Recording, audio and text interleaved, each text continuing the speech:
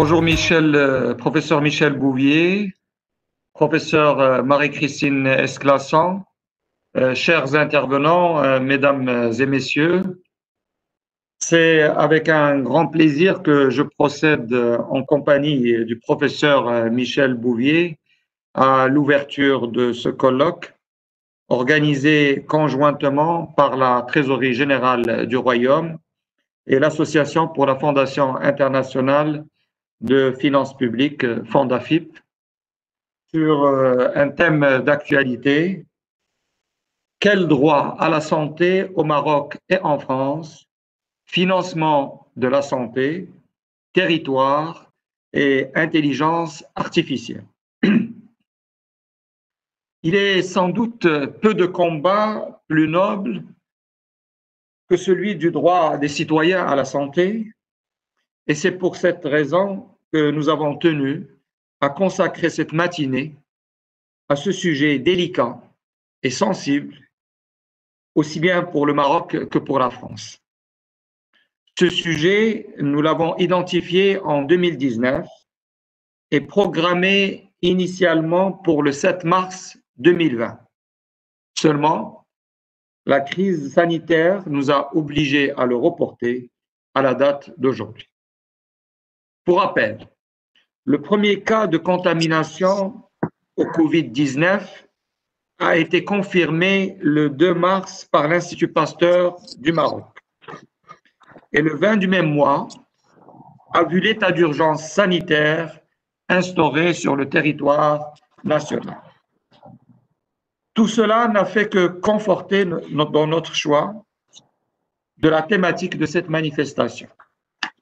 En effet, la pandémie du Covid-19, à laquelle le monde entier fait face depuis plusieurs mois, a replacé les questions sociales et particulièrement la santé au cœur des préoccupations de tous les pays. Elle a eu cependant l'effet d'un électrochoc en nous rappelant d'une manière brutale la nécessité de reconsidérer la dimension sociale qui s'était partiellement effacée depuis longtemps derrière les seuls impératifs économiques et financiers. Nous nous réunissons aujourd'hui donc pour échanger et débattre des diverses questions ayant trait à la santé publique, notamment en ce qui concerne le financement, l'efficacité des dépenses de la santé, le rapport au territoire ou encore l'impact des technologies de l'information.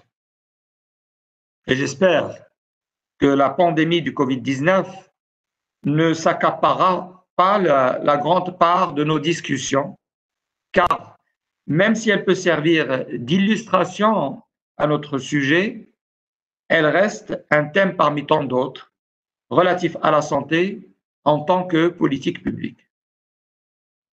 Mesdames et messieurs, le Maroc a alloué au titre de la loi de finances de l'année 2020, et d'ailleurs c'est le même chiffre qu'on va retrouver au niveau de la loi de finances rectificative, puisqu'on n'a pas rectifié les crédits alloués à la santé. Donc, cette loi de finances a prévu 22,7 milliards de dirhams de crédits au secteur de la santé, dont 18 milliards de dirhams de crédits de paiement. Sans compter les dotations budgétaires exceptionnelles allouées au cours d'années dans ce secteur, dans le cadre de la lutte du pays contre la pandémie Covid-19. Donc ce montant représente environ 6,2% des dépenses du budget de l'État, budget général de l'État, au titre de l'année 2020. Toutefois, malgré son amélioration constante, d'année en année, ce taux demeure en deçà des recommandations de l'Organisation mondiale de la santé qui préconise généralement un taux entre 10 et 12 Rapporté au PIB, les dépenses totales de santé, c'est-à-dire tout ce qui se dépense en matière de santé, y compris les dépenses publiques, aussi généralement entre 5 et 6 Pardon.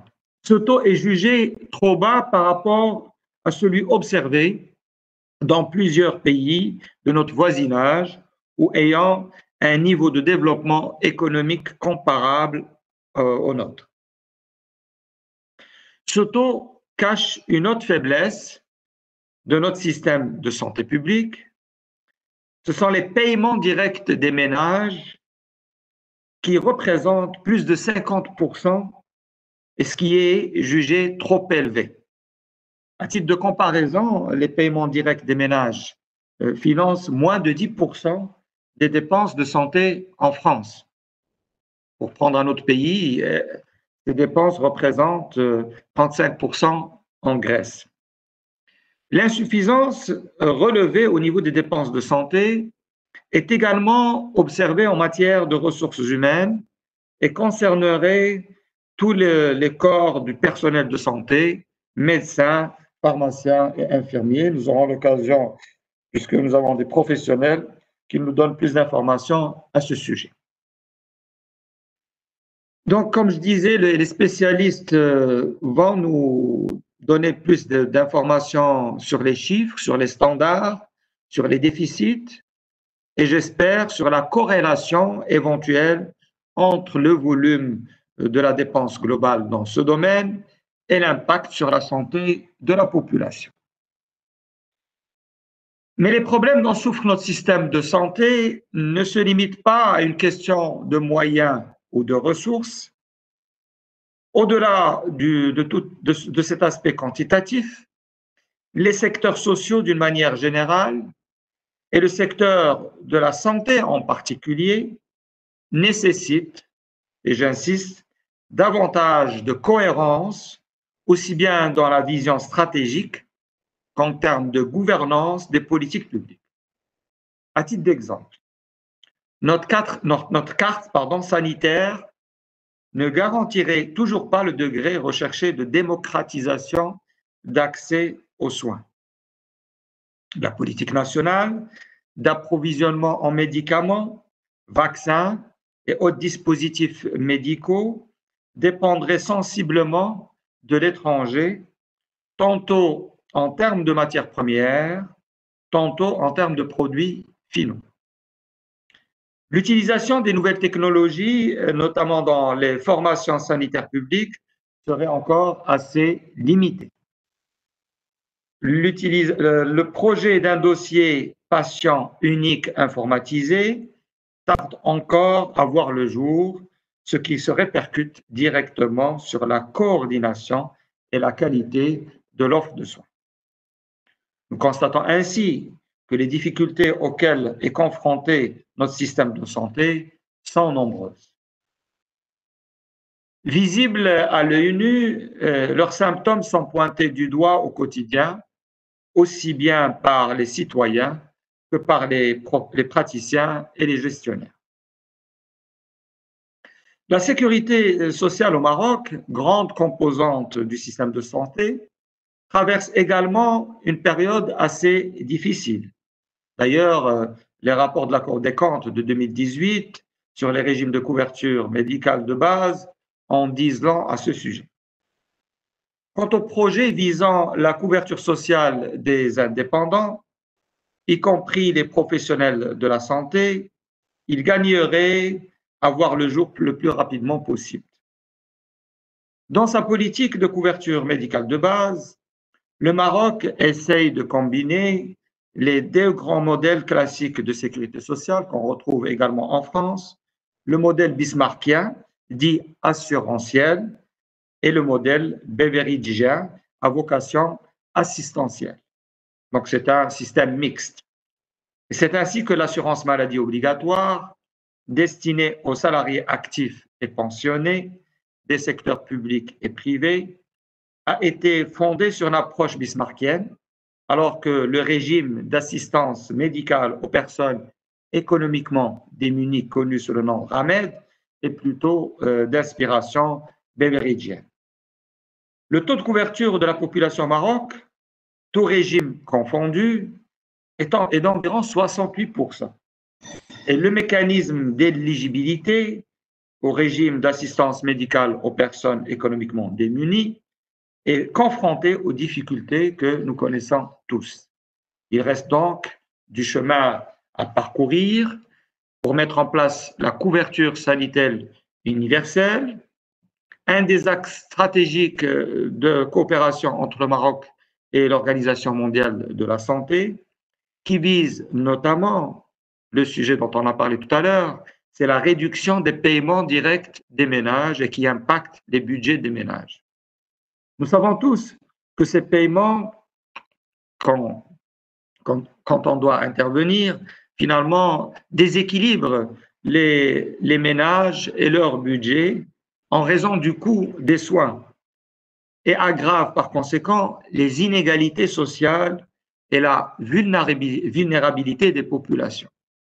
C'est ainsi que dans son discours adressé à la nation le 29 juillet 2020, à l'occasion de la fête du trône, euh, Sa Majesté le roi Mohamed VI du raciste a donné ses hautes directives pour que soit lancé le processus de généralisation de la couverture sociale au profit de tous les Marocains dans un délai de cinq ans à partir de janvier 2021.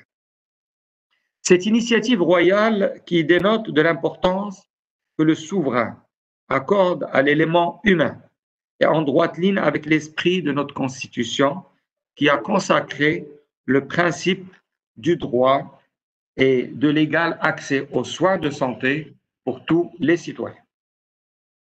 La concrétisation et la réussite de ce chantier ambitieux de couverture sanitaire universelle passe d'abord et avant tout par la mise en place des préalables nécessaires en termes de mise à niveau de l'offre de soins.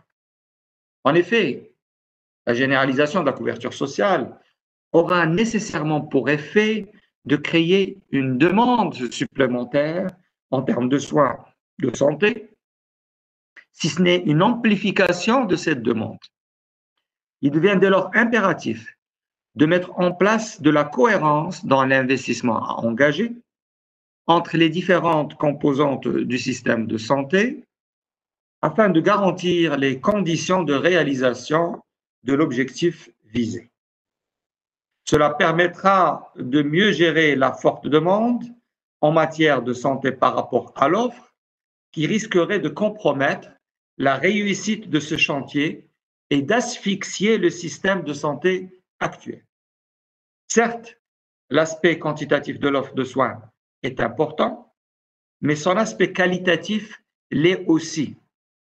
Il serait opportun à ce titre de s'assurer que les efforts engagés en termes de ressources humaines, d'infrastructures et de matériel et consommables soient accompagnés d'une amélioration de la qualité des soins. C'est à ces conditions et à ces conditions seulement que nous pourrons prétendre à la réussite de ce chantier stratégique. Mesdames et messieurs, il faut reconnaître que notre système de santé est jeune. Il n'a réellement vu le jour qu'en avril 1959, avec la première conférence nationale sur la santé organisée sous la présidence effective de Feu Sa Majesté Mohamed V.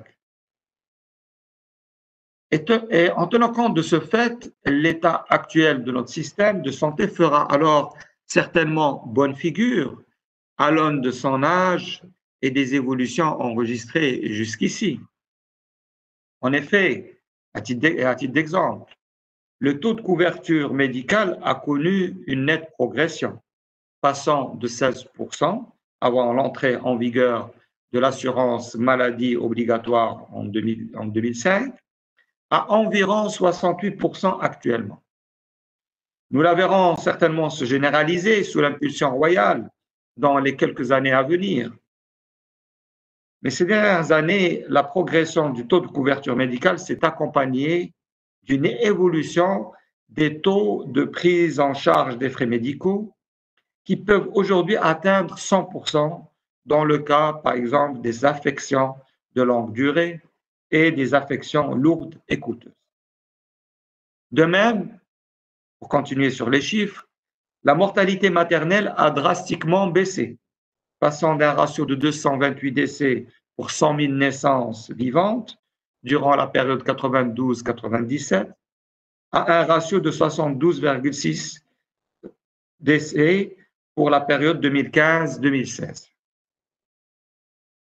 D'un autre côté, le registre social unifié que le Maroc s'apprête à mettre en place devra permettre un meilleur ciblage des bénéficiaires des programmes sociaux et notamment aux afférents, ou à ceux, afférents à la couverture médicale. À cet effet, Sa Majesté le Roi, que Dieu l'assiste, n'a pas manqué de rappeler dans son dernier discours du trône la nécessité d'opérationnaliser le registre social unifié qui est une condition sine qua non de la réussite d'une réforme en profondeur de nos programmes sociaux. Au-delà même de la problématique du financement, la réussite de, la réforme de ces programmes sociaux est également tributaire de l'approche et de la méthodologie adoptée, mais aussi et surtout du système de gouvernance mis en place. Bien évidemment, la recherche et développement, l'expérimentation et le travail de laboratoire demeurent indispensables pour mieux appréhender la réalité du terrain. Ils constituent même les clés de réussite de toute réforme dans ce sens. En tout état de cause, les statistiques et les faits qui corroborent cette tendance d'évolution positive dans le domaine de la santé sont multiples. Certes, le système de santé marocain connaît des évolutions indéniables, mais il reste perfectible et il le restera toujours, à l'instar de tout autre système ou secteur qui touche la société de près.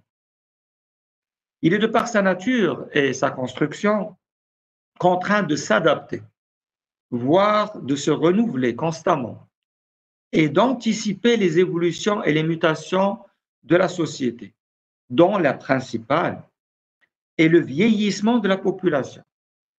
Mesdames et messieurs, entre 2020 et 2060, le nombre de personnes de plus de 65 ans devrait être multiplié par trois. Nous devons donc nous concentrer sur les défis que nous réserve le futur. Un futur qui sera caractérisé par davantage de contraintes pour la mobilisation des ressources publiques, et une menace sérieuse pour les équilibres budgétaires de l'État, des collectivités territoriales, des caisses de prévoyance sociale et aussi les budgets des ménages. Ceci nécessite une réelle cohérence de la politique de de la santé, une volonté ferme de coordination entre les différents acteurs et une bonne répartition des tâches. Le maître mot est la rationalisation de la dépense, tout en cherchant de nouveaux modes de financement qui ne pèseraient pas trop sur les budgets publics et, in fine, sur les citoyens. Plus clairement, il s'agit de mettre de l'ordre dans les prélèvements fiscaux avec comme principe l'universalité de l'impôt, ou tout simplement le respect du principe édicté par l'article 39 de la Constitution, je cite, tous supportent en proportion de leurs facultés contributives les charges publiques que seule la loi peut, dans les formes prévues de la présente Constitution, créer et répartir. Fin de citation. L'idée force de ce principe est la solidarité qui se trouve dans ce temps de crise plus fortement sollicitée. La conséquence, comme le recommandent plusieurs institutions internationales, est la réduction des incitations fiscales, notamment celles qui s'appliquent sur les bénéfices de certains secteurs d'activité. Et qui laissent par conséquent toute la pression fiscale supportée par le reste de la collectivité. Dans la même logique, en faveur de la santé, c'est toute la fiscalité environnementale pour lutter contre la pollution, la consommation des tabacs et peut-être les, alcools également, qui participerait à réduire les effets néfastes sur la santé de la population et diminuerait également en amont les dépenses de santé. En fait, nous avons plus besoin de prévention. Et le sujet de la fiscalité aussi est assez riche. Euh, je me limiterai à rappeler brièvement et en parfaite harmonie avec les idées du professeur Michel Bouvier, le rôle que doivent jouer les collectivités territoriales en matière de mobilisation de ressources fiscales afin de contribuer à la politique de la santé au niveau régional et local et pour que ces collectivités aient un peu plus de marge de manœuvre budgétaire et pour faire face aux besoins de la population. Notre futur, mesdames et messieurs, sera également marqué par l'omniprésence du digital et de l'intelligence artificielle. Un futur où les interactions et les liens de causalité entre les différents secteurs, divers secteurs, seront encore plus complexes, nécessitant l'intégration de la santé dans toutes les composantes des politiques publiques. Ce n'est pas uniquement le ministère de la Santé, mais c'est toutes les, toutes les activités ou tous les secteurs qui sont concernés. Donc, c'est une vision systémique, globalisante, telle que recommandée par la déclaration d'Adélaïde.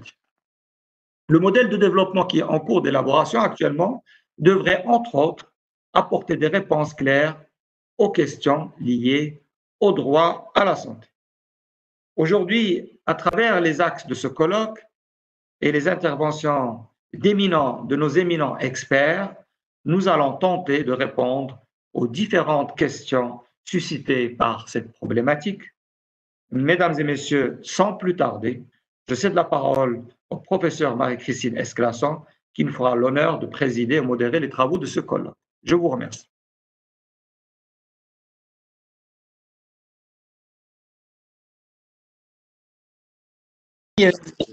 Merci beaucoup, cher Nourdine. Euh, tu as euh, esquissé, euh, j'allais dire magistralement, les, les enjeux de cette réflexion et euh, rappeler de façon euh, tout à fait pédagogique et intéressante euh, les grands défis auxquels le Maroc est confronté et à travers les, les, éléments que tu as relevés, je me disais que ce sont les mêmes défis auxquels la France est confrontée auxquels l'ensemble des pays finalement sont confrontés. le, je vais sans plus tarder passer immédiatement la parole au professeur Michel Bouvier, euh, qui, euh, à son tour, euh, va nous présenter les quelques réflexions que lui suggère le thème que nous avons choisi aujourd'hui.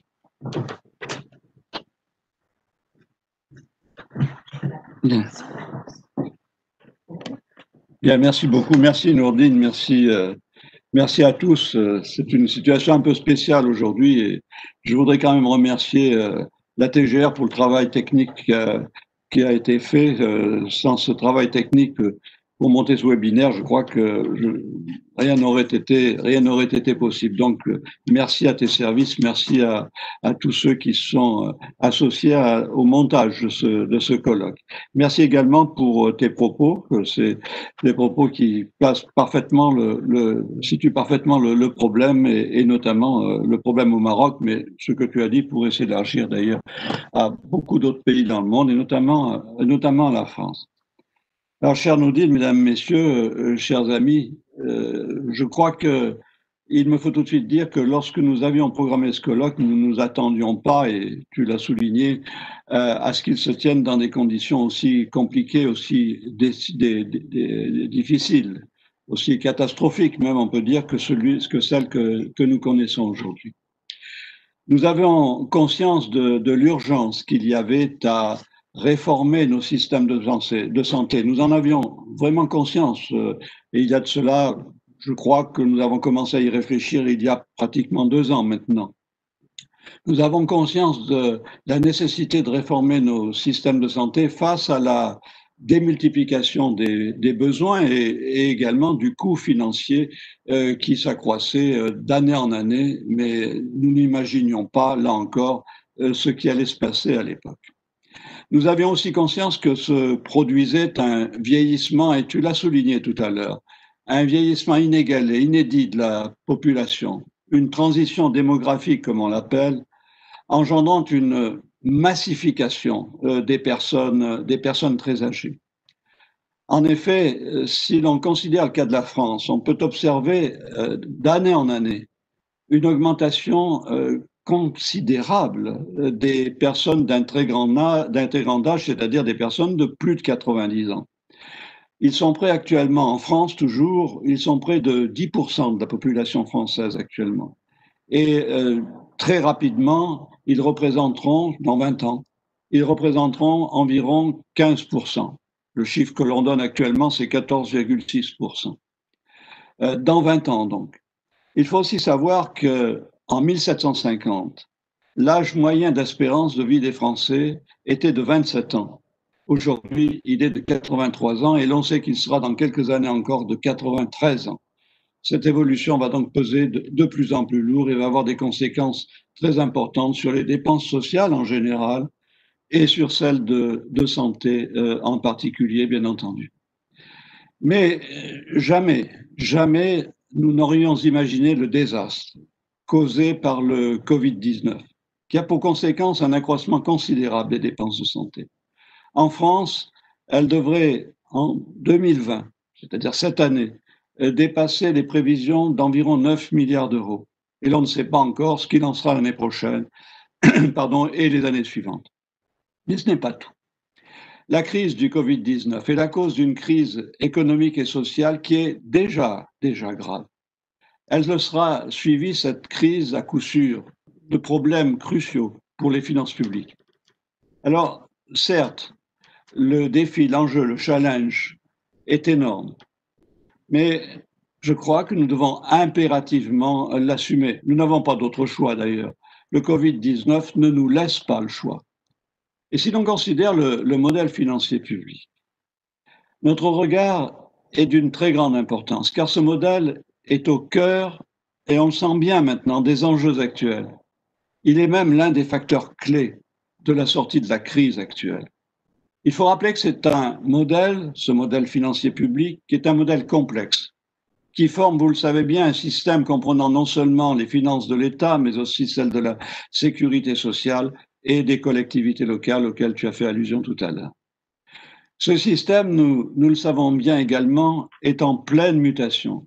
Il va de crise en crise depuis le milieu des années 1970. C'est-à-dire, en fait, c'est inutile que je le rappelle, mais je vais le faire quand même, depuis les deux grandes crises économiques et financières euh, des années 70, c'est-à-dire 1973 et 1979, les deux chocs pétroliers. Mais la crise actuelle, c'est pas la même. C'est même pas la même que celle des subprimes. La crise actuelle, elle est bien plus terrible, à mon avis. Elle est bien plus terrible car elle n'est pas aussi cernable que les précédentes. Elle n'est pas aussi périmétrable que les précédentes. Les précédentes avaient une origine économique et financière bien précise, connue, bien visible. Alors que ces facteurs économiques et financiers aujourd'hui se combinent maintenant avec une pandémie. Avec une pandémie, ce qui rend les réponses beaucoup plus difficiles à apporter. Il faut aussi souligner ce qui complique le problème, que le système financier public ne peut pas être appréhendé qu'à travers ses rapports avec les autres composantes de la société. Ils ne peuvent être appréhendés que dans une vision globale et interrelationnelle entre les finances publiques, l'économie, le droit, le social, tout cela, que, tout cela ne doit collaborer, tout cela rétroagit. Autrement dit, avec c'est avec l'ensemble des acteurs qu'il faudrait agir, avec l'ensemble des acteurs qui composent une société. Car tous, à un moment ou à un autre, à un titre ou à un autre, sont concernés par ce qui se passe aujourd'hui. Or, qu'ils soient publics ou privés, ces acteurs n'ont pas pris la mesure des risques potentiels actuels ils n'ont pas pris la mesure des risques potentiels actuels avant que ne se déclenche la catastrophe. Je dis bien la catastrophe parce que c'en est une. C'est une catastrophe internationale que nous connaissons. Personne ne s'est protégé contre les risques majeurs. Personne n'a identifié la multiplicité et la gravité de ces risques, ainsi que l'accélération de leurs dangers et du coût financier qu'ils engendrent. Alors, Comment sommes-nous arrivés là? Que faut-il faire? Que faut-il ne pas faire également? On sent parfois un certain désarroi, un certain désarroi qui est partagé par l'ensemble de la population, mais qui est aussi partagé par nos décideurs politiques, administratifs, mais aussi, on s'en est rendu compte, il suffit de suivre l'actualité, par nos experts, quels qu'ils soient, de tous les domaines qu'ils soient. En fait, on ne peut pas répondre coup par coup à une question pareille. On ne peut pas répondre simplement. La réponse doit être en rapport avec la complexité du contexte et avec l'incertitude qui prédomine dans ce contexte. Et puis au-delà de cette crise, c'est à une crise moins perceptible a priori à laquelle nous sommes confrontés. C'est celle d'un modèle politique. Je veux dire, bien entendu, d'État, qui concerne, là encore, tous les pays du monde, plus précisément, depuis environ 40 ans depuis le déclenchement d'une crise de ce qu'on a appelé la crise de l'État-providence. Les responsables politiques, économiques, sociaux ne sont jamais parvenus à instituer un équilibre dynamique entre l'État central, le marché économique, les collectivités locales, les acteurs sociaux. Chacun a poursuivi sa propre logique, et là, souvent sur, sur fond de corporatisme et de court-termisme également. La société a continué à fonctionner, comme on dit, en silo. Elle est peu à peu devenue cette société, celle du chacun chez soi, et je dirais même du chacun pour soi. Autrement dit, d'un hyper-individualisme, ou si l'on préfère, d'une mosaïque d'égoïsme. Ainsi, au-delà de la crise sanitaire ou encore de la crise économique et sociale, que le confinement ou encore l'arrêt ou le ralentissement des activités ont engendré, c'est aussi à la crise d'un modèle politique, je l'ai dit, moins perceptible, à laquelle nous sommes confrontés.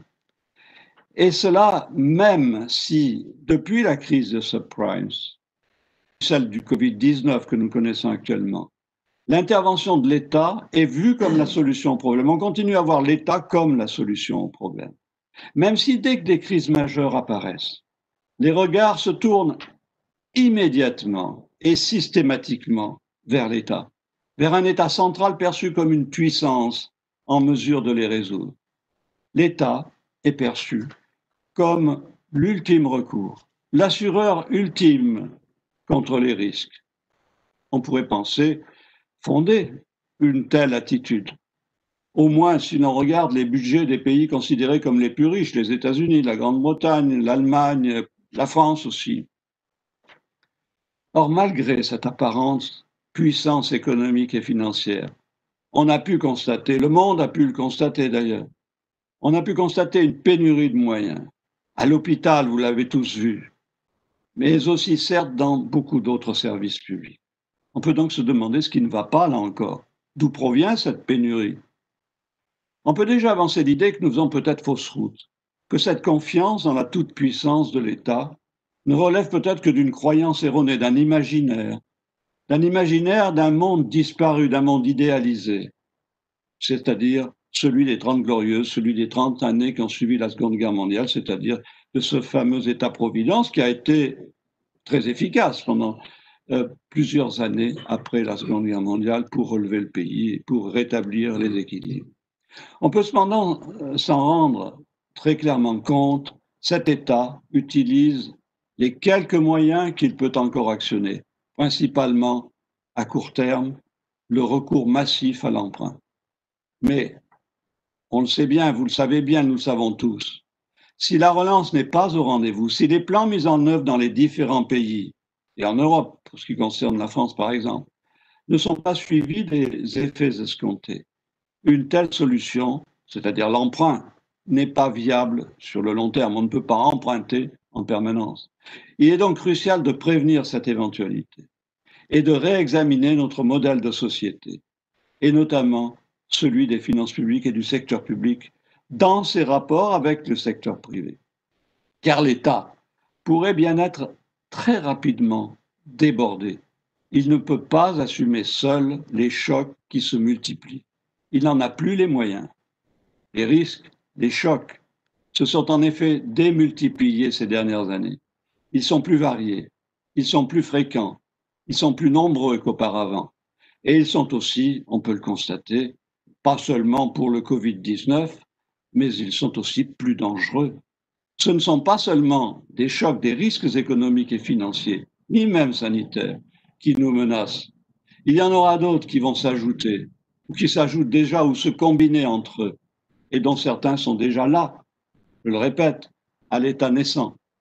Je pense par exemple, on a eu l'occasion d'en parler dans nos colloques, à l'explosion démographique, à la fracture territoriale, au réchauffement climatique, à l'accroissement de la fracture sociale, mais aussi à l'évasion fiscale internationale. Et tout cela coûte déjà et coûtera très cher dans les années à venir.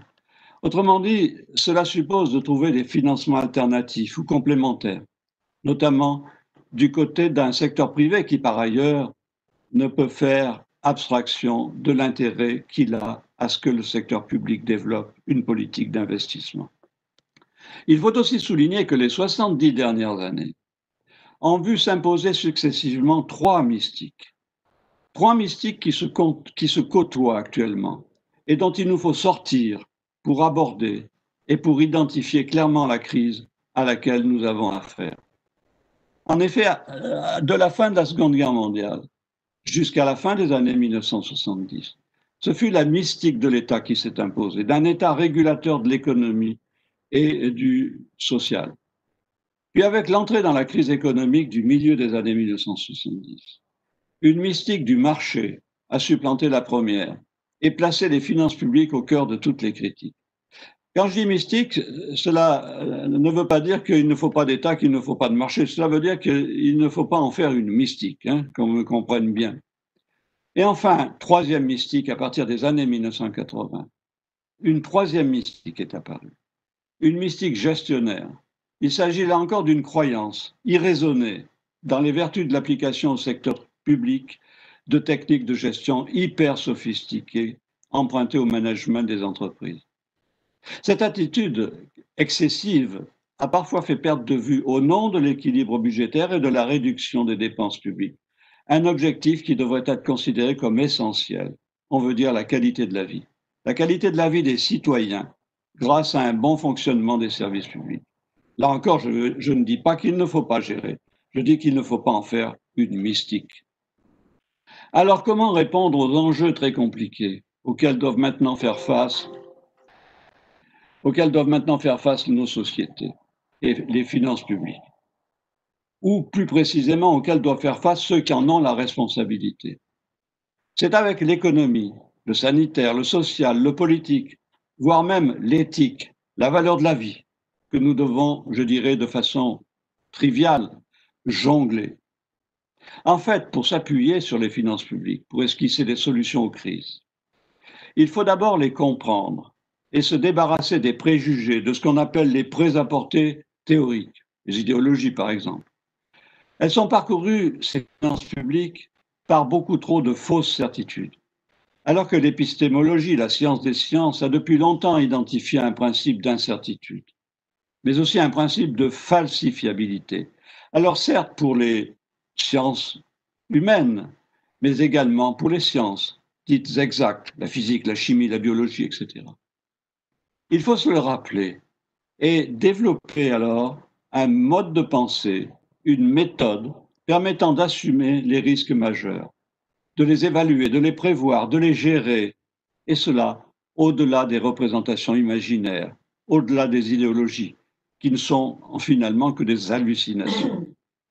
Aujourd'hui, nous avons affaire à un système multiple, un système d'abord à multiples acteurs et en second lieu à multiples risques.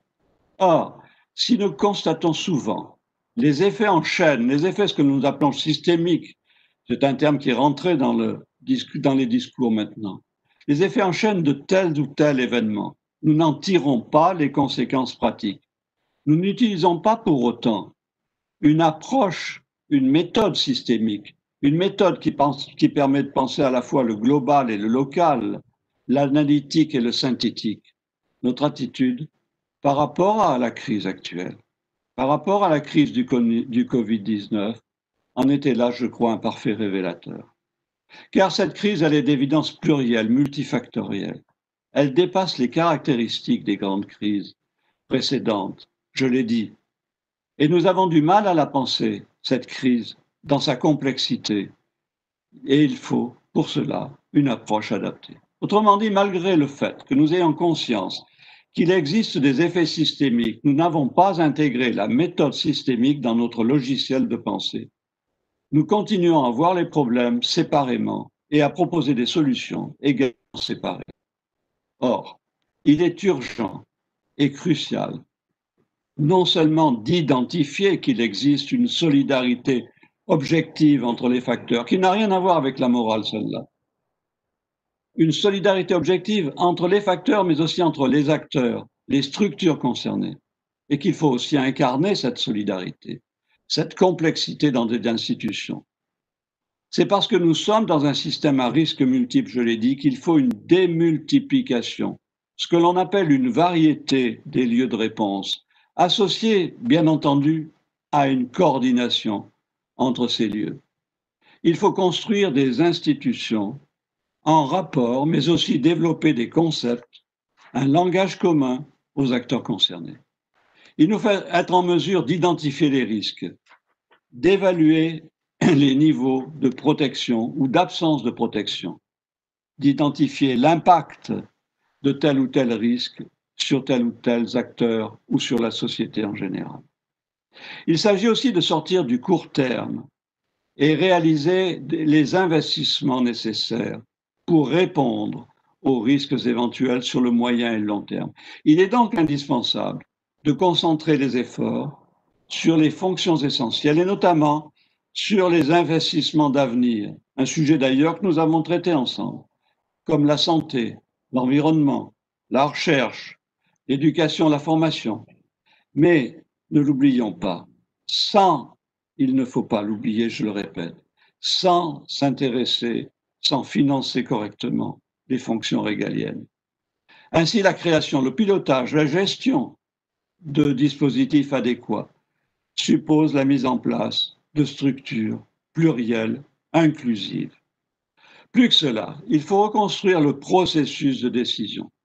On peut constater aujourd'hui qu'il existe une mosaïque de pouvoirs économiques, politiques, sociaux, qui ne trouvent aucune institution pour se rencontrer, pour se retrouver, se concerter et définir des solutions communes permettant de répondre aux crises, mais surtout de construire un modèle politique correspondant à la complexité et à l'incertitude due à la multiplicité, je l'ai dit, des acteurs de leurs interrelations qui caractérisent nos sociétés. Cette crise devrait être l'occasion de réorganiser la gouvernance publique, et cela selon une logique reposant sur une synergie d'acteurs. Alors face au monde actuel, je l'ai dit, un monde complexe, il faut instituer un modèle partenarial avec des institutions d'aide à la décision, permanente ou à géométrie variable d'ailleurs, reflétant cette complexité en réunissant les acteurs économiques, politiques et sociaux. Et cela non seulement au niveau national, mais également au niveau local et au niveau international.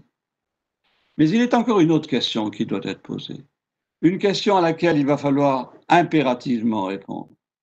Comment l'État va-t-il faire pour financer les déficits exceptionnels engendrés par la crise et rembourser les prêts qui lui ont été accordés? L'emprunt pèsera nécessairement très lourd sur les politiques publiques futures. Le recours à toute augmentation ou création d'impôts n'est pas à exclure si la croissance n'est pas au rendez-vous, si la croissance n'est pas suffisante. Quoi qu'il en soit, l'augmentation des prélèvements obligatoires, voire la création de nouveaux impôts, semble à terme inévitable, ne serait-ce que pour lutter contre les problèmes posés par le réchauffement climatique. Je pense à l'impôt carbone, etc. Autrement dit, le temps est venu de redonner un sens à l'impôt, un sens qui soit en phase avec la société contemporaine, avec ses problèmes à cette société contemporaine. En effet, l'État ne pourra pas continuer, je l'ai dit, à emprunter sur le long terme à chaque catastrophe. Ce n'est pas possible. Il ne saurait agir sans ressources définitives. Et l'épineux problème de l'impôt devrait, à mon avis, inévitablement ressurgir. Pas tout de suite, bien sûr. D'autre part, les évolutions des besoins des populations et des moyens nécessaires pour faire face à des, à des cataclysmes tels que celui que nous vivons justifie l'urgence qu'il y a à s'interroger tout particulièrement sur les sources de financement des dépenses de santé À cet égard, et bien que dans la période actuelle, le recours à l'impôt ne soit pas envisageable, ce n'est pas la question du jour si l'on souhaite soutenir à la fois l'offre, c'est-à-dire la production, les entreprises, et la demande, c'est-à-dire la consommation. Il est cependant inévitable, je crois, que la question fiscale, je le répète, se posera une fois la situation stabilisée. Il faut souligner que l'esprit du temps est marqué, actuel bien entendu, est marqué par le besoin d'organiser la solidarité, et ça, tu y as fait très clairement allusion, Nourdine, au sein de nos sociétés. Cela devrait nous inciter à abandonner une vision marchande de la fiscalité qui considère l'impôt comme le prix d'un service rendu par le secteur public. Aux contribuables, par exemple, qui se pensent de plus en plus comme un client des institutions. Un autre, plus solidaire de ses semblables, plus soucieux de l'intérêt général, mais aussi de l'avenir de notre monde, devrait s'y substituer. La question sanitaire devrait plus peut-être, plus peut-être que tout autre, nous inciter à aller dans ce sens. Mais cette question, cette question sanitaire, en appelle immédiatement une autre. Comment répartir équitablement et efficacement la charge entre contribuables, mais aussi entre entreprises et particuliers, ou encore entre actifs et inactifs? Les réponses à toutes ces questions nous ne sont évidemment pas neutres.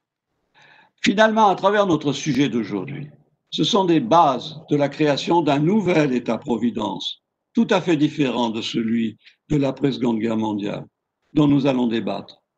Nous avons besoin, et c'est urgent, de trouver un nouvel équilibre social, car ce ne sont pas que des personnes physiques ou des entreprises qui sont fragilisées par le Covid-19, mais c'est le monde dans lequel nous vivons maintenant. En fait, les sociétés auxquelles nous appartenons, les institutions que nous avons bâties au fil du temps sont d'une très grande fragilité elles aussi. Toutefois, il ne faut pas oublier que nous avons à notre disposition des outils technologiques qui devraient nous permettre de faire face efficacement aux défis qui nous sont posés.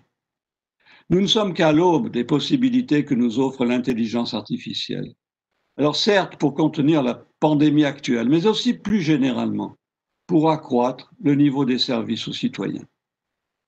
Et puis si l'on estimait que ça, que le monde de demain ne sera pas le même que celui d'hier, et si l'on pense sincère les voix qui se font entendre ici ou là pour appeler à l'invention d'une société plus solidaire, alors le temps est venu de réunir les représentants des forces politiques, sociales, économiques, pour donner un sens contemporain aux finances publiques, voire même à la société en général d'ailleurs, il est devenu indispensable de développer des lieux de réflexion. Et Fondafip en est un, et nos rapports, nos colloques en sont un. Des lieux de réflexion et des lieux de coopération permanents au niveau, là encore, local, au niveau national, mais également au niveau international. Et ces lieux doivent être représentatifs des divers acteurs concernés. Ils ne doivent pas être composés uniquement d'experts, par ailleurs. Mais une fois encore, je crois que nous pouvons avoir confiance dans notre intelligence collective, comme je l'ai souvent dit ici dans nos colloques, pour identifier, dégager ou simplement esquisser des voies nouvelles. Et cela, nous l'avons fait, je le répète, nous le faisons depuis 14 ans maintenant entre le Maroc et la France, entre le ministère des Finances représenté par la TGR et Fondafip. Nous le faisons lors de chacun de nos colloques franco-marocains. Merci encore, merci à tous et je vous souhaite une bonne santé à tous et préservez-vous, faites attention. Merci, au revoir.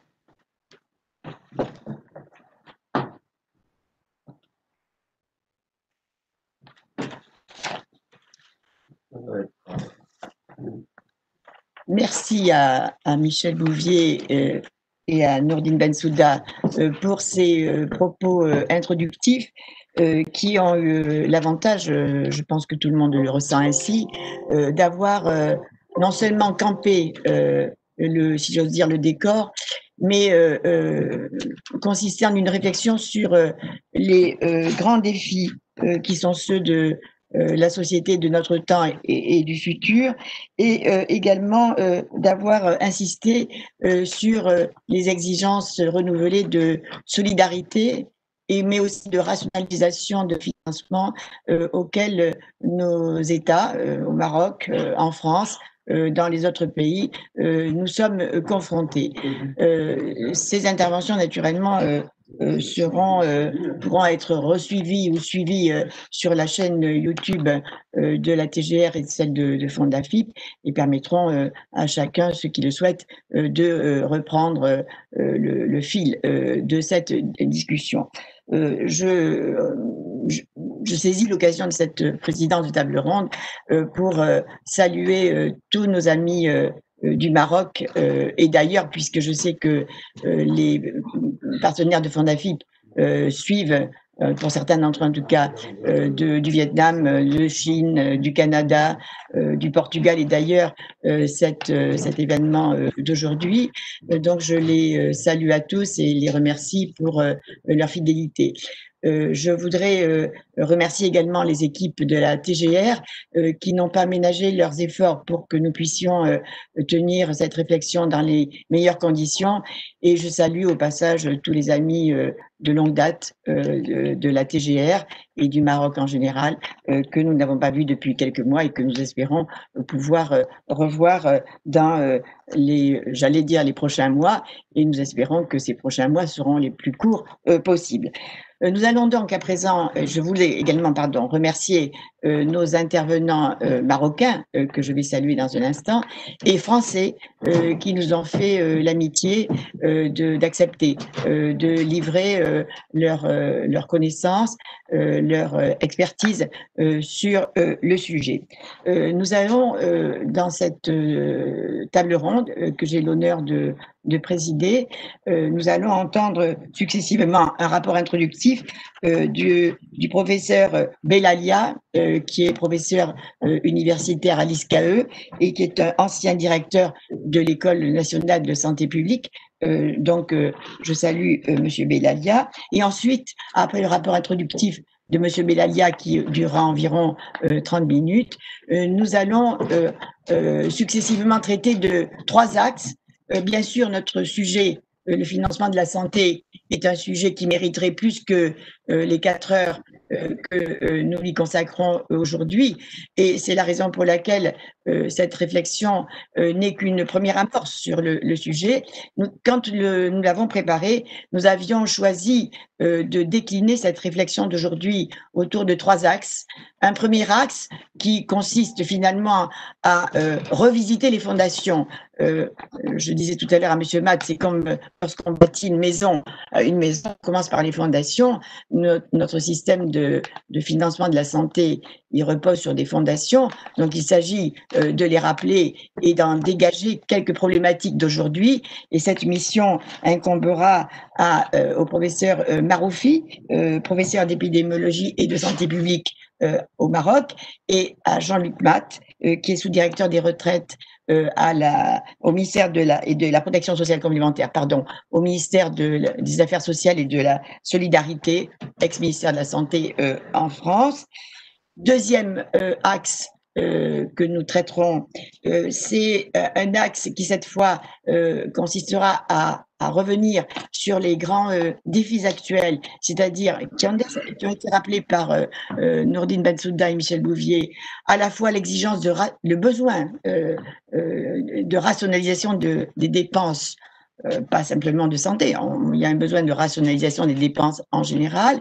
Et en même temps, dans le domaine de la santé, euh, se pose de manière renouvelée une exigence d'équité. Euh, Nordine Bensouda a notamment rappelé le, le, principe renouvelé au Maroc par la Constitution de, de 2011, cette exigence d'équité qui pose de manière aiguë euh, l'équité territoriale. Euh, comment euh, le droit à la santé peut-il s'incarner lorsqu'il y a une grande diversité territoriale et une grande inégalité des situations très difficiles, très inégales en matière de couverture territoriale? Donc c'est cette deuxième le deuxième axe que nous allons reprendre et nous allons nous demander comment les nouvelles technologies, l'intelligence artificielle peut être un moyen de remédier, en partie au moins, à cette difficulté de concilier rationalisation des dépenses de santé et couverture territoriale.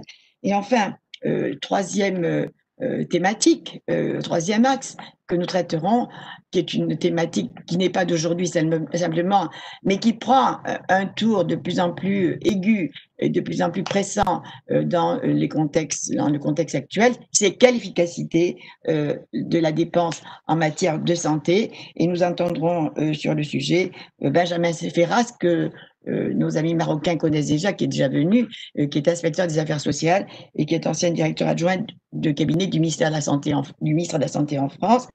Et nous entendrons M.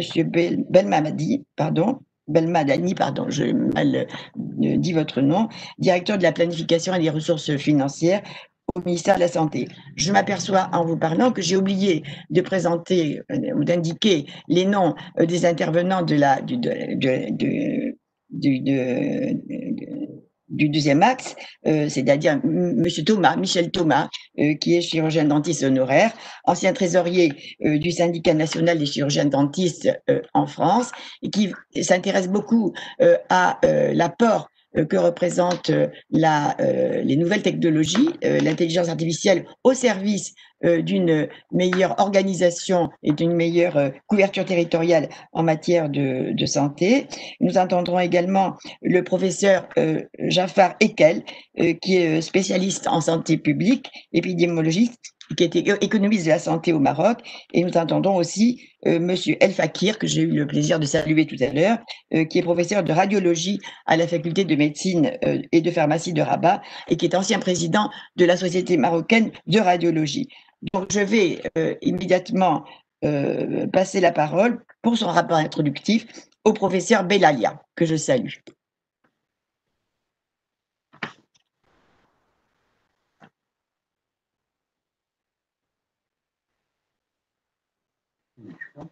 Professeur Belalia, c'est à vous. Professeur Belalia Est-ce que vous m'entendez? Oui, on vous entend. Allez-y. Oui, euh, je vous remercie. Donc, euh, je suis très heureux de prendre part à cette conférence en ligne. Je remercie la TGR, Fondafip et les organisateurs pour ce webinaire qui porte sur le thème du financement de la santé thème euh, d'actualité aujourd'hui, d'autant plus que nous sommes euh, dans une crise euh, sanitaire mondiale que tous les systèmes de santé ben, affrontent aujourd'hui. Merci donc aussi à Monsieur le Trésorier général pour le mot ben, d'ouverture qui est à la fois pertinent par le diagnostic qu'il fait, qui est aussi initiateur par les pistes proposées ben, pour le débat en fait ensuite. Dans cette euh, présentation introductive, je vais tâcher de mettre en lumière la notion du financement de la santé en faisant par la suite le lien avec du système de santé. On sait très bien que le système de santé impacte, influence euh, les modes de financement proposés, euh, ce qui nous amènera par la suite à parler du droit à la santé aussi, qui est un concept très important en lien avec le territoire, comme concept qui vont régir euh, la dispensation de l'offre de soins dans une région donnée ou dans une localité donnée. Je terminerai donc à la fin par l'introduction de tout ce qui est technologie de l'information et l'intelligence artificielle en regardant toujours ces thèmes sous le prisme financier. Euh, le sujet proposé aujourd'hui, euh, ben, comme j'ai dit, est important. Euh, il prend ancrage d'abord dans la résolution 5833 de l'Assemblée mondiale de la santé de 2005, qui a déclaré que tout individu doit pouvoir accéder aux services de santé sans être confronté aux difficultés financières. Donc, nous constatons d'emblée que l'utilisation du terme doit pouvoir, à la place de euh, à la place de a le droit, euh, euh, elle est en quelque sorte très importante parce qu'elle érige l'accès aux services de santé ainsi que le financement en tant qu'obligation qui doivent être assurées par les, par les États membres de l'ONU. Avant de rentrer dans le vif ben, du sujet, je vais pouvoir reprendre une histoire racontée dans l'un des rapports ben, de l'OMS, une histoire d'un jeune qui glissa à bord de sa moto dans un virage et cogna la tête, protégé par le casque au sol. Donc, il s'agit d'une histoire rapide, simple. Ce jeune homme, il va être emmené à l'hôpital par l'ambulance euh, dans quelques minutes. Les médecins vont diagnostiquer une grave lésion euh, cérébrale euh, suite à plusieurs fractures au crâne. Ils vont ensuite l'envoyer au centre de traumatologie à 65 km de l'hôpital. Le scanner va donc confirmer un hématome. Le jeune va être opéré. Le chirurgien a retiré une partie, de, une partie de son crâne pour relâcher la pression et a retiré aussi ben, le caillot de sang.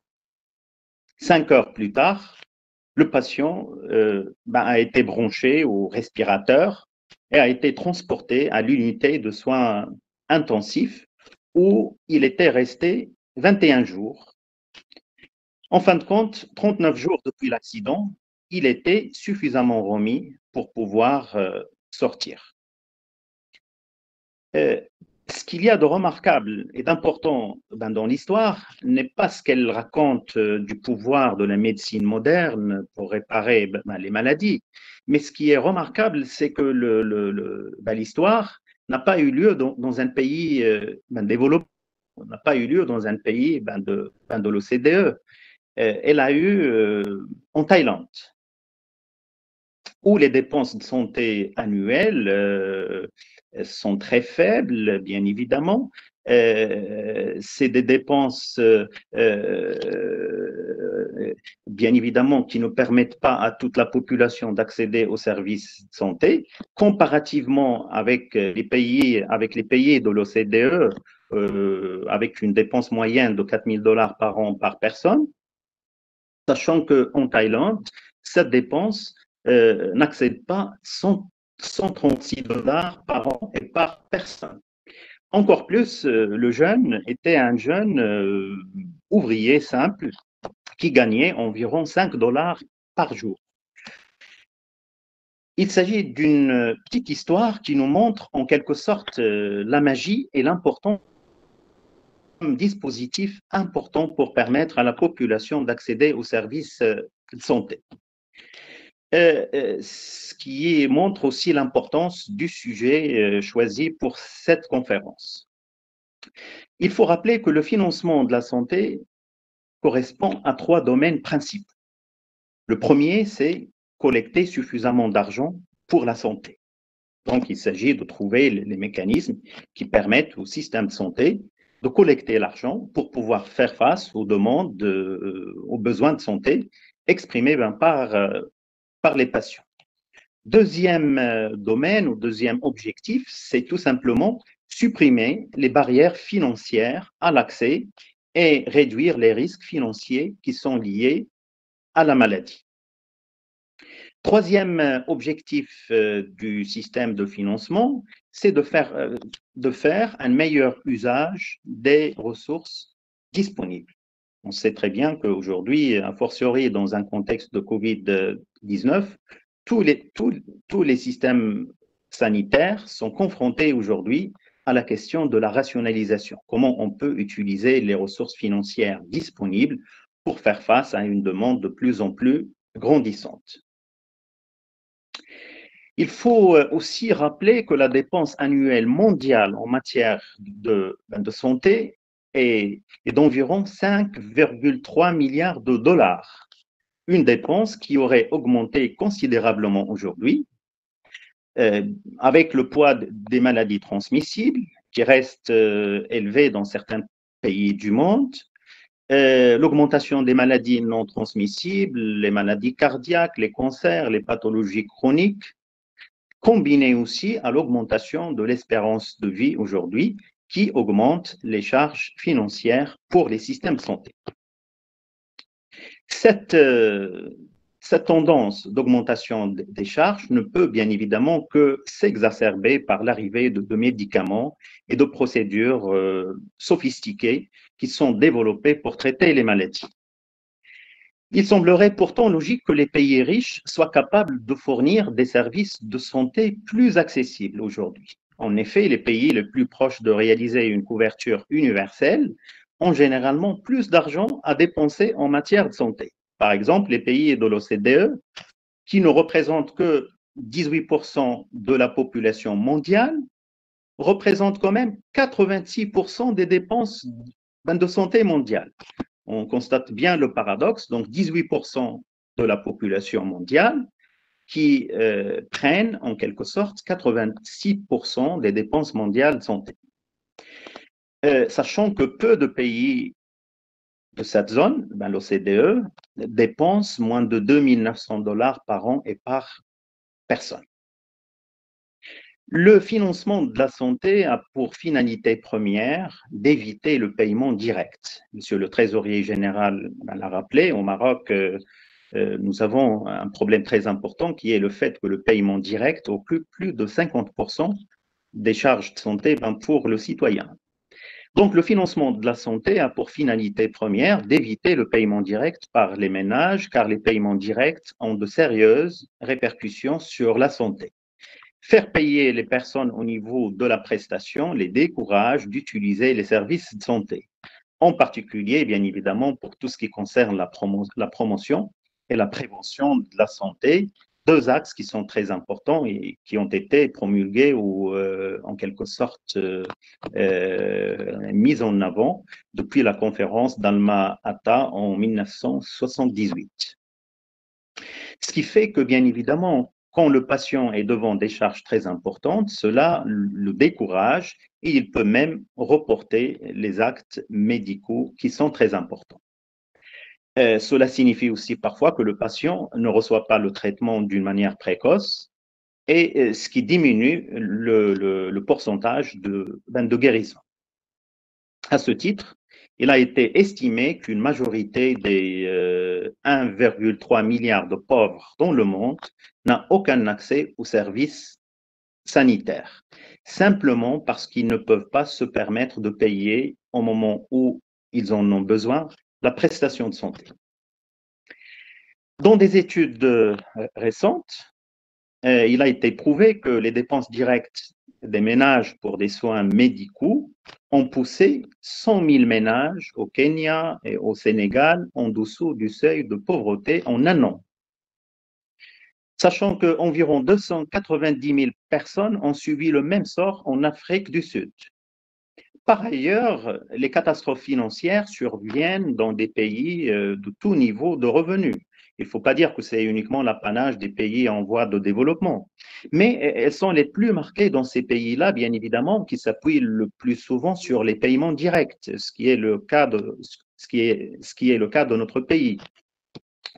Globalement, environ 150 euh, millions de personnes par an font face à des coûts de soins de santé catastrophiques à cause des paiements directs parmi lesquels 100 millions de personnes passent sous le seuil de pauvreté. Euh, voilà ce qui nous met devant l'importance du chantier initié par l'OMS depuis plusieurs années, qui est le chantier de la couverture sanitaire universelle que le Maroc a aussi entrepris depuis 2012, euh, avec l'instauration du, du, RAMED, euh, le discours royal en mois, de, en mois de juillet, rappelle bien évidemment ou dresse une feuille de route pour la généralisation de la couverture euh, sanitaire, ce qui est très important pour le pays. donc, la couverture sanitaire universelle vient comme chantier qui nous met devant l'obligation de répondre à trois questions principales. Premièrement, euh, qui a le droit de bénéficier de la couverture sanitaire? Il s'agit d'une question très importante. Quelle population? Quel âge? Quelle pathologie? C'est la première question auquel un système de financement doit pouvoir répondre. La deuxième question, c'est quels sont les services couverts? Donc, une fois on a choisi la population concernée, la deuxième question, c'est bien évidemment quels sont les services qui vont être couverts? Euh, je cite par exemple au Maroc, depuis l'instauration de la politique de la gratuité des euh, actes, ou plutôt de, l'accouchement, ça a été un facteur déterminant qui a permis de réduire la mortalité maternelle au Maroc. Euh, donc, ça montre très bien que choisir les services qui sont couverts peut avoir un impact direct sur la santé des citoyens. Troisième question qui est posée donc euh, en lien avec la question du financement, c'est quelle est la proportion des coûts couverts? C'est-à-dire que pour une prestation donnée, est-ce qu'on couvre 30%, euh, 50% ou 100% Bien évidemment, euh, la réponse à ces questions dépend principalement de la nature du système sanitaire. À ce titre, il est possible de distinguer aujourd'hui trois types de systèmes de santé. Premièrement, les systèmes nationaux de santé. Deuxièmement, les systèmes d'assurance maladie. Et troisièmement, les systèmes libéraux résiduels.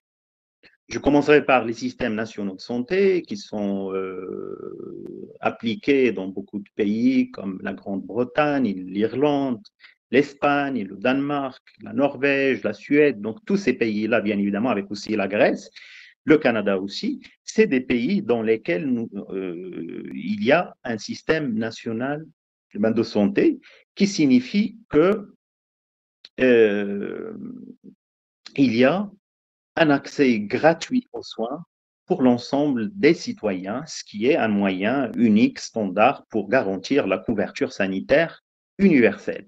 Donc, l'offre de soins est principalement organisée par l'État et euh, cette offre est aussi euh, financée principalement par les impôts.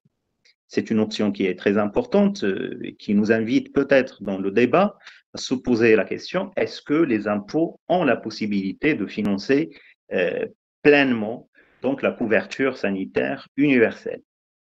Le deuxième type ben, de système, c'est les systèmes d'assurance maladie. Et donc là, on parle bien de pays comme la France, l'Allemagne, la Belgique le Japon, qui ont un système dans lequel l'offre de soins est en partie privée et en partie publique, sachant que le patient a le droit ben, de faire le choix euh, entre le médecin du privé ou, du public. Les frais de soins sont en majeure partie pris en charge par les caisses d'assurance maladie et financés par les cotisations sociales, ce qui est le cas en fait en France. Le système français, il est euh, centralisé, alors que le système allemand est organisé au niveau, au niveau des régions, ce qui est le cas aussi pour la Belgique. Troisième type de système euh, santé, c'est les systèmes libéraux. Euh, ici, on parle de pays comme les États-Unis, un certain nombre de pays d'Europe centrale ou d'autres pays de l'Amérique latine. Euh, dans ces pays, le système public de protection est résiduel. Seules les personnes nécessitant des soins de grande urgence, les plus pauvres, les personnes âgées ou les personnes invalides, bénéficient d'un soutien public en matière, en matière, en matière, en matière de santé. Tous les autres, bien évidemment, euh, doivent recourir à un système d'assurance privée financé souvent par les employeurs. La notion de système de santé nous renvoie immanquablement à celle de territoire comme sujet qui occupe une place très importante dans les thèmes proposés aujourd'hui. En effet, euh, ce thème du territoire va aussi nous renvoyer au thème du droit, du droit à la santé. Pourquoi? Parce que le droit à la santé figure dans la constitution de, ben, l'OMS qui établit que, je cite, la possession du meilleur état de santé qu'il est capable d'atteindre constitue l'un des droits fondamentaux de tout être humain. Le droit à la santé comprend l'accès en temps opportun à des soins de santé acceptables d'une qualité satisfaisante et d'un coût abordable. Voilà donc la définition qui a été faite par, par l'OMS, ce qui montre que le volet financier est intimement lié au droit à la santé en tant que principe suprême. À ce titre, la couverture sanitaire universelle est un moyen de promouvoir le droit à la santé. Euh, les obstacles d'ordre financier sont souvent euh, la cause principale euh, d'un certain nombre d'inégalités et de discriminations qu'on observe dans le domaine de l'accès aux services de santé. À ce titre, le territoire euh, constitue aujourd'hui un levier très important pour assurer cette, égalité. Pourquoi? Parce que premièrement, il permet de dispenser et de donner des services de santé pour tous les citoyens, quel que soit leur emplacement géographique. Et deuxièmement, parce qu'il permet aussi une adaptation des prestations de santé en fonction des particularités de la population concernée, c'est-à-dire les particularités épidémiologiques, démographiques, sociales aussi. Il faut euh, aussi rappeler que la concrétisation du principe de l'égalité dans l'accès à la santé revient à définir quels sont les services essentiels dont l'accès doit être assuré pour tous les citoyens. De nombreux pays en, en développement ont défini un éventail de services essentiels en recourant à des méthodes euh, qui ont tendance parfois à privilégier l'efficience beaucoup plus que l'égalité. À ce titre, euh, au Maroc, on parle du concept de panier minimum de soins. Donc, quelles sont ces prestations essentielles qui doivent être assurées pour le citoyen? L'identification des prestations auxquelles les individus ont droit et une large diffusion des, informations sur cette question permettent à la population d'en appeler à la responsabilité des décideurs publics et de responsabiliser les dispensateurs de services de santé. Elle constitue à ce titre un aspect fondamental de l'approche du développement fondé sur les droits de l'homme, dont le cadre de, référence est basé sur quatre piliers selon l'OMS. Ces quatre piliers sont la disponibilité, ça veut dire que ces services-là doivent être disponibles pour, ben, pour, le patient. Deuxièmement, l'accessibilité, ça veut dire que ce patient-là ou ce malade, il doit pouvoir accéder facilement aux services. Troisièmement, l'acceptabilité, euh, cette troisième question se pose bien évidemment sur euh, la nature de ces prestations de santé. Est-ce qu'ils sont acceptés par la population ou par la communauté? Je rappelle aussi que l'approche communautaire est une approche très importante dans la santé publique. Depuis cette fameuse conférence euh, d'Alma-Ata, qui a été aussi accentuée dans la conférence dernière sur les soins de santé primaire, la conférence qui a été organisée ben, ben l'année l'année précédente. Quatrième pilier, c'est la qualité aussi qui constitue un enjeu très important quand on parle ben, du principe du droit à la santé. Ce cadre, euh, sur la base de quatre piliers, qui a été également proposé comme point de départ de, de, ben de, ben de l'analyse fondée sur les droits de l'homme, peut également être très utile pour déterminer le seuil minimal de prestation et définir les droits correspondants. Euh, en matière de, planification, euh, je rappelle que le concept de schéma régional de l'offre de soins est un concept euh, adopté aussi bien en France qu'au Maroc, est un concept qui permet d'assurer l'adéquation entre les besoins locaux en matière de santé et les prestations à dispenser dans un, dans un territoire donné. Donc, il s'agit d'une approche de la planification qui permet d'assurer que dans une commune donnée, euh, nous avons tous les ingrédients en termes de ressources qui vont permettre de répondre à des besoins d'une population donnée en fonction des, en fonction des propriétés euh, de cette, euh, de cette euh, localité et en fonction aussi des, ben, des caractéristiques de la population concernée. Toutefois, force est de constater que les ressources ne sont pas extensibles par rapport à des besoins de services de santé qui augmentent aussi bien sur le plan qualitatif que sur le plan quantitatif. Les systèmes sanitaires sont donc devant l'obligation d'innover en termes de méthodes de, de, de, gestion et en intégrant aussi les technologies de l'information tout en profitant des potentialités qui sont offertes aujourd'hui par l'intelligence artificielle qui constitue un thème euh, qui va être abordé dans la conférence d'aujourd'hui. En effet, les technologies de la santé exercent une fascination certaine dans les sociétés modernes. Pour le patient, elles alimentent l'espoir, l'espoir de souffrir moins, de guérir le mieux et le plus rapidement possible et de retarder au maximum la mort. Pour les professionnels de santé, elles font miroiter la possibilité d'intervenir euh, auprès de leurs patients de façon précise, efficace, rapide et satisfaisante. Les technologies sont donc perçues comme repoussant toujours un peu plus loin les limites d'intervention dans la lutte contre, contre la maladie.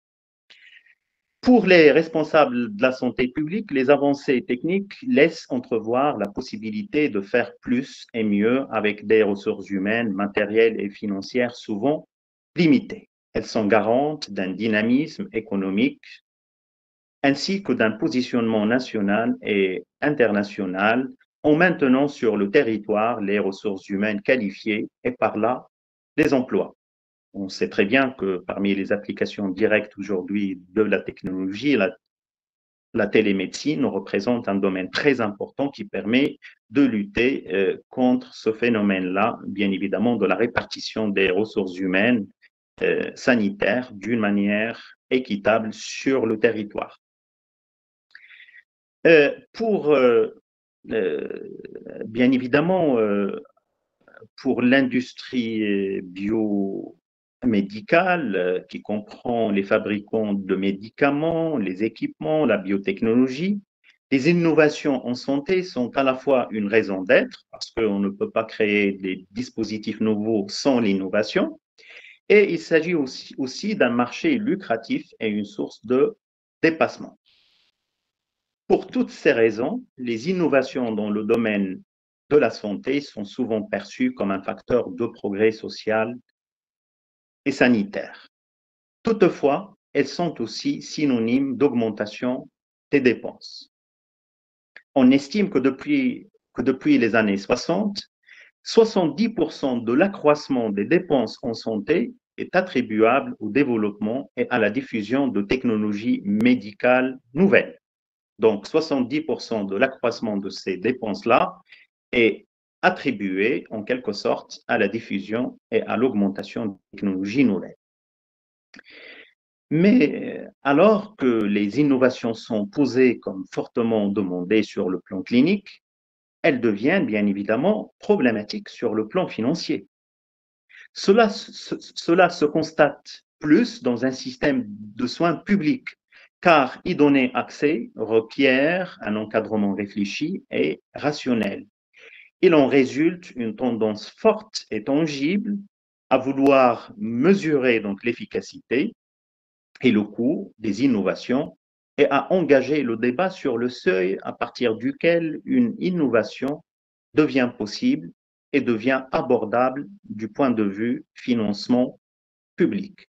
Ça veut dire que toute innovation n'est pas en quelque sorte euh, euh, applicable dans un système de santé donné. La question du financement, la question de la capacité financière, elle se pose d'une manière très importante. Est-ce qu'un système de santé, bien évidemment, peut se permettre le luxe d'introduire des technologies ou, des techniques nouvelles euh, qui génèrent des coûts financiers qui sont très importants? Il s'agit aussi d'une question qui peut être posée dans le débat qui va suivre. On se demande alors si cette innovation fonctionne, euh, parce que toutes les innovations ben, ne fonctionnent pas. Euh, parfois, elles fonctionnent pour une population donnée ou pour une, période donnée. Euh, la deuxième question, c'est cette innovation aussi, elle fonctionne pour qui? Et donc là se pose la question de, de l'égalité, ben de l'équité et aussi à quel prix. Donc, quel est le prix qui doit être supporté par euh, le patient et par le système de santé pour intégrer une innovation médicale? Euh, J'ai commencé par, euh, par un exemple du jeune qui a fait l'accident. Je terminerai par un exemple qui porte cette fois-ci sur la Grande-Bretagne. En effet, en, en 2009, l'Institut national britannique pour la santé et pour l'excellence clinique annonçait que le service de santé national n'était pas en mesure d'offrir certains médicaments coûteux dans le cadre du traitement du cancer rénal, car euh, ces médicaments n'étaient pas rentables. Ces refus ont bien évidemment provoqué une vague de protestations, mais, l'Institut les a en quelque sorte défendus avec courage comme faisant partie de décisions difficiles, mais néanmoins nécessaires pour rationner les, ressources et établir les priorités. Le fait que les nouveaux médicaments et diagnostics et technologies deviennent disponibles beaucoup plus rapidement que les nouvelles ressources financières, bien évidemment, pose problème aujourd'hui.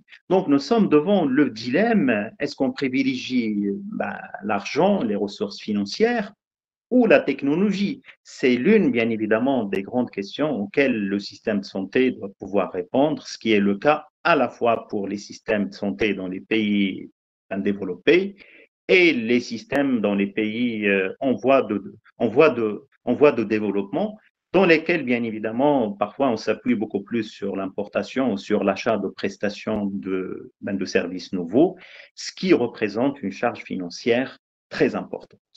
Voilà donc en quelque sorte euh, une présentation euh, qui porte sur les thèmes, euh, sur les principaux thèmes qui vont être abordés en fait aujourd'hui. Et euh, bien évidemment, ces thèmes, on aura l'occasion de les revoir avec les, avec, avec les intervenants, mais aussi dans le débat qui va suivre. Merci de votre attention.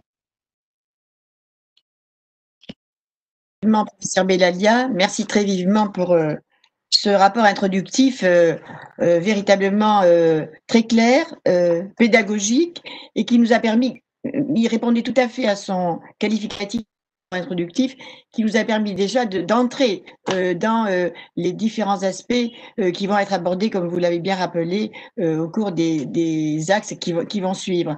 je suis sûre que tout le, tous les, participants à cette conférence vous ont écouté avec grand intérêt. En tout cas, moi, je, j'ai trouvé que euh, je ne vous ai pas lâché euh, d'une minute parce que véritablement, j'ai beaucoup appris euh, à travers tous les éléments que vous avez soulevés. donc, merci beaucoup.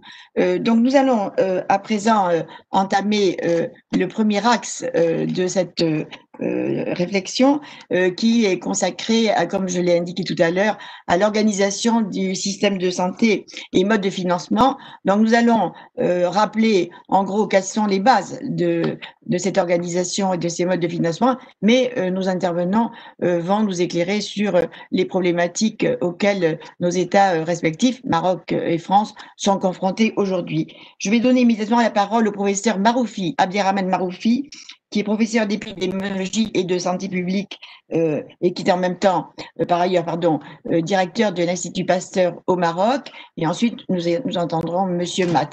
Monsieur Maroufi, je ne sais pas si vous m'entendez? Oui, oui, je vous entends. Bonjour. Bonjour, professeur Maroufi. Donc, la parole est à vous pour 20 minutes et je vous remercie. Merci beaucoup. merci, Madame la Présidente. Est-ce que je peux avoir la main pour partager ma présentation?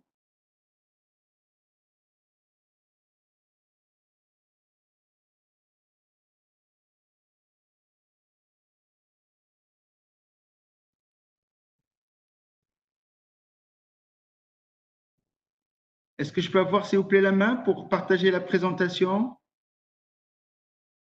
Professeur Maroufi, euh, bonjour. Bonjour. Euh, les services techniques euh, s'en occupent tout de suite. D'accord. Merci. Donc, je, démarre quand même très bien. D'accord. bonjour. D'accord.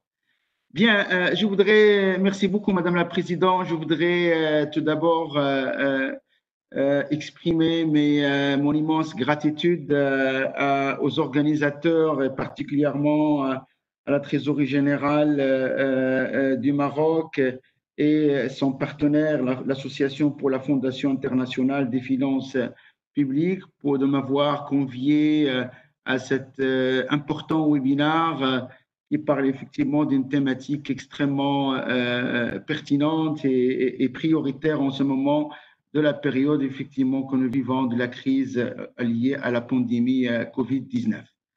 Alors, euh, donc, pour ma part, donc, on m'a demandé de faire, de partager quelques informations assez synthétiques sur l'organisation de notre système national de la santé et de la structure de son financement.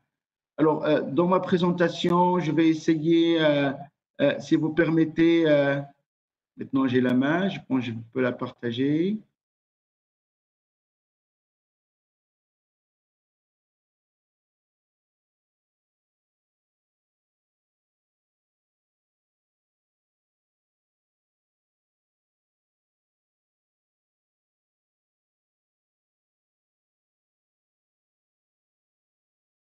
si vous arrivez à, voir. Oui, c'est bon. Excellent. Très bien. D'accord. Alors, euh, donc, euh, ma présentation va s'articuler en fait autour de trois grands axes. Le premier, euh, c'est en rapport avec l'organisation elle-même du système national de santé. La deuxième, la structure de financement de ce système. Et puis, je terminerai, si vous permettez, avec quelques éléments de diagnostic des principaux défis auxquels fait face actuellement notre système de santé et quelques perspectives aussi de réformes sur lesquelles il est en train de s'engager.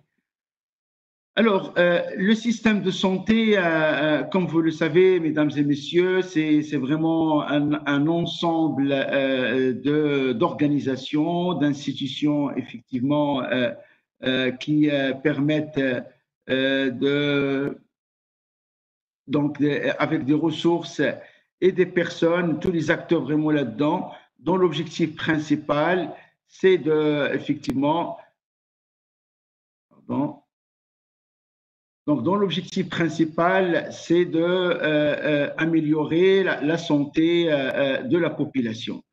C'est la définition qui a été donnée par l'OMS à cette entité qui s'appelle Système national de santé. Alors, euh, comme il a dit Steven Souda au, niveau du propos introductif, euh, notre système national de santé a, en fait, dans sa structure actuelle, a vu le jour euh, en 1959 avec justement la première conférence nationale de la santé. Puis par la suite, il y a eu une succession de projets de réforme qui ont contribué à édifier, à construire les différentes composantes dans notre système de santé et particulièrement le système de l'offre de soins. Particulièrement, il y a la loi cadre qui a été publiée en 2011 qui a mis les, les grandes bases en matière d'organisation du système de l'offre de soins, particulièrement le système public. Ensuite, la deuxième conférence nationale de la santé en 2013 et euh, le décret sur la carte sanitaire en 2015 aussi qui a instauré les éléments de base et les normes d'organisation des systèmes de l'offre de soins. Et puis par la suite, il y a eu plusieurs textes réglementaires et législatifs qui continuent encore justement à sortir et qui euh, contribuent à sa structuration.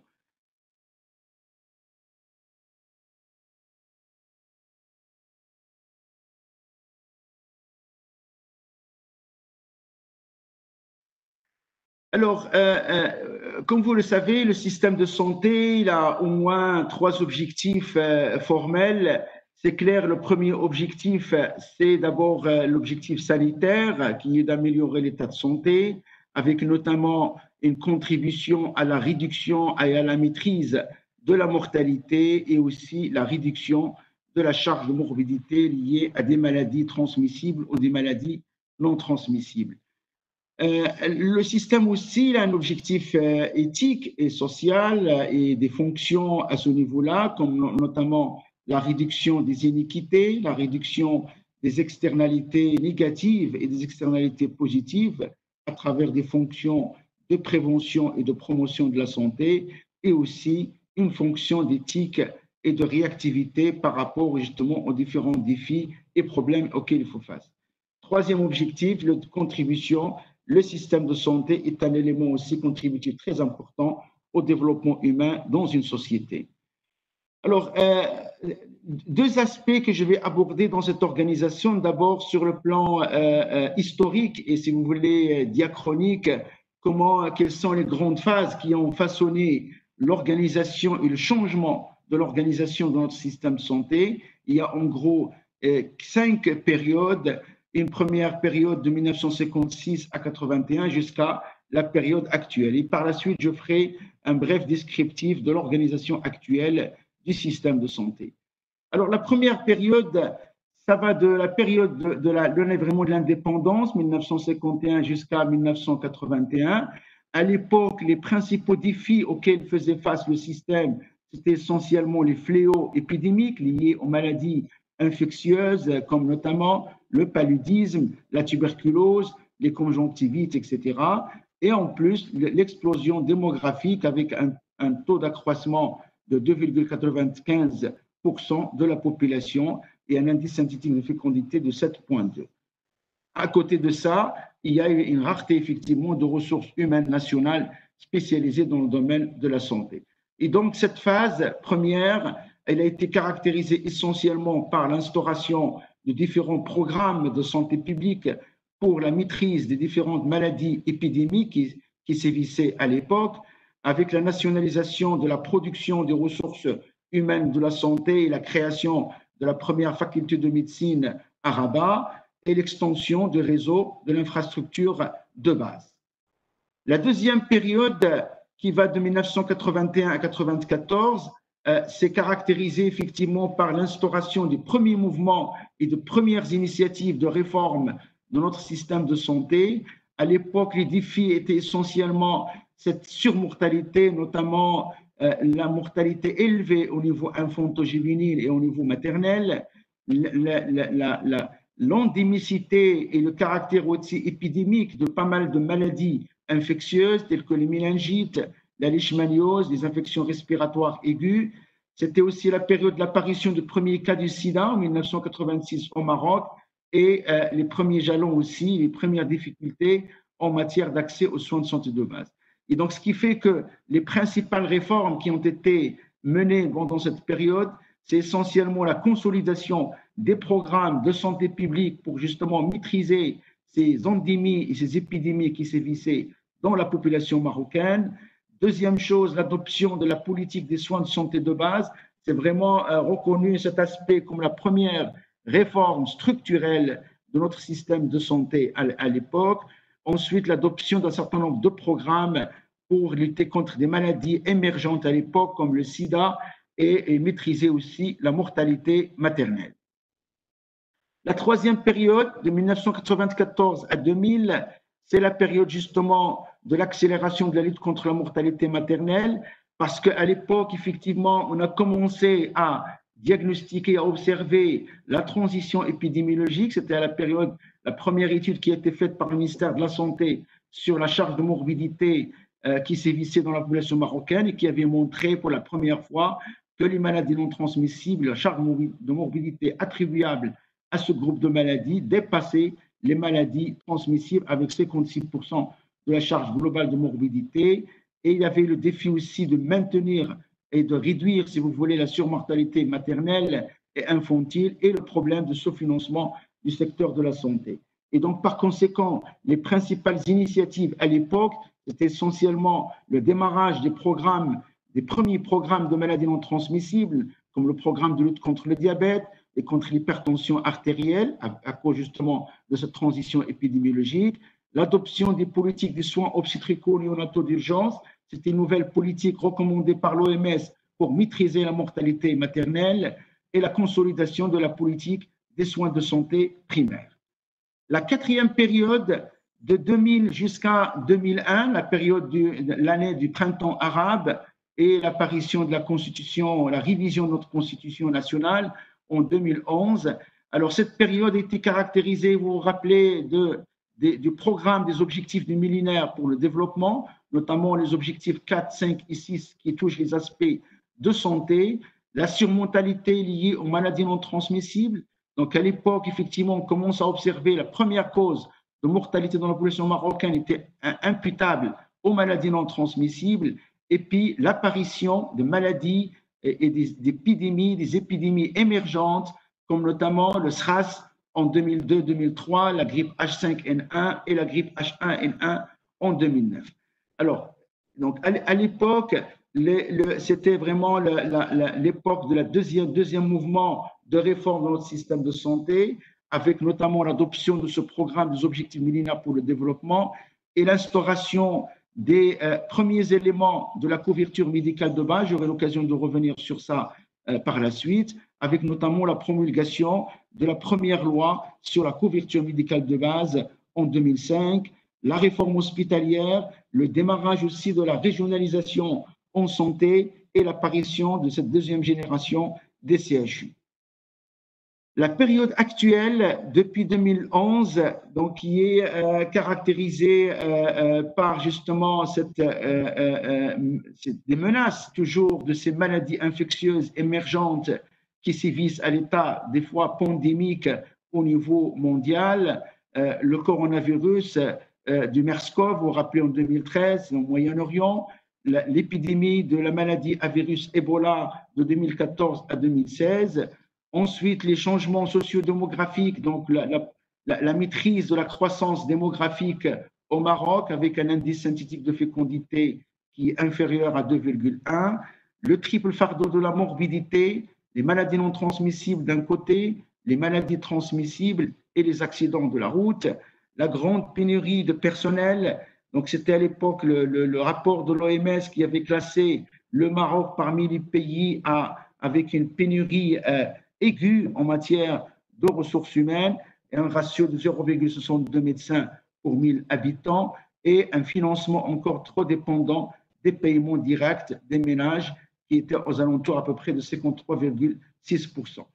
Donc, alors cette période euh, euh, de 2011, après justement le, printemps arabe, c'était la, période qui a coïncidé et qui a suscité le démarrage de grandes réformes. C'est le troisième vraiment mouvement de réforme. Dans notre système de santé, avec notamment euh, euh, euh, l'extension de la couverture médicale de base et l'instauration de ce programme RAMED, le régime d'assurance maladie pour les économiquement défavorisés, et l'initiation aussi de l'assurance maladie pour les indépendants, la réforme du secteur pharmaceutique avec cette politique nationale pharmaceutique qui a aussi été instaurée, et le développement de la formation des ressources humaines dans le domaine de la santé, la réforme justement, l'adoption de la réforme du système LND dans les différents établissements de formation euh, des professionnels de santé, notamment l'École nationale de santé publique et les instituts de formation des paramédicaux. Et puis, du côté de l'organisation de l'offre de soins, il y a pas mal aussi de textes réglementaires et de nouvelles organisations qui ont été promulgués dans ce texte-là, avec notamment cette loi dont j'ai parlé, 3409, qui est la loi qui met les bases de l'organisation, les valeurs et les principes de la structuration d'un système de santé. Et au niveau du secteur privé, cette nouvelle loi 131-13 qui a justement instauré cette possibilité d'investissement privé dans le secteur médical, qui ne soit pas réservé uniquement aux médecins, et puis pas mal aussi de lois, d'autres qui réformaient les pratiques professionnelles, notamment les pratiques paramédicales. Alors, du côté aussi santé publique, euh, on a démarré à l'époque effectivement euh, euh, ce projet de réforme de la santé publique avec l'évaluation de nos fonctions essentielles de santé publique et l'évaluation des capacités exigées par le règlement sanitaire international et puis, il y avait effectivement les deux stratégies sectorielles 2012, 2016 et 2017, 2021 qui ont priorisé à l'intérieur des choix stratégiques faits justement ces différentes réformes, aussi bien au niveau de l'offre de soins qu'au niveau des systèmes de santé publique. Bien, alors, euh, euh, après cette euh, vraiment vue très générale de différentes étapes par lesquelles il a passé la structuration de notre système de santé, permettez-moi rapidement, avant d'aborder le côté organisation, de dire quels sont les défis et les principaux défis, si vous voulez, sanitaires auxquels il fait face ce système et qui ont effectivement façonné sa manière de le structurer. Premier défi, j'en ai parlé, c'est la transition épidémiologique, effectivement. Donc, nous sommes un pays euh, euh, émergent où euh, on, assiste sur le plan sanitaire à un double charge de, un double charge de morbidité, la coexistence aussi bien des maladies non transmissibles et la persistance de certaines maladies transmissibles comme la tuberculose, comme les hépatites virales et d'autres maladies infectieuses qui sont émergentes ou réémergentes, qui représentent à peu près 33,4% de la charge de la morbidité.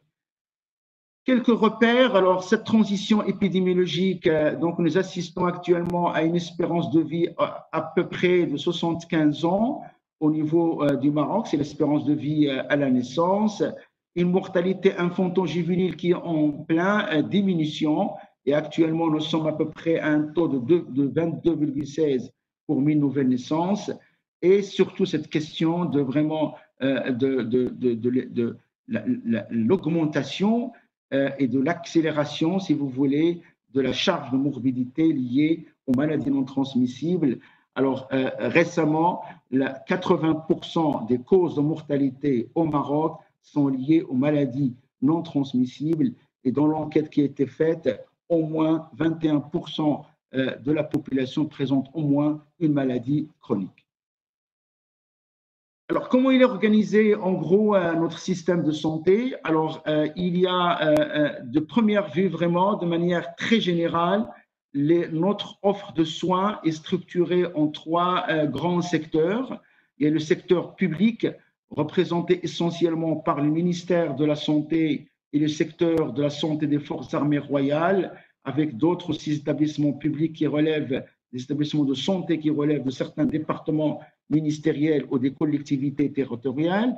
Le deuxième secteur qui est en pleine expansion, le secteur privé à but non lucratif, avec essentiellement des établissements de soins hospitaliers essentiellement qui relèvent des fondations, et le secteur privé à but lucratif, avec aussi bien des établissements hospitaliers qu'on appelle les cliniques privées au Maroc et des établissements de soins ambulatoires comme des cabinets de médecins généralistes, des cabinets de médecins spécialistes, des pharmacies d'officine et aussi d'autres praticiens de santé au niveau surtout paramédical. Alors, le secteur public euh, est organisé euh, essentiellement du côté ministère de la Santé. Sur le plan administration et organisation administrative, il y a deux composantes, une administration centrale et, si vous voulez, des services ou une administration déconcentrée. Alors, euh, le système public est euh, subdivisé au niveau territorial en 12 régions sanitaires. Donc, c'est une subdivision qui calque et qui est calquée sur la division administrative de notre territoire national, 12 régions sanitaires et 82 provinces sanitaires. Alors, les établissements de soins qui offrent les services de soins à la population sont organisés en quatre réseaux, quatre réseaux d'établissements. Il y a le réseau des établissements de soins de santé primaires, le réseau hospitalier, le réseau des établissements qui offrent des services d'urgence euh, médicale et le réseau tout récemment créé, le réseau des établissements médicaux sociaux. Alors, pour le réseau des établissements de santé primaires, euh, les soins de santé primaire, l'unité territoriale d'offre de ces structures-là, et s'appelle la circonscription sanitaire. Il y en a deux types, la circonscription sanitaire urbaine et rurale. Au, total, au Maroc, il y a à peu près 693 circonscriptions urbaines et 261 circonscriptions sanitaires euh, euh, urbaines.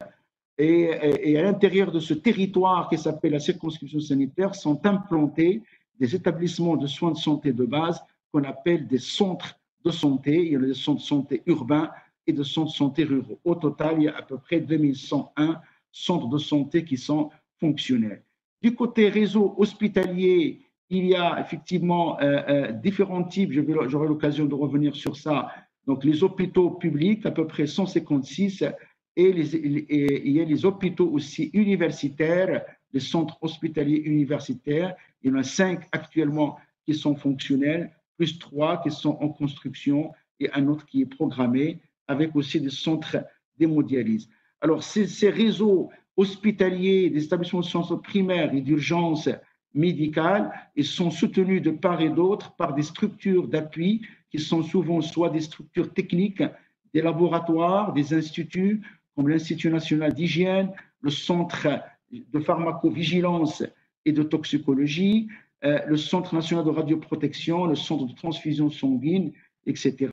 Et aussi des structures d'appui en termes de développement des capacités euh, et de capacity building, comme les, les institutions de formation, l'École nationale de santé publique et les 23 instituts de formation aux professions paramédicales. À côté de ça, il y a les établissements publics qui sont sous tutelle du ministère de la Santé. J'en ai parlé, il y a les CHU, il y a aussi l'Institut Pasteur du Maroc comme institut de santé publique et l'Agence nationale d'assurance maladie, l'ANAM, qui est aussi localisée au niveau de Rabat sous la tutelle du ministère de la Santé. Alors, en termes d'administration centrale, donc il y a, euh, c'est une organisation euh, euh, assez spécialisée, d'ailleurs en cours de restructuration. À côté du poste du ministre, le secrétaire général, il y a un certain nombre de directions. Il y a huit directions centrales spécialisées, des, directions techniques et des directions de soutien, et les centres et les instituts aussi qui relèvent de cette administration centrale. Du côté régional, c'est là vraiment où il y a eu euh, euh, un, changement en 2016, une nouvelle organisation des euh, directions régionales de la santé, donc avec à la tête de la direction régionale un directeur régional de la santé qui maintenant, selon les nouvelles réglementations, il a pratiquement le même statut, le même grade qu'un directeur de l'administration centrale.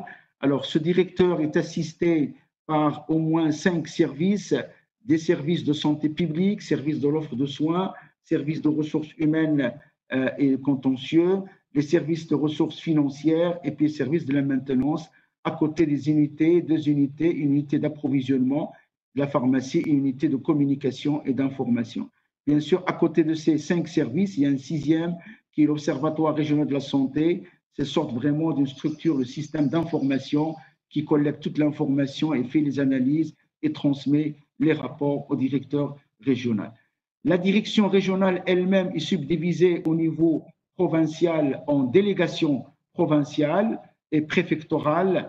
Alors, et, la dans chaque délégation, il y a deux services, un service administratif et économique et un service qui pilote justement et coordonne les réseaux des établissements de soins. Alors, le réseau des établissements de soins, quatre types, c'est vraiment là où il y a le service à la population, il y a le réseau d'établissements de soins de santé primaire, on est parlé, le réseau hospitalier, le réseau de soins intégrés des soins d'urgence médicale et le réseau des établissements médico-sociaux qui sont soutenus par un certain nombre de structures d'appui, comme par exemple des laboratoires et d'autres structures d'appui technique. Le réseau euh, euh, des établissements est organisé par niveau euh, pyramidal au niveau de la structure marocaine. Alors, le premier niveau, c'est constitué par ces établissements de soins de santé primaires qui sont implantés dans ce territoire sanitaire euh, qu'on appelle la circonscription sanitaire, qui offre un panier de soins de santé primaire, hein, c'est le primary health care. Donc, il y a l'aspect euh, médecine euh, générale de première ligne, curative, et il y a l'aspect aussi prévention, avec notamment l'implantation des programmes de santé publique. Alors, le lieu d'exécution des programmes de prévention et de contrôle de maladies, ça se passe au niveau de cet établissement. C'est même le lieu aussi d'intégration de ces programmes et des services des programmes de santé publique pour la population. Alors, ce réseau, euh, le deuxième niveau est constitué par euh, le réseau hospitalier provincial qui est implanté, lui, au niveau d'une chaque province. Donc, il y, a, il y a différents types de centres hospitaliers provinciaux, les généraux, les spécialisés, et on assimile du côté privé les cliniques privées et euh, d'autres structures assimilées justement à ces CHP. Alors, les CHP, ils offrent un panier de soins euh, euh, hospitaliers qui peuvent aller jusqu'à vraiment 18 spécialités, médecine, minimum médecine, chirurgie, pédiatrie et gynéco-obstétrique, à, côté bien sûr de services des urgences.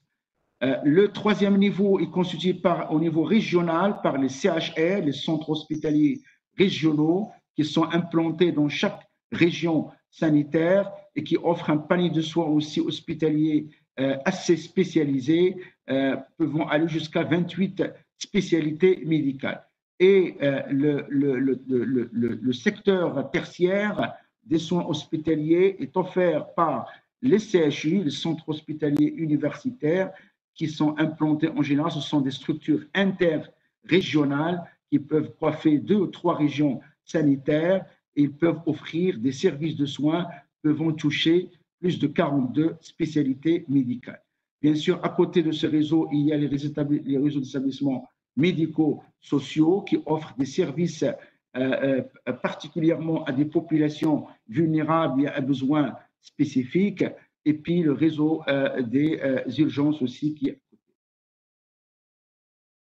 alors, en termes de chiffres, l'offre de soins entre public et privé sur le plan nombre de structures de première ligne, alors à peu près 2865 établissements de soins santé primaire et 9475 cabinets de médecine euh, de ville, médecine vraiment euh, privée, ce qui fait un total de 12,3 et euh, un taux, un ratio de 3,7 structures par 10 000 habitants. Du côté disponibilité des lits hospitaliers, à peu près 32 557 lits hospitaliers, ce qui fait à peu près un ratio de 10 lits pour 10 000 habitants. Du côté ressources humaines, au niveau de la ressource humaine médicale, les médecins généralistes donc totalisent à peu près 8 442 et les médecins spécialistes 14 000, euh, aussi bien au niveau public que privé, ce qui fait qu'un ratio à peu près de 7,1 pour 10 000, euh, pour 10 000 habitants. Euh, du côté pratique de la pharmacie, essentiellement les, pharmaciens qui pratiquent la pharmacie d'officine, 9317 pharmaciens, les chirurgiens dentistes 3611 et les paramédicaux aussi qui font partie avec 29 000, à peu près 30 000 dans le secteur public. Quelques indicateurs de performance dans notre système de santé. Alors, on va rappeler la classification de l'OMS qui a été publiée en 2000, qui avait classé le système de santé marocain en 29e position parmi les 191 systèmes qui étaient étudiés avec notamment cette position par rapport aux critères efficience, et 17e pour le critère efficacité, si vous voulez, ou bien effet sur le niveau de santé. Euh, sur le plan euh, euh, réalisation des objectifs de développement durable, donc d'après la dernière évaluation qui a été faite au niveau mondial, le Maroc est sur la bonne voie pour la réalisation des ODD avec un, un index score à peu près de 66,3 au niveau mondial et au niveau régional de 62,1. La même information, alors un score à peu près euh, au niveau de la région MENA, qui occupe une bonne place en termes de cheminement vers les objectifs de développement durable avec un score de 113,8. Bien, alors c'était donc la première partie en rapport avec l'organisation générale de notre système euh, de santé. Maintenant, euh, je vais aborder, si vous permettez, l'aspect structure de financement. Je ne rentre pas trop dans le détail. Je sais qu'il y en a avec nous aussi Abouhab Madani, le directeur de la planification de ressources financières, qui va certainement plus à l'avantage d'un. S'il vous plaît. Oui. S'il vous plaît. Je suis désolée, professeur Maroufi, mais vous avez dépassé votre temps de parole de 10 minutes déjà. Il faudrait conclure. Je suis désolée. D'accord, je vais vous le rapidement. Alors, euh, financement, rapidement, je voudrais juste, euh, si vous permettez, euh, euh, en termes de structure de financement, donc en gros, 46% de l'argent qui est drainé dans le système de santé, il provient du monde fiscal, financement collectif et solidaire, 24,4% des ressources fiscales et 22,4% de la couverture médicale. Et regardez ça, c'est très important, 50,7% des ressources injectées de la dépense de la santé, ça provient justement de la contribution des ménages et des paiements directs des ménages et euh, seulement 2,5% pour les autres sources. Alors, euh, euh, comment ça se répartit cet argent au niveau du système? Je vais aller rapidement. Donc, essentiellement, ce sont les établissements de soins de santé de base et hospitaliers qui drainent à peu près 70% des ressources qui sont engagées et dépensées au niveau de la santé. Euh, information très importante, regardez la prévention, il n'occupe que 3% à peu près des, euh, il ne consomme, si vous voulez, que 3% des ressources qui sont engagées dans le système de santé. C'est peut-être un aspect qu'il va falloir améliorer. Le secteur hospitalier, à peu près 40%, et le secteur ambulatoire, 36%. Donc, c'est essentiellement les soins curatifs. Alors, je, les principaux défis, si vous permettez. il faudrait arrêter. Voilà, exactement. Je suis désolée, il faut arrêter. Très bien. Les, les financements innovants, donc c'est vraiment là, je vous laisse la présentation, un certain nombre de propositions de financement innovants pour réformer le système de santé. Et la dernière diapo pour dire que toutes ces réformes et pour relever tous ces défis, le citoyen et sa santé doit rester effectivement au cœur de toute réforme, de toute politique sanitaire. Je vous remercie beaucoup pour votre aimable attention. Je suis désolé d'avoir dépassé le temps. Merci beaucoup, professeur Maroufi. Merci beaucoup, professeur Maroufi, pour cette euh, présentation extrêmement complète. Je suis sûre que euh, tous les participants auront apprécié, en particulier votre tableau d'évolution euh, du système de santé marocain, mais tous les tableaux que vous avez montrés, c'est tout à fait passionnant. Et pardon de, vous avoir contraint dans le temps horaire qui vous était imparti. Euh, pour ne pas perdre de temps, je passe immédiatement la pardon encore une fois. C'était tout à fait passionnant. Mais, nous lirons avec intérêt votre votre votre propos euh, euh, puisqu'il sera de toute façon publié. Euh, je passe la parole sans plus attendre à Jean-Luc Matt, sous-directeur des retraites et de la protection sociale complémentaire au ministère des Affaires sociales et de la solidarité, de la santé, pardon, en France. Euh, Cher Monsieur Matt, vous avez la parole. Merci euh, pour euh, l'organisation, euh, le choix du thème de ce colloque qui est totalement, comme ça a été dit en introduction, dans l'actualité. donc, je vais me concentrer sur une présentation au-delà de tous les grands enjeux qui ont déjà été indiqués, une présentation un peu plus technique, centrée sur les aspects strictement financiers du système de santé français, euh, quels sont les enjeux du financement dans le contexte actuel? Euh, alors j'ai voilà l'honneur d'intervenir devant vous euh, alors en tant que maître des requêtes au Conseil d'État, qui a beaucoup suivi les questions de sécurité sociale, de questions sociales et de santé l'ensemble de ma carrière. J'ai eu l'occasion notamment d'intervenir dans un certain nombre de formations organisées par euh, Michel Bouvier et Marie-Christine Esclassant, y compris avec Benjamin Ferras que vous entendrez à la suite.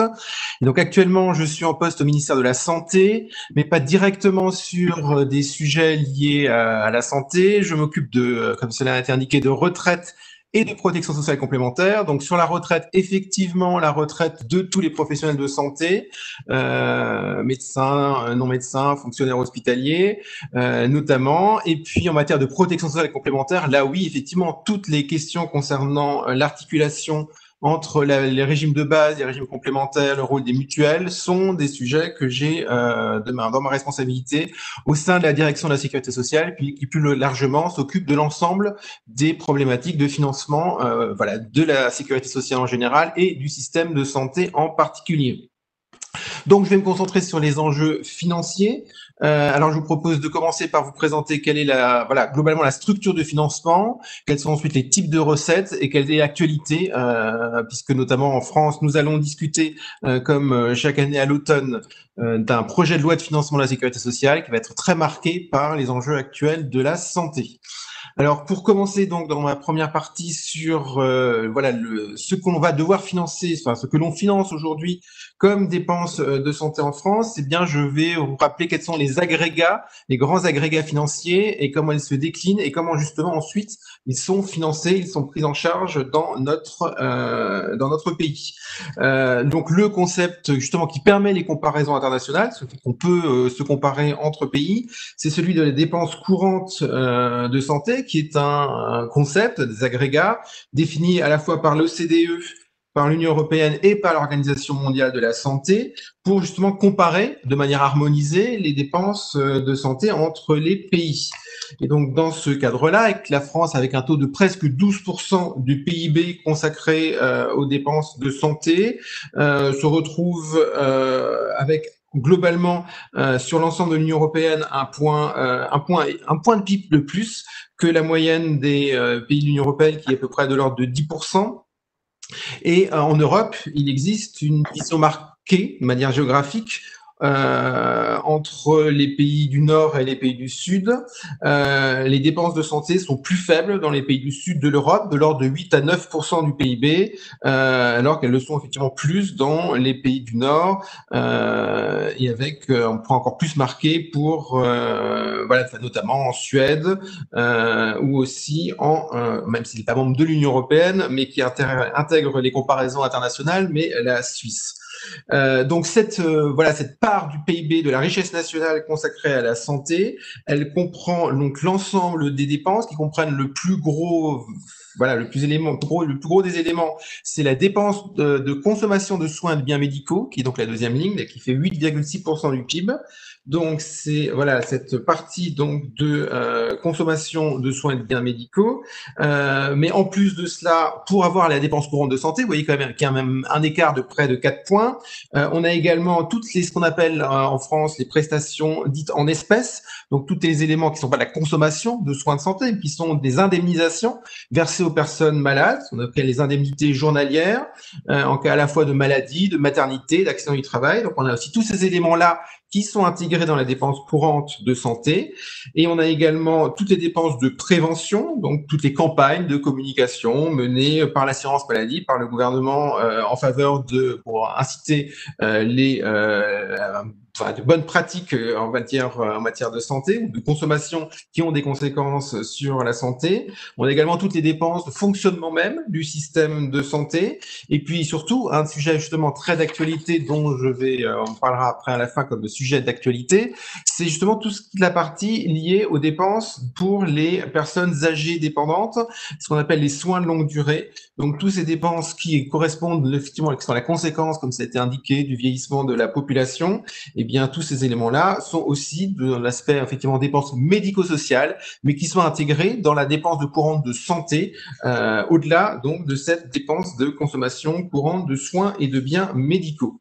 Alors, euh, oui, donc justement, la consommation de soins et de biens médicaux, la CSBM, c'est toutes les dépenses qui sont engagées justement euh, par le système de santé pour pouvoir bah, effectivement apporter euh, des, des, des, éléments euh, de, euh, bah, de, consommation de soins. Donc, que ce soit en milieu hospitalier, que ce soit en soins de ville ou que ce soit à travers de produits de santé avec à la fois des médicaments et des dispositifs médicaux. Donc c'est en ce sens-là qu'on parle bien de consommation. C'est tout produit qui est en fait lié à la santé qui va être consommé. Et donc on parle en France de prestations en nature puisque tout ça va être pris en charge par l'assurance maladie. Mais globalement, d'un point de vue économique, c'est bien des biens, justement, des biens et des services qui sont consommés. Et donc, je dis, quels que soient les euh, types de euh, fournisseurs de biens, quelle que soit l'offre de soins, qu'il s'agisse de, biens matériels eux-mêmes, comme les produits de santé, à la fois médicaments, et euh, produits de, type prothèse ou pansement ou autre, ou bien qu'il s'agisse d'aller voilà, consulter un médecin, d'aller subir une, intervention à l'hôpital. Tout cela est intégré comme consommation de soins. donc, c'est bien cet agrégat à peu près central qui permet justement à la fois de piloter euh, l'évolution de l'offre de soins et de mesurer euh, bah, justement ce qui est vraiment consommé par euh, les, euh, les assurés français en matière euh, de dépenses de santé. Euh, et donc, notamment, on a toutes les dépenses qui, là aussi, sont liées à l'accroissement, l'aviissement de la population, des personnes en affection longue durée, les ALD, cette catégorie particulière vont bénéficier d'une meilleure prise en charge. Et voilà, y compris les soins euh, qui sont euh, pris en charge à ce titre figurent dans cet agrégat de la consommation et de soins et de biens médicaux. Euh, donc euh, qui représente au-delà donc comme j'ai mis 8,6% du PIB, c'est euh, pour la consommation justement pure logique de consommation, c'est euh, plus de 12,5% de la consommation des ménages qui est intégrée dans cette consommation de soins et de biens médicaux. Et alors justement, ce qui nous intéresse, c'est comment cela est financé, comment tout cet effort consiste voilà, considérable donc pour euh, soigner euh, et maintenir en bonne santé la population, comment tout cela est pris en charge dans le système euh, de santé, le système social français? Et donc c'est la répartition au travers des quatre financeurs qui, comme vous pouvez le constater à la simple lecture des pourcentages, est assez différent de ce que vient de nous être présenté sur la manière dont ces dépenses sont prises en charge au Maroc. Et donc c'est en raison aussi du caractère très ancien et très fort du rôle de la sécurité sociale comme acteur majeur du financement de euh, la santé, qui donc en prend en charge près de 78,1% de la dépense de santé, avec une part donc qui correspond à, euh, en augmentation en fait continue. Euh, alors cette augmentation de cette part de la sécurité sociale dans le financement de la santé résulte justement de ce que je vous indiquais, qui est le nombre de plus en plus important de personnes dites en affection de longue durée, en ALD, puisque ces personnes-là, euh, comme il s'agit d'affections lourdes euh, qui nécessitent des soins euh, très coûteux, eh bien, la France a décidé de les faire prendre en charge à 100% par la sécurité sociale, c'est-à-dire sans ticket modérateur, sans prise en charge par justement la deuxième ligne, les organismes complémentaires.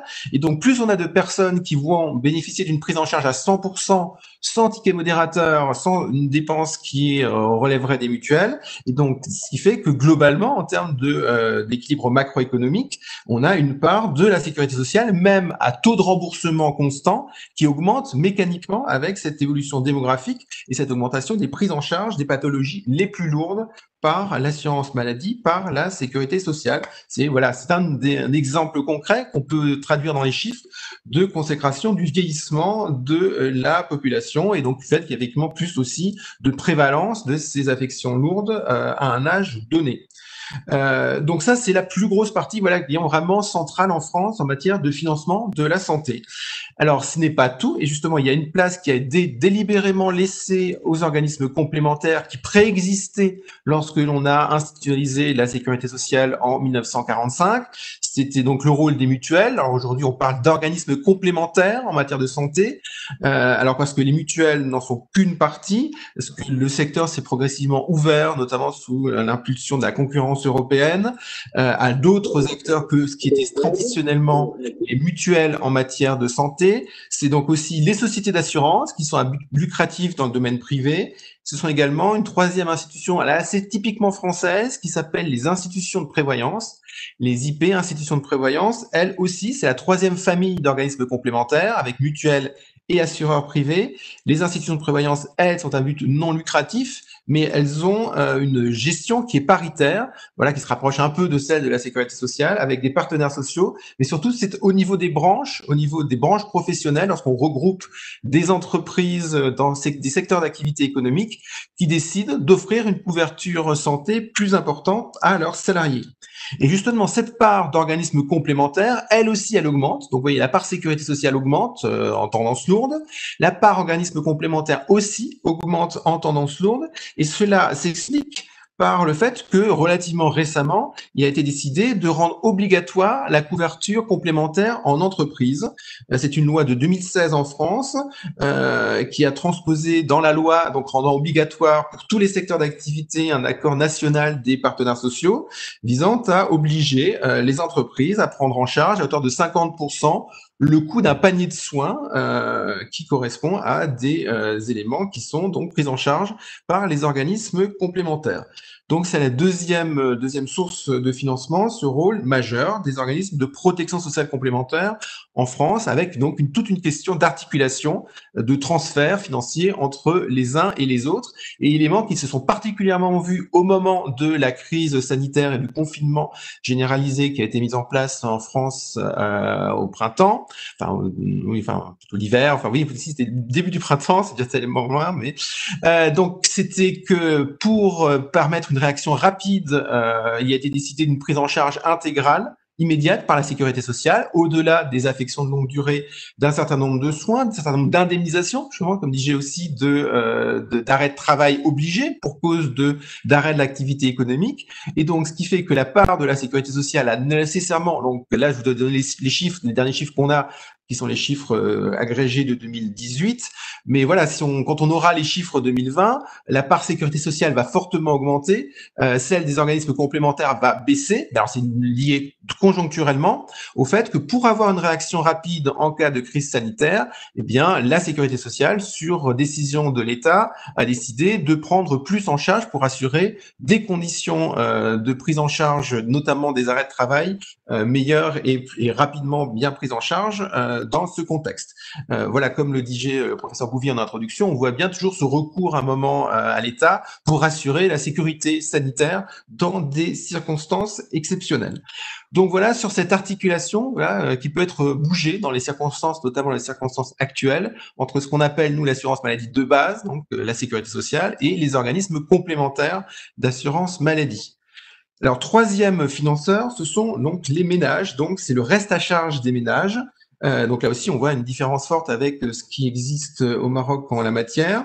Et là, justement, même s'il peut y avoir des euh, variations entre la part sécurité sociale et la part complémentaire, en revanche, la part ménage, elle, elle est structurellement en baisse euh, parce que justement, les autres parts ont vocation à augmenter.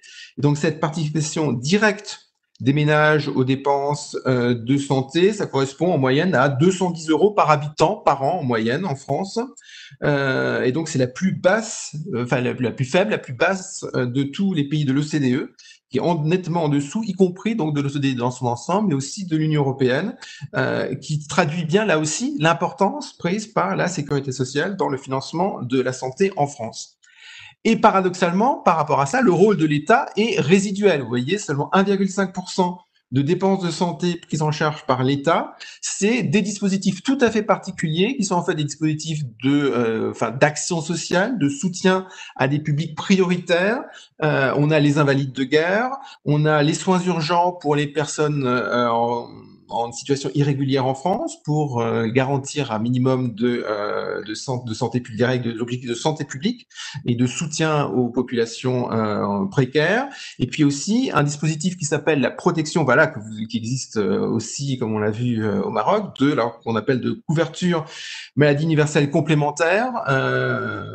Qui voilà qui permet à tous de bénéficier d'une prise en charge partielle, donc justement pas un financement par l'État, d'une partie de leur complémentaire santé. Donc, c'est ces éléments-là qui représentent en fait un financement vraiment strictement public, mais qui, que vous voyez, relativement restreint en France, puisque l'essentiel du financement public résulte de l'intervention de la sécurité sociale, qui, elle, est certes sous la tutelle de l'État, mais qui est quand même indépendante, autonome, et joue un rôle propre avec un rôle majeur des partenaires sociaux dans le pilotage de ce dispositif de sécurité sociale. Alors justement, ce rôle majeur de, euh, la sécurité sociale au travers euh, du financement d'un système de santé, eh il se retrouve justement dans donc, la dernière, dernière ligne, c'est euh, des dépenses qui sont retracées dans le projet de loi de financement de la sécurité sociale. C'est donc l'outil qui est voté par le Parlement chaque année depuis 1996 en France, qui permet de retracer l'ensemble des dépenses, donc justement prises en charge par la sécurité sociale, pour avoir un meilleur pilotage et donc, au sein de cette, la sécurité sociale, pour spécifiquement la partie santé, on a voilà un agrégat spécifique, un, un agrégat très connu de, en finance publique française, qui s'appelle l'ONDAM. Donc, ça veut dire Objectif national de dépenses d'assurance maladie. Et donc, c'est bien un outil de pilotage de la dépense de santé qui a été mise en place donc à compter de 1996, donc on a un peu plus de 15 ans, dans l'objectif justement de pouvoir piloter cette prise en charge par la sécurité sociale des dépenses de soins. Et au travers du pilotage de la dépense, on peut piloter l'offre. C'est puisqu'on a bien vu que ce que l'on finance, c'est tous les secteurs, qu'il s'agisse des hôpitaux, de, euh, de, enfin, de la médecine de ville, des dispositifs euh, de santé. Et eh bien, selon ce que l'on veut mettre comme priorité de santé publique, comme priorité de politique de santé, au travers de la fixation des objectifs financiers en loi de financement de la sécurité sociale, le pilotage en sous-enveloppe qu'on appelle sous-objectif de l'ONDAM, eh bien, on peut influer sur euh, les priorités de prise en charge, les priorités et l'organisation même de l'offre euh, de l'offre de soins. Euh, donc voilà sur euh, le, la structure, voilà globalement de financement de la sécurité sociale en France et le fait qu'elle fasse l'objet, au-delà de ce, ces grands chiffres en pourcentage du PIB qui sont des agrégats statistiques macroéconomiques qui permettent des comparaisons, on a surtout un objectif de pilotage en termes de politique publique au travers de cet outil législatif qui est la loi de financement de la sécurité sociale qui donc voilà d'un débat qui va commencer euh, à partir de la semaine prochaine où les orientations du gouvernement en la matière vont être rendues publiques en France et vont donc donner lieu à un débat qui va couvrir tout l'automne euh, en France et qui est voilà très marqueur de l'importance que les Français attachent à leur sécurité sociale.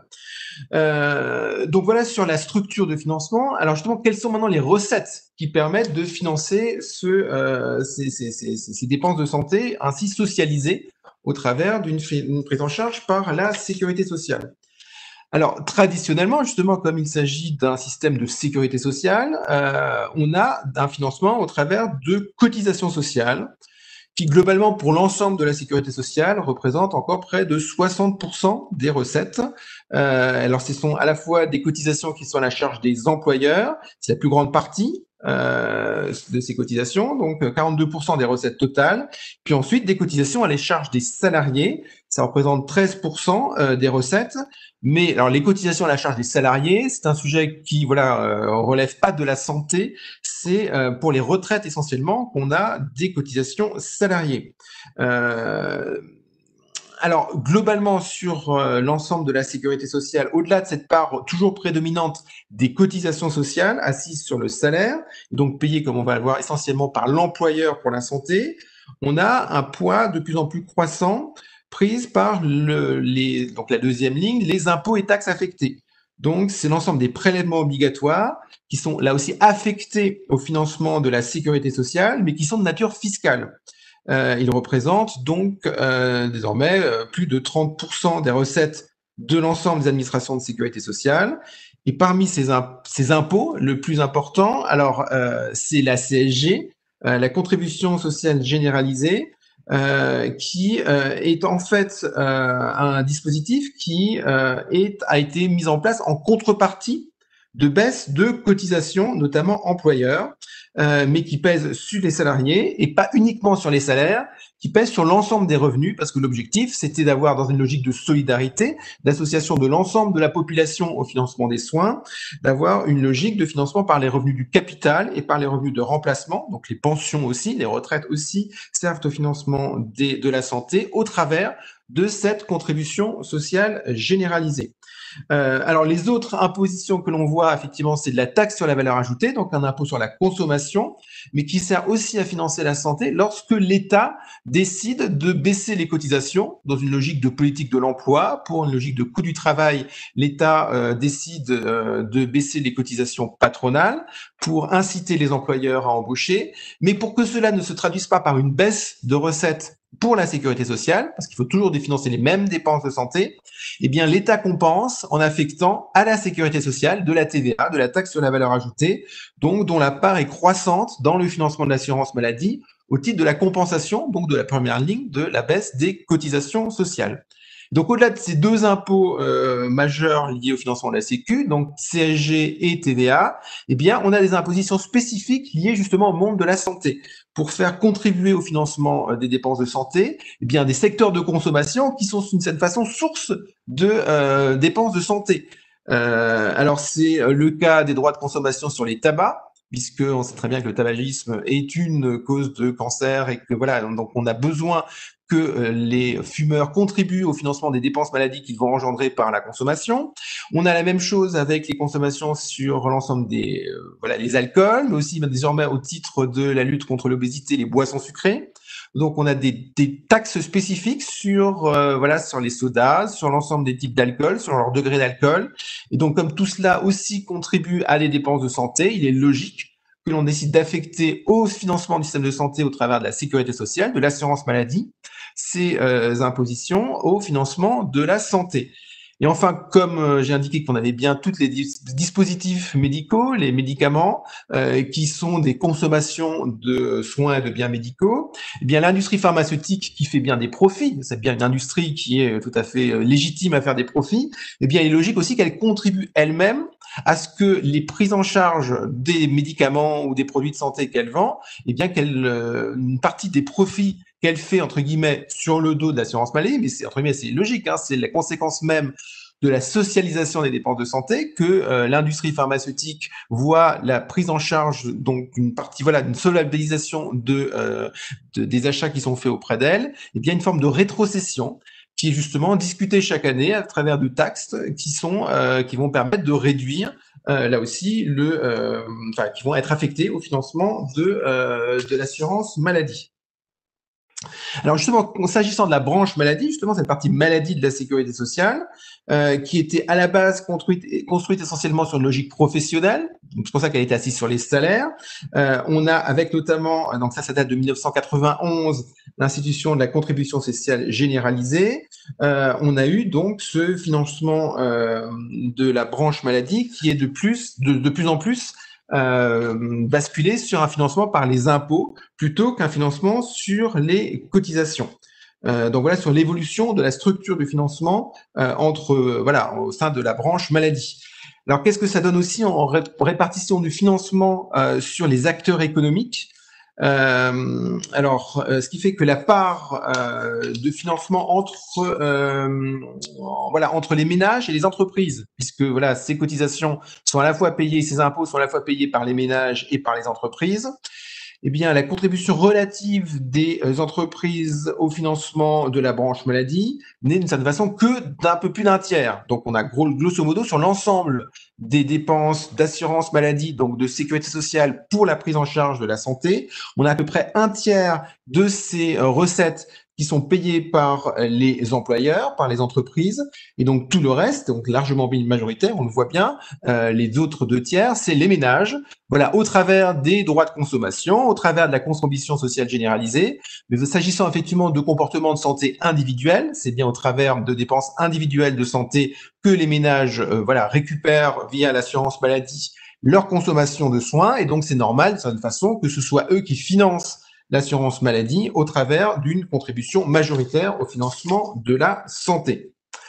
Donc voilà sur la structure globale à la fois des dépenses et des recettes permettant de financer ces dépenses d'assurance maladie, donc euh, globalement euh, la plus grande partie des dépenses de santé en France.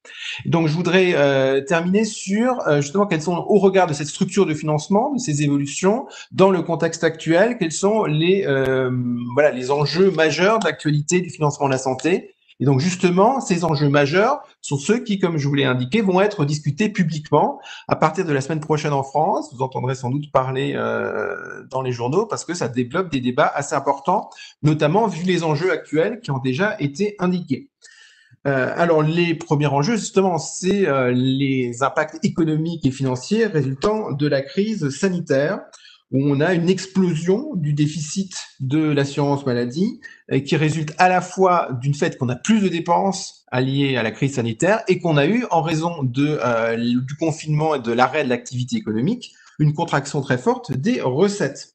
Alors en termes donc, euh, donc on, va, on devrait avoir hein, pour la branche maladie, euh, je fais un peu de spoil là de ce qui sera rendu public la semaine prochaine, euh, on devrait avoir euh, de l'ordre de 30 milliards de déficit euh, de l'assurance maladie en France, euh, avec une chute brutale des, des recettes et donc justement une accélération très forte des dépenses avec des surcoûts de dépenses de l'ordre de 10 milliards d'euros euh, au titre de la crise sanitaire par rapport à au courant, par rapport à l'évolution courante des dépenses de santé. Alors, quelles sont ces charges exceptionnelles à hauteur de 10 milliards qui se retrouvent dans ce déficit de 30 milliards pour euh, cette année? C'est justement le fait qu'il a fallu financer des achats de masques, de matériel de lutte contre l'épidémie, et donc l'organisme d'État qui est chargé de cette mission Santé publique France est refinancé par l'assurance maladie pour, euh, pour l'ensemble de ces achats. Comme je vous expliquais aussi, on a décidé de maintenir euh, des euh, prestations, des revenus de remplacement en, raison de l'arrêt de l'activité. Et donc, c'est toutes les prestations journalières, les indemnités journalières qui ont été versées pour les personnes qui ont dû s'arrêter pour garder les enfants, qui n'ont pas pu, euh, qui n'ont pas pu travailler. Et donc, tous ces éléments-là aussi ont une augmentation des dépenses d'indemnités journalières prises en charge par l'assurance maladie. Et puis, autre raison du surcoût, c'est que pour recompenser les personnels euh, médicaux et paramédicaux euh, qui ont beaucoup euh, voilà œuvré pour euh, bah, faire face à cette crise sanitaire inédite. Le gouvernement a lancé un vaste chantier de revalorisation des métiers de la santé, ça s'appelle le Ségur de la santé, vous en avez entendu parler. Et donc dans ce cadre-là, un certain nombre de revalorisations indemnitaires ont été accordées au personnel pour les rapprocher notamment des niveaux euh, là de salaire d'autres de nos voisins européens. Et donc on voit des surcoûts liés aux augmentations des voilà des rémunérations versées aux professionnels de santé dans le cadre du Ségur de la santé. Euh, alors ça, c'est le côté augmentation des dépenses. Et de l'autre côté, on a, comme je disais, une contraction des recettes, d'où voilà l'augmentation du déficit. Cette baisse des recettes, donc on a la baisse justement des cotisations sociales, c'est la forte contraction de la masse salariale qui en est la cause, puisqu'on a arrêté l'activité de manière euh, administrative. Donc, ça se répercute automatiquement, non seulement sur les cotisations elles-mêmes, euh, les cotisations que payent les entreprises, puisque les entreprises n'avaient plus d'activité, enfin, un certain nombre de secteurs ont été arrêtés, et aussi par le fait que bah, il n'y avait pas non plus de, euh, enfin moins de salaires versés et donc là aussi moins de CSG, de contribution sociale généralisée, pesant sur ces salaires qui ont été reçus comme recette par l'assurance maladie. On a également eu, mais alors ça c'est compensé par l'État, justement des compensations d'exonération décidées par l'État. Mais donc ça, ça va être neutre pour l'assurance maladie parce que l'État s'est engagé à compenser à l'assurance maladie les exonérations qu'il a décidé de faire dans la mise en œuvre du plan de relance, comme on l'a évoqué, qui va être euh, justement traduit dans le cas des engagements financiers cet automne. Pour relancer l'économie, il y aura euh, des baisses de charges sociales supplémentaires, mais elles, elles seront compensées à l'assurance maladie puisqu'il y a déjà suffisamment à faire en la matière. Alors les autres recettes fiscales que j'ai indiquées, elles aussi ont diminué. Vous avez vu donc que j'ai parlé de la TVA. Eh bien là aussi, euh, avec le confinement, la possibilité de sortir, il y a une baisse forte de la consommation. Donc cette crise économique a aussi pesé sur les recettes de TVA qui vont baisser de près de 10% euh, cette année. Euh, et puis la fermeture des cafés, des restaurants pendant le confinement a aussi réduit les taxes des consommations sur les boissons. Euh, mais en revanche, il y a un petit rebond sur les taxes sur les, tabacs, euh, puisque notamment tous les achats transfrontaliers, eh bien, ont pu, euh, bah, ont nécessairement pas pu avoir lieu pendant la séance de confinement, et donc d'une certaine façon, il y a eu une augmentation modérée euh, de des taxes consommation sur les tabacs, mais qui ne compense pas notamment euh, la baisse des, taxes de consommation sur, euh, sur les alcools. Donc voilà sur l'évolution liée à la crise sanitaire donc du déficit de l'assurance maladie. Et donc face à cette crise, comme l'évoquait le professeur Bouvier en introduction, bah on a la question de la reprise de la dette qu'engendrent ces déficits cumulés. Et donc là, ce qui a été décidé euh, cet été, qui va se traduire dans les débats financiers cet automne, c'est une reprise de dette majeure liée à la crise sanitaire euh, qui euh, permettent de profiter des bonnes conditions du marché aujourd'hui pour reprendre de la dette sociale. Alors là aussi, il existe depuis 1996 en France une entité qui s'appelle la CADES, la Caisse d'amortissement de la dette sociale, qui a pour euh, justement objet d'amortir, en la sortant des comptes courants de la sécurité sociale, elle a pour objet d'amortir la dette accumulée. Et donc, ce qui a été décidé, alors même que cette caisse devait avoir fini sa mission en 2024, de la prolonger jusqu'en 2033. Vous voyez, prolongation donc euh, du remboursement de la dette jusqu'en 2033 à hauteur d'une reprise de dette de plus de 136 milliards. Euh, donc à la fois les déficits passés, euh, les déficits prévisionnels à venir jusqu'en 2023 et aussi de manière tout à fait spécifique et liée à la crise sanitaire, la reprise de dettes hospitalières, ce qui n'était pas fait, c'est-à-dire au-delà même du financement du système de santé, les hôpitaux eux-mêmes se sont retrouvés en situation assez critique. On a vu avec les difficultés d'avoir des lits en réanimation euh, pour faire face à la crise. Et donc, il y a un besoin massif de réinvestissement dans le secteur hospitalier. Et donc, pour pouvoir investir, eh il faut d'abord ne plus avoir de dettes pour pouvoir avoir de nouvelles capacités d'investissement. Et donc, dans cette reprise des 136 milliards de dettes qui est prévue, eh bien, il est prévu, c'est tout à fait exceptionnel, lié à la crise sanitaire, une reprise de 13 milliards d'euros, qui représente à peu près un tiers de la dette des hôpitaux en France, qui sera euh, versée pour être euh, voilà reprise de dette sur une durée de 15 ans. Donc ça, c'est un, apport massif de financement qui doit permettre de euh, donner de nouvelles marges financières afin à la fois d'assainir la situation financière des établissements de santé et surtout de préparer l'avenir, d'être plus réactif et donc d'accompagner la transformation de l'offre de soins euh, et avec pour mieux répondre aux besoins les plus actuels de la population. Et quels sont justement quels sont les actes prioritaires que l'on va voir dans la suite euh, du, du colloque, qui voilà qui sont marqués en France en la matière. Donc c'est euh, des, euh, des, investissements structurants, notamment sur le numérique en santé, c'est donc de permettre plus facilement d'avoir de, de, la sécurité des systèmes d'information, de l'interopérabilité euh, entre les systèmes d'information en santé, c'est de favoriser la circulation des données de santé et c'est aussi renforcer les équipes numériques qui interviennent pour tous les opérateurs sur le numérique en santé. Donc voilà un des axes structurants que la reprise de dette hospitalière permettra de financer. Un autre axe structurant que devra permettre de reprendre, euh, que permettra la reprise de dette hospitalière, c'est la transformation, la rénovation des établissements médico-sociaux, euh, qui, euh, euh, voilà, qui sont souvent des établissements assez vétustes, euh, qui eux aussi manquent d'équipements numériques et donc qui correspondent à la prise en charge des personnes âgées dépendantes. Et ce qui me permet de faire la transition avec le dernier point que je veux évoquer avec vous, qui est justement concomitant à la fois à la crise sanitaire et à cette opération de reprise de dette, qui est la création au sein de la sécurité sociale, qui, comme vous voyez, est vraiment un corps vivant, toujours vivant en France, euh, donc celui de la création d'une cinquième branche. Alors, branche, c'est une catégorie de risque. Donc, on a aujourd'hui quatre branches. Donc, on vient de parler de la maladie. Il y a les actions du travail, euh, c'est-à-dire quand une maladie ou un accident est lié à d'origine professionnelle. Il y a la vieillesse et il y a la famille eh bien, ces cinq catégories de risques voilà, font l'objet aujourd'hui de prise en charge socialisée au travers de la sécurité sociale. Et ce qui va se mettre en place, à l'occasion là aussi de la discussion des lois financières de cet automne, puis d'un projet de loi sur le grand âge et l'autonomie qui devrait être discuté, comme l'a annoncé le président Macron au début de l'année 2021, eh bien, c'est d'insérer, intégrer dans la sécurité sociale pour avoir un pilotage plus coordonné avec l'ensemble, notamment de l'assurance maladie, l'ensemble des dépenses destinées, je, je l'ai mentionné au début de mon intervention, l'ensemble des dépenses, y compris de soins spécifiques pour les personnes âgées dépendantes et les personnes handicapées, les personnes dites en perte d'autonomie.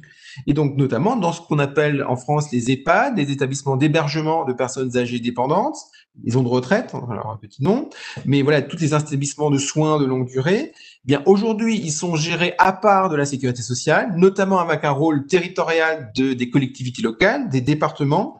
L'objectif, c'est d'avoir une meilleure articulation avec la sécurité sociale, d'en faire un pilotage dans le cadre de la loi de financement de la sécurité sociale, mais c'est aussi d'apporter des financements nouveaux, puisque justement les besoins sont plus importants pour cet élément-là. Et donc en contrepartie, on va dire euh, à la fois politique, en affichage de cette reprise de dette massive à hauteur de 136 milliards d'euros, il a été prévu d'affecter une partie de CSG donc à hauteur de 2,3 milliards d'euros, qui aujourd'hui sert à rembourser la dette, et bien qui à compter de 2024 servira à financer cette cinquième branche euh, qui va atteindre, va la permettre d'atteindre des objectifs d'universalité, de mieux couvrir toutes les personnes dites en perte d'autonomie, mais surtout avec une meilleure qualité de l'accompagnement de ces personnes, et justement une qualité qui ne pourra être atteinte que par la transversalité, donc non seulement entre le handicap et le grand âge, mais surtout aussi avec euh, l'assurance maladie. Et donc tous ces éléments-là là aussi vont être discutés cet automne en France dans le cadre du projet de loi de financement de la sécurité sociale, parce que ça implique nécessairement une réarticulation des rôles entre l'assurance maladie et donc cette nouvelle euh, branche de la sécurité sociale, une nouvelle définition des paramètres, des périmètres, et notamment avec ce qu'on appelle l'ONDAM médico-social. Donc, je vous ai expliqué que l'ONDAM, justement, c'est l'ensemble des dépenses d'assurance maladie qui permettent de euh, dépenser, de, de, de, financer les, les, les, soins, eh bien, euh, parmi les soins de longue durée, ceux qui sont dans l'ONDAM, euh, qui euh, représentent presque quand même de 25 milliards d'euros, constituent pour les personnes âgées dépendantes et pour les personnes handicapées un sous-objectif spécifique à hauteur de 25 milliards. Eh bien, c'est cet ONDAM médico-social, en fait, il va être transféré vers notre nouvelle cinquième branche de la sécurité sociale pour être justement mieux articulé de manière transverse avec l'ensemble des autres dépenses, notamment celles, notamment celles prises en charge par les départements pour les personnes en perte d'autonomie. Donc c'est vraiment un enjeu pour montrer cette articulation compte tenu du vieillissement de la population et des besoins spécifiques sur ce secteur, et eh bien d'un besoin d'articulation plus fort entre l'assurance maladie et, euh, et voilà. Et donc globalement, là, la, la, prise en charge sociale. Et donc c'est dans ce cadre-là que euh, la France, euh, voilà, a un système de sécurité sociale relativement, comme vous voyez, vivant malgré son ancienneté, qui permet de s'adapter aux défis et avec globalement un niveau de prise en charge très élevé et dont témoigne l'attachement très fort qu'on retrouve régulièrement dans les sondages des Français à leur système d'assurance maladie, parce que justement, il est suffisamment réactif en temps de crise pour permettre de faire face à la situation exceptionnelle que nous vivons aujourd'hui. Donc voilà pour cette présentation, voilà très synthétique. J'espère n'a pas été trop rapide, mais je me suis concentré sur le financement et sur euh, les enjeux actuels liés au financement, sans rentrer dans le détail de l'organisation de l'offre. Je pense que ce sera évoqué plus tard euh, sur des sujets, mais qui me permet, j'espère, d'avoir respecté mon temps de parole, Madame la Présidente.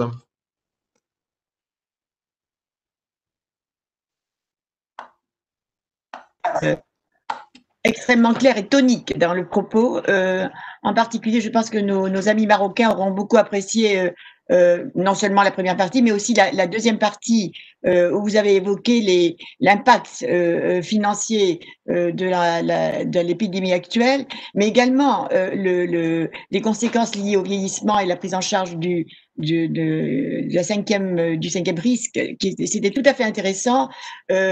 On vous écouterait davantage, mais le, temps nous est imparti. En tout cas, merci infiniment. Euh, compte tenu du fait que nous avons une demi-heure de retard sur notre horaire, euh, je propose que les, questions euh, soient repoussées à la fin de la conférence parce que nous risquons de, de, faire boule de neige dans, notre retard. Donc, nous allons passer, si vous en êtes d'accord, à notre deuxième sous-axe, qui est cette fois consacré euh, à euh, une des problématiques importantes, majeures même, euh, qui est la, difficulté de, concilier rationalisation des dépenses de santé, couverture territoriale présentant une certaine équité et euh, l'interrogation que nous avons par rapport euh, à euh, l'intelligence artificielle, est-ce que les nouvelles technologies nous permettent pour l'avenir ou d'ores et déjà de mieux entrevoir une possibilité de meilleure conciliation de ces deux impératifs Je vais passer la parole immédiatement à Monsieur Thomas, Michel Thomas, qui est un, un spécialiste de ces questions, euh, chirurgien dentiste honoraire, ancien trésorier du syndicat euh, national des chirurgiens dentistes et qui est également chercheur à Fondafil. Michel.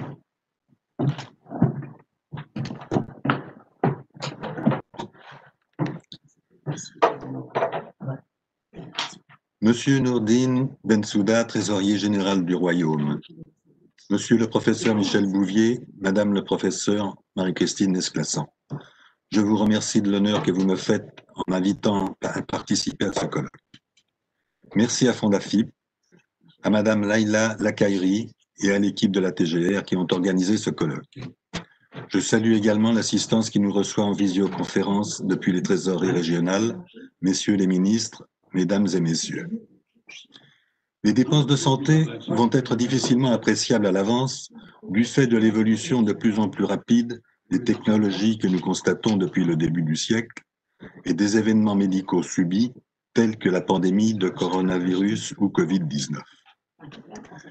Les actes médicaux et paramédicaux qui seront réalisés dans un très proche avenir sont déjà une réalité au niveau de la recherche. Dans une première partie, nous réfléchirons à l'organisation territoriale pour la santé en analysant ce que peut nous apporter la télémédecine en zone rurale ou urbaine paupérisée, ainsi qu'en médecine évoluée de l'avenir.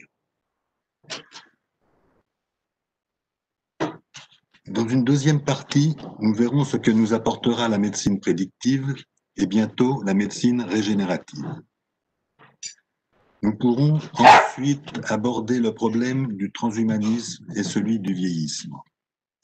La pandémie dont nous avons été victimes cette année a montré comme il en avait été besoin, comme s'il en avait été besoin, qu'une réforme profonde du système de santé était indispensable. C'est ce que nous étudierons dans une dernière partie.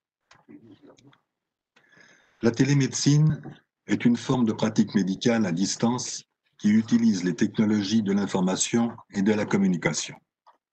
Les principales applications sont la téléconsultation et la télésurveillance.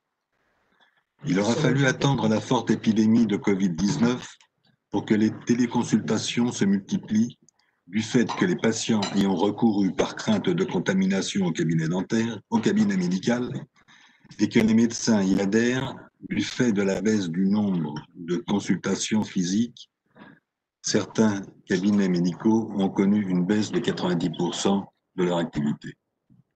De nombreuses organisations se sont lancées dans le domaine de la téléconsultation.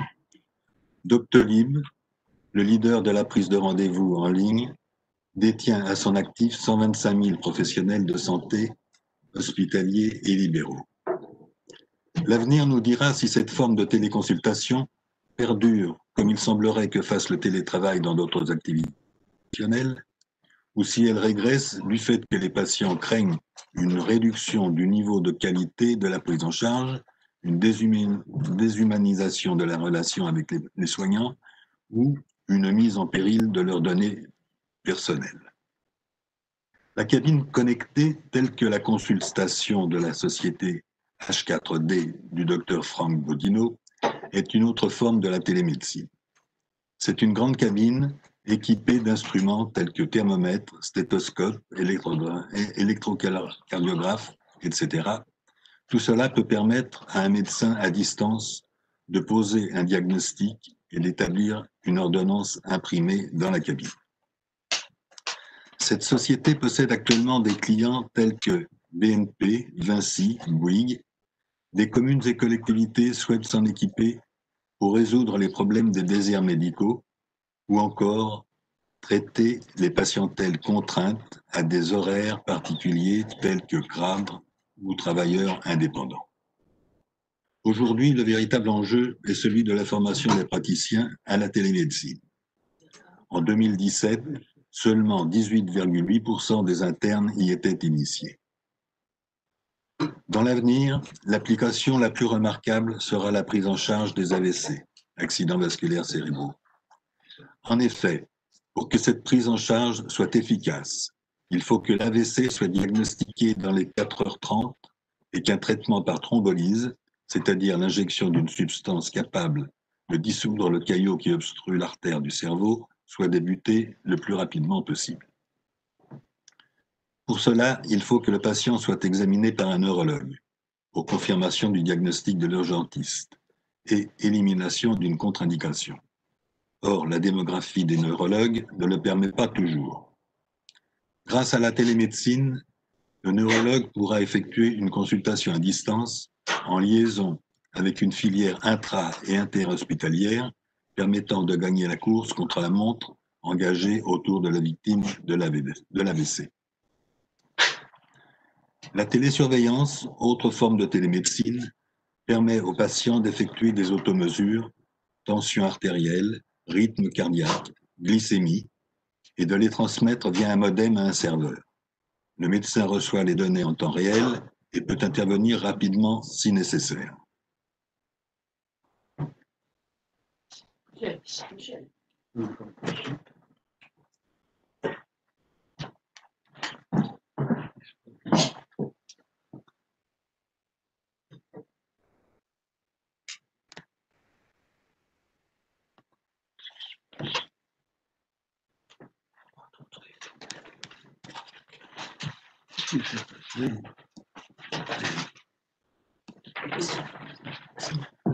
Excusez-nous du problème technique.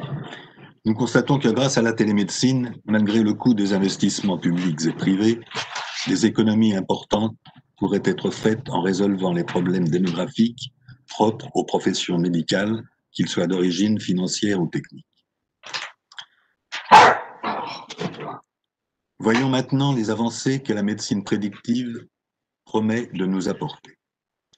C'est une médecine capable de prévoir, parfois très longtemps à l'avance, les affections qui frapperont le patient, et ce notamment grâce à la génétique. Les progrès de la génétique seront probablement à l'origine des plus grandes avancées de la médecine de demain, en termes de dépistage et de prévention, mais aussi dans le domaine des innovations thérapeutiques. Ainsi, le dépistage de la trisomie 21 dans l'ADN du fœtus peut être réalisé aujourd'hui après une simple prise de sang chez la femme enceinte. Ce dépistage prénatal non invasif ou des PMI, désormais remboursé par la sécurité sociale et dont le coût est de 390 euros, permettra, s'il est négatif, d'éviter une amniosynthèse, examen à risque nécessitant de perforer la membrane entourant le fœtus et pouvant provoquer la mort de celui-ci. Anticiper la maladie et en prévenir les symptômes sont devenus des enjeux de santé publique. Dans un contexte où les dépenses sont en partie prises en charge par l'État, trouver des solutions durables et moins onéreuses est une vraie préoccupation. On est aujourd'hui capable d'anticiper, voire d'éviter des pathologies graves à l'aide de tests génétiques prédictifs. Ainsi, le séquençage du génome permet la, recherche d'un gène de prédisposition à certains cancers. Par contre, au-delà du gène ciblé, le séquençage peut détecter d'autres anomalies prédisposant à des tumeurs ou des maladies qui n'étaient pas spécifiquement recherchées. Alors que faire de ces données dites secondaires? Des questions sociétales seront à résoudre. Comment préserver notre intimité génétique des assureurs, des employeurs ou des banquiers? Susceptibles d'en faire des motifs de discrimination Le séquençage de l'ADN, dont le coût devient de plus en plus abordable, il est passé de plusieurs milliards de dollars à une centaine de dollars, nous fournira une multitude de données dont la société devra réglementer la mise à disposition. Il faut savoir que nous possédons 20 à 25 000 gènes. Je vous propose maintenant d'entrevoir les promesses de la médecine régénérative. Cette médecine est prometteuse tant sur le plan des résultats médicaux que sur les économies que la société peut en attendre. Elle a pour objectif de créer des tissus vivants fonctionnels permettant de remplacer des tissus ou des organes endommagés ou de remédier à des maladies congénitales. L'utilisation des cellules souches est un élément majeur de la médecine régénérative. Faisant partie d'un gel placé dans la paroi malade, contre la paroi malade, les cellules souches permettraient de reconstruire un tissu complet. De grands espoirs sont envisagés dans le traitement de la maladie de Parkinson de l'infarctus du myocarde, de la dégénérescence maculaire liée à l'âge ou des MLA de l'œil qui peut évoluer vers la, vers la cécité. Espoir également dans le traitement de la dégénérescence du cartilage par l'arthrose, de la sclérose en plaques et des maladies neurodégénératives du cerveau. Cette ingénierie tissulaire représente une avancée majeure elle permettrait de ne plus avoir recours aux dons d'organes et par voie de conséquence, nous ne serions plus confrontés au problème de rejet de greffe, la situation étant analogue à une isogreffe ou don d'un vrai, vrai jumeau. Ne serait-ce que sur ce sujet, la diminution des coûts de la santé serait importante. Voyons maintenant ce que le transhumanisme a d'acceptable et ce qu'il représente d'irrationnel et promettant en promettant l'abolition de la vieillesse, des maladies et de la mort. C'est un mouvement culturel et intellectuel prônant l'usage des sciences et des techniques afin d'améliorer la condition humaine, notamment par l'augmentation des capacités physiques et mentales des êtres humains. Si pour la majorité d'entre nous le transhumanisme apparaît comme une fiction, il n'en demeure pas moins vrai que ses adeptes croit en une amélioration illimitée des facultés de l'être humain et par les moyens chimiques, par les moyens chimiques, génétiques, mécaniques ou numériques grâce à l'intelligence artificielle. Des réflexions vont devoir être faites pour juger s'il faudra s'arrêter à l'homme réparé ou aller à l'homme augmenté. Sur le seul sujet de Louis, la médecine régénérative permettra de recouvrer une audition parfaite mais avec les implants auditifs, il est permis d'imaginer une ouïe encore supérieure. Dans bien d'autres domaines, ce type de réflexion devra se faire. Que ce soit sur le plan des dépenses ou sur le plan éthique, les décisions devront être prises. Le transhumanisme, pour ce qui est de l'immortalité, est déjà présent dans les récits datant de l'Antiquité, et il a évolué en s'appuyant sur les multiples avancées des sciences pour aboutir au NBIC, c'est-à-dire nanotechnologie, biotechnologie, informatique et sciences cognitives. En 2012, Ray Kurzweil, un gourou du transhumanisme, rejoint Google, dont il devient directeur de l'ingénierie. Or, nous connaissons à travers les progrès que nous avons décrits en matière de santé le rôle que joue Google, en, particulier dans l'intelligence artificielle. Même si les transhumanistes n'ont pas tous une vision de l'immortalité de l'homme, ils sont favorables aux perspectives de l'homme ajouté que la génétique avec le séquençage de l'ADN nous permet d'envisager, comme nous l'avons vu tout à l'heure.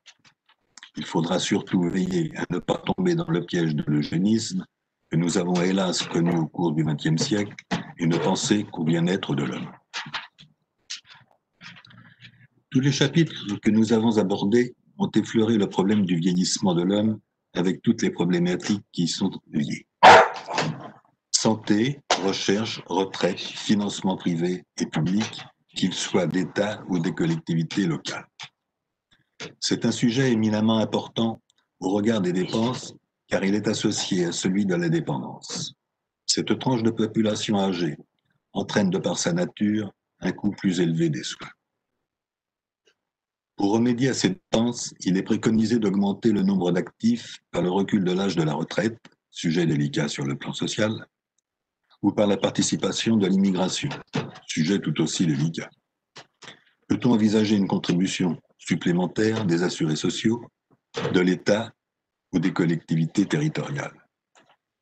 Le coût des soins le plus important est celui des années précédant la mort. Et si on peut espérer un fort progrès de la médecine régénérative, le coût des soins aux personnes âgées devrait être moins élevé dans un certain nombre d'années avec, la diminution et l'amélioration de pathologies telles que Parkinson, DMLA ou Alzheimer. Voyons si des économies pourraient être faites en organisant mieux le système de santé. Le nombre de médecins n'a jamais été aussi élevé en France, même s'il est insuffisant pour certains, alors que les déserts médicaux sont nombreux et que par endroits les délais sont de plusieurs mois pour obtenir un rendez-vous chez certains spécialistes. Il y a donc une réforme à réaliser. L'épidémie due au coronavirus a fait que les médecins généralistes, faute de traitement autorisé, ont dû adresser leurs patients dans les services hospitaliers dédiés qui eux-mêmes ont été à la limite de la saturation en lit de réanimation. Pour ce faire, il a fallu que les autres services hospitaliers, qu'ils soient publics ou privés, cessent leur activité et remettent leurs interventions aux consultations à plus tard, faute de personnel et de moyens techniques, ce qui n'a pas été sans conséquence pour les patients de ces services. L'épidémie a mis le doigt sur l'importance et l'urgence de la nécessité de réformer le système de santé, à savoir une refonte des études médicales et paramédicales du système hospitalier et du système de santé dans son ensemble. La formation universitaire devrait former des professionnels de santé pouvant être rapidement capables de servir dans les, centres dédiés aux épidémies, qu'ils soient médecins généralistes, spécialistes, infirmiers, sages-femmes ou chirurgiens dentistes, tout en laissant fonctionner les autres services. Plus de souplesse est indispensable dans la gestion. Trop de personnel administratif a été embauché et insuffisamment de personnel médicaux, car les prises de décision doivent être faites sur le terrain, la haute administration ainsi que l'administration tout court n'ayant pas le pragmatisme des professionnels de santé pour agir dans l'urgence. Il faudra en finir avec le statut public et privilégier le, modèle des hôpitaux privés à but non lucratif avec une comptabilité de droit privé, les bénéfices dégagés étant réinvestis dans l'innovation et le développement de services, de nouveaux services au bénéfice des patients. Des actes inutiles pourraient être évités si le DNP, dossier médical partagé, était mieux utilisé par les praticiens hospitaliers ainsi que par les praticiens libéraux, et s'il était possible d'effectuer une recherche par mots-clés. Enfin, le service public devrait se rapprocher du privé afin de désengorger, les services d'urgence. Des actes y sont pratiqués alors qu'ils pourraient être exécutés par des praticiens libéraux. Pour conclure, nous constatons que si de nombreux investissements sont très importants Ces investissements entraînent des diminutions de frais à court ou moyen terme et permettent de vivre longtemps en bonne santé. Nous l'avons vu lorsque nous avons évoqué la génétique et le séquençage de l'ADN, si onéreux à l'origine et capable de prévoir trisomie 21, mucoviscidose ou certains cancers. Nous sommes confrontés à un double défi économique, évolution de la recherche et financement de la sécurité sociale. Il faut renforcer l'accessibilité géographique et financière des soins, la santé mentale, la prévention, la santé environnementale, la lutte contre la toxicomanie, la vaccination. De plus, l'enseignement de l'éthique devra être approfondi au cours des études médicales, tout autant que dans diverses études telles que le droit ou l'économie, afin d'éviter des dérives, les dérives que nous avons évoquées. Après les États-Unis et la Suisse, en 2019, la France est au troisième rang mondial en matière de dépenses de santé avec 11,3% de son PIB. C'est la part la plus élevée de l'Union européenne. Le Maroc est à 5,8% de son PIB. La moyenne mondiale est à 10% du PIB. Suite à la pandémie, suite à la pandémie actuelle, ces dépenses vont augmenter en 2020 et 2021 du fait des revalorisations de salaires des personnels de santé, de la multiplication des tests et des vaccinations probables contre le Covid-19. Une partie des dépenses de santé devrait voir son coût diminuer grâce à la télémédecine qui commence à progresser dans ce que l'on appelle les déserts médicaux. En France, les dépenses de recherche et d'investissement sont très importantes dans les hôpitaux et, dans les cabinets privés. Je pense en particulier au matériel de radiologie qui doivent suivre l'évolution très rapide des techniques. Scanner, IRM, PET scan, radiologie interventionnelle, CONBIM. La médecine régénérative fait naître de grands espoirs et devrait entraîner de fortes économies si d'importantes pathologies sont maîtrisées. La sophistication des soins et le coût des médicaments, chimiothérapie dans le traitement des cancers, trithérapie dans le traitement du VIH, vont participer à l'augmentation des dépenses dans l'immédiat. La mondialisation avait entraîné une diminution des frais de fabrication, mais la pandémie due au Covid-19 a montré l'important défaut d'approvisionnement en médicaments et matériels tels que antibiotiques, vaccins, corticoïdes, chimiothérapie, masques, gel hydroalcoolique. Il faut s'attendre à une hausse du coût de ces produits si nous relocalisons.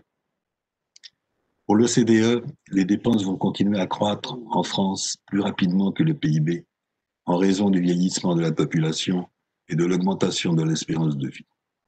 Elle conseille d'agir sur la prévention, de renforcer l'efficacité de l'hôpital et d'améliorer l'organisation des soins de vie.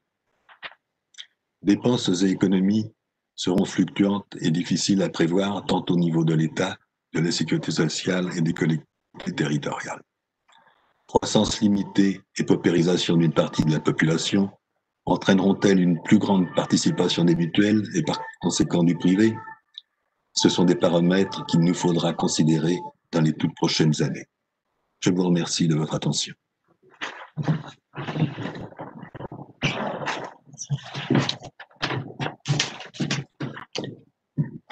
Merci beaucoup à Michel Thomas pour euh, cet exposé qui était à, la fois euh, optimiste dans le propos, puis pour euh, la partie qui concerne l'impact des nouvelles technologies, interrogatif dans euh, certains défis euh, euh, qui restent à relever, la croissance et de la population, surtout le vieillissement de la population, la capacité à les juguler, la, carte territoriale et l'équité.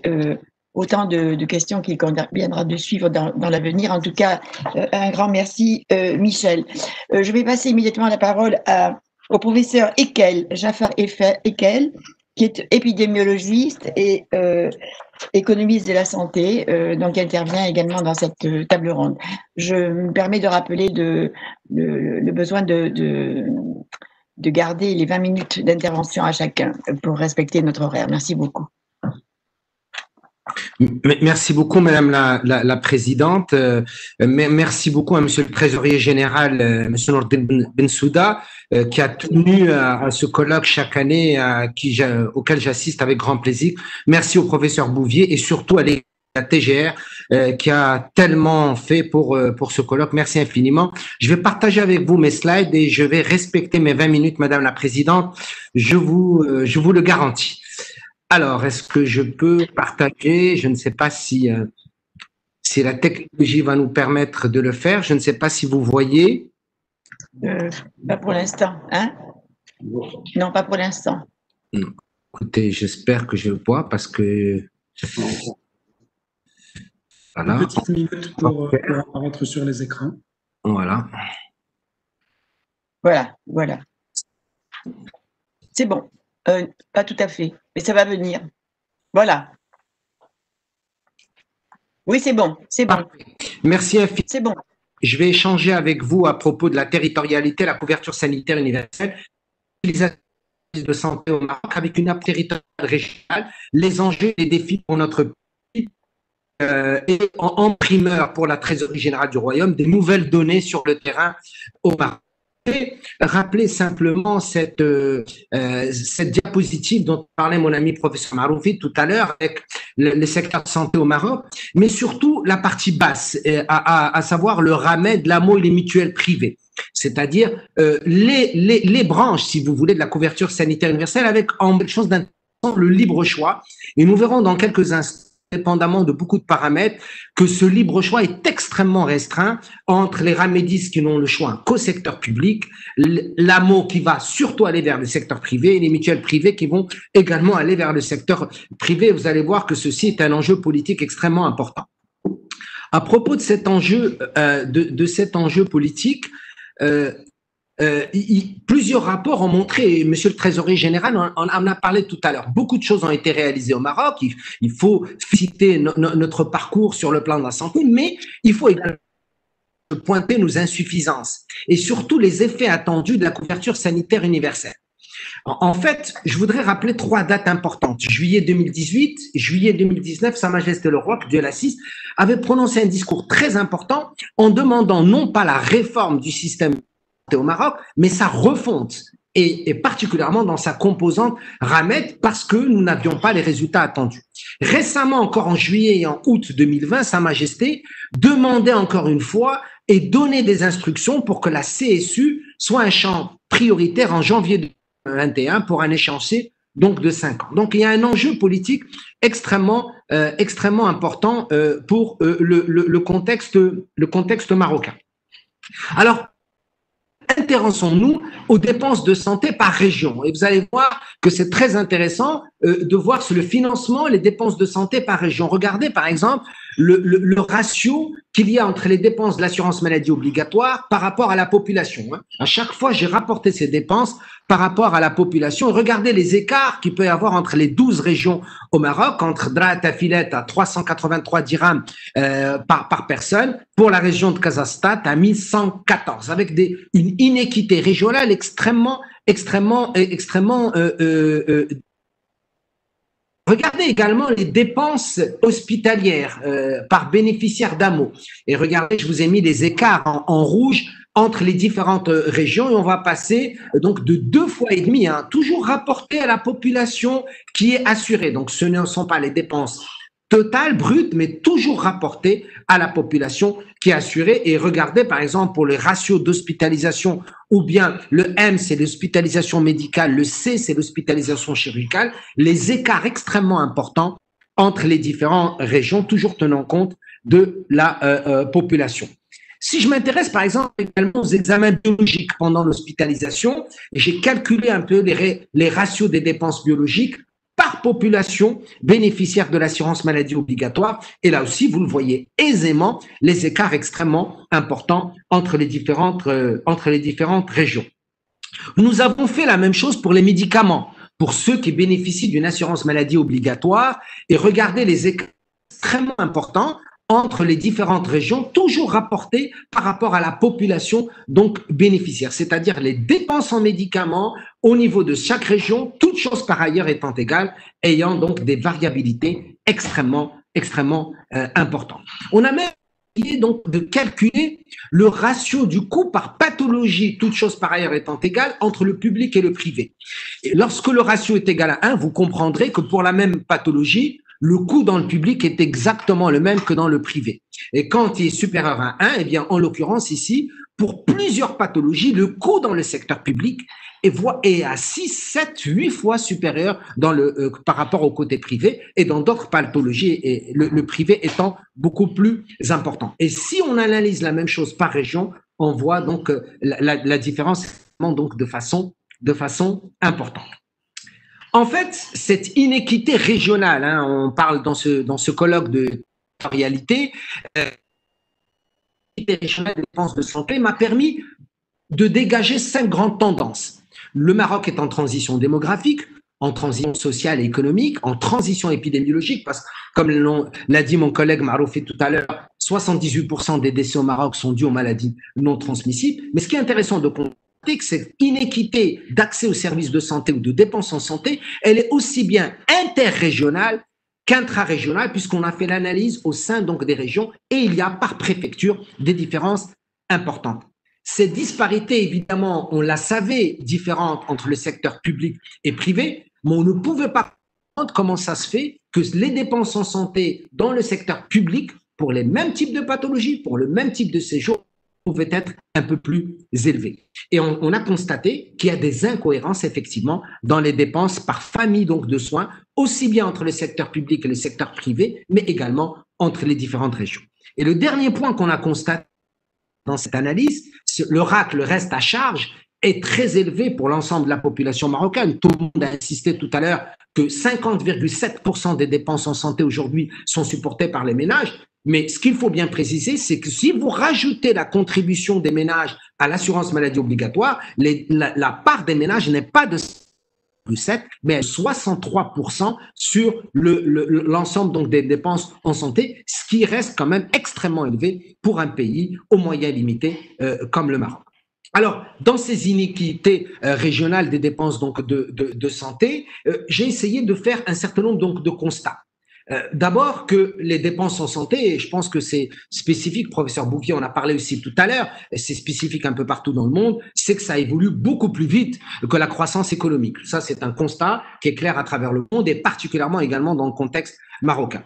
Deuxième chose qui est intéressante, c'est que pour certaines pathologies prioritaires de santé publique, et c'est ça où un petit peu le bas blesse, nous constatons quand même que des fois, c'est beaucoup plus dans le secteur public que par rapport au secteur privé, alors que ce ne serait pas explicable d'un point de vue rationnel, et particulièrement pour deux postes de dépenses, on va le voir en détail dans quelques instants, pour celui de la durée de ces et pour celui donc du médicament. Le troisième cas, c'est que dans tous les cas que vous soyez dans le secteur public ou dans le secteur privé, le reste à charge reste trop euh, élevé pour les ménages. Le quatrième constat, c'est que la différence donc de coût étant extrêmement importante, il est fondamental et crucial qu'elle soit réduite parce qu'elle ne peut pas s'expliquer par la pathologie, elle ne peut pas s'expliquer par les caractéristiques scientifiques donc de prise en charge, mais par d'autres enjeux, on va le voir dans quelques instants. Et enfin, le cinquième constat qui est intéressant, c'est de constater pour les mêmes pathologies, lorsqu'on prend les bénéficiaires de l'assurance maladie obligatoire, hein, je parle de je ne parle pas du RAMED qui est pour les populations vulnérables, mais du privé, mais pour l'AMO, nous constatons que l'AMO des fonctionnaires, c'est-à-dire les fonctionnaires, toutes choses par ailleurs étant égales, vont dépenser beaucoup plus et essentiellement dans le secteur privé, alors qu'à la base, à la base, l'assurance maladie obligatoire était aussi mise en place pour soutenir le secteur public et pour soutenir euh, les, fonctionnaires pour que les dépenses soient les moins élevées pour eux. Ce que j'ai appelé ces cinq avatars de couverture sanitaire euh, euh, universelle au Maroc sont malheureusement un indicateur d'inégalité et d'inéquité.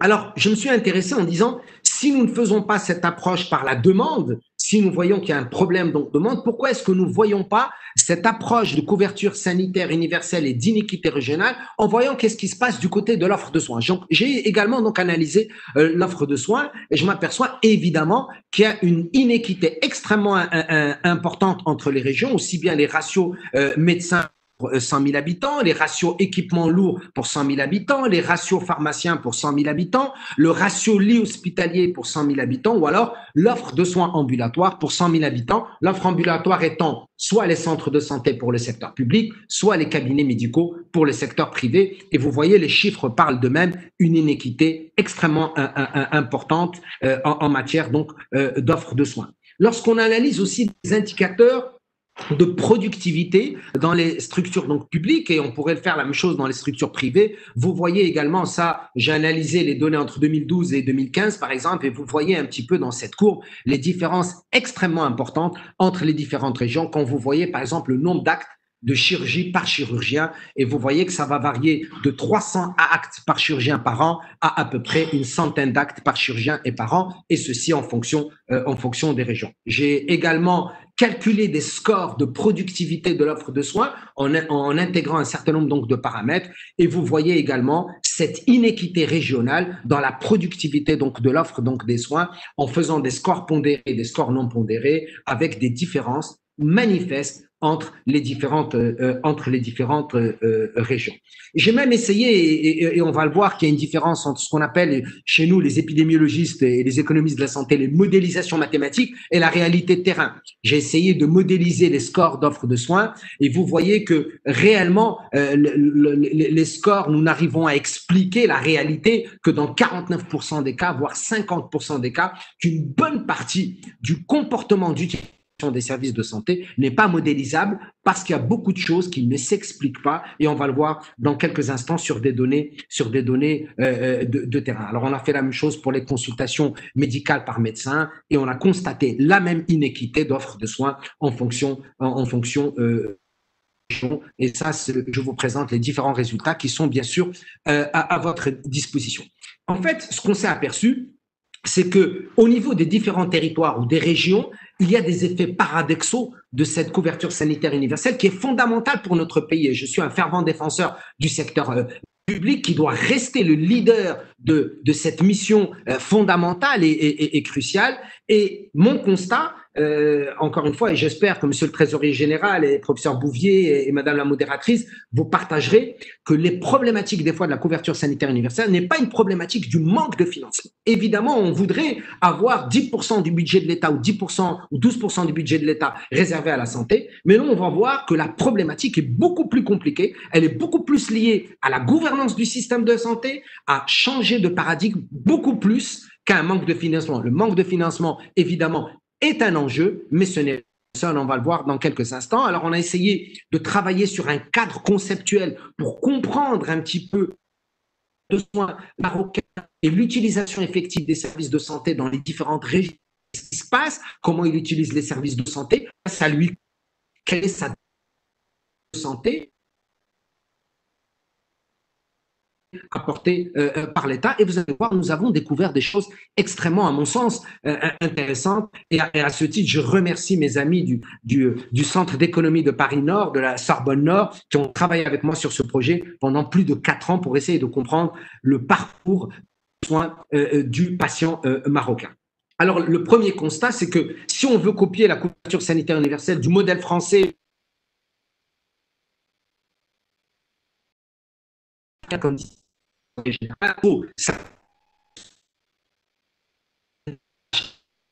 avec des effets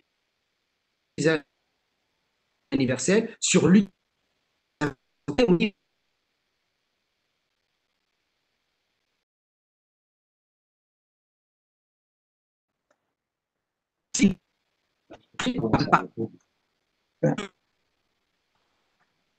certaines euh, situations la problématique essentielle.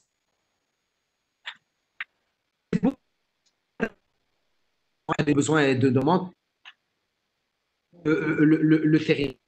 Il faut leur dire, non? Que la couverture a paupérisé certains zones.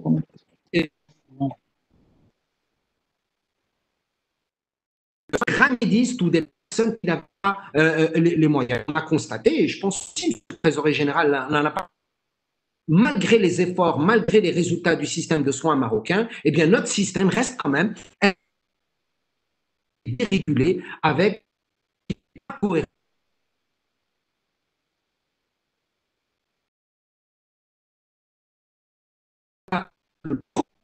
l'utilisateur du service de santé pas le santé, ce n'est pas l'hôpital, la clinique, la Professeur, professeur, professeur Heikel, pardonnez-moi de vous interrompre. Nous, avons du mal à vous entendre. Euh, peut-être un petit problème de, connexion. Si vous, si vous pouvez couper votre caméra, peut-être que ça améliorerait un peu le, le rendu. La caméra.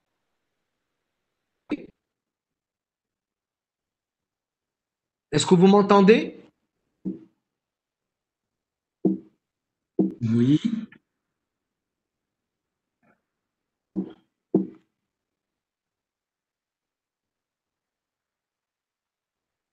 Est-ce que, est que vous m'entendez? Oui, on vous entend très bien, professeur.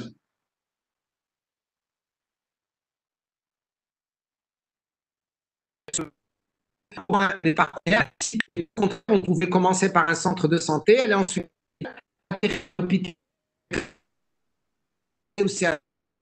dans une clinique privée.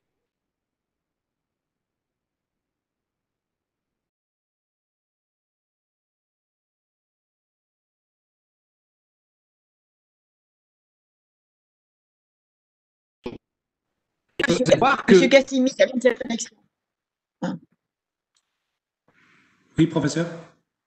Je pense qu'il faut signaler à Monsieur Ekel que ça vient de sa connexion. On ne euh, l'entend pas, pas bien.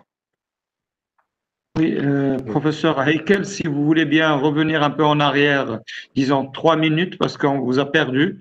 Et si vous voulez peut-être vous connecter avec euh, par le mobile ou quelque chose, parce que euh, ça a été entrecoupé. je crois que les, gens qui nous suivent n'ont pas pu vous suivre sur les trois dernières minutes. Merci.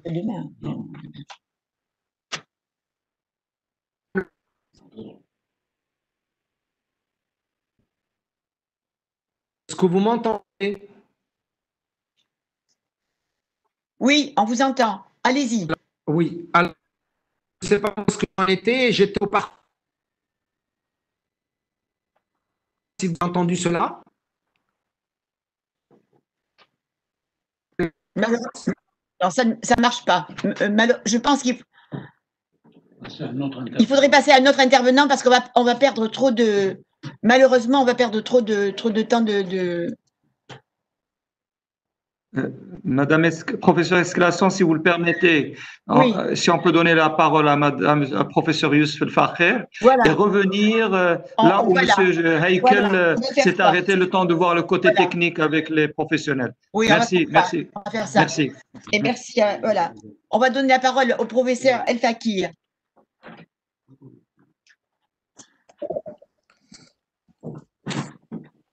Professeur El Fakir? Oui, je vous entends. J'attends qu'on me donne la main pour partager mon écran. D'accord.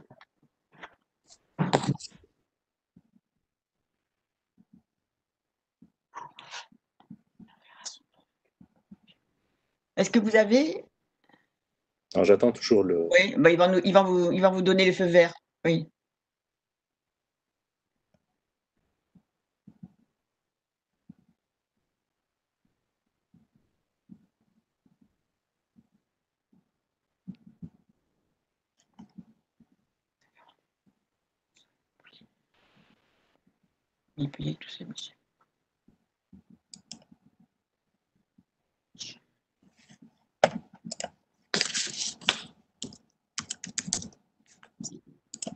Vous avez toujours rien?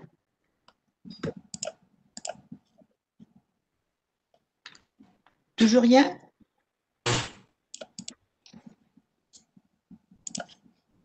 Toujours.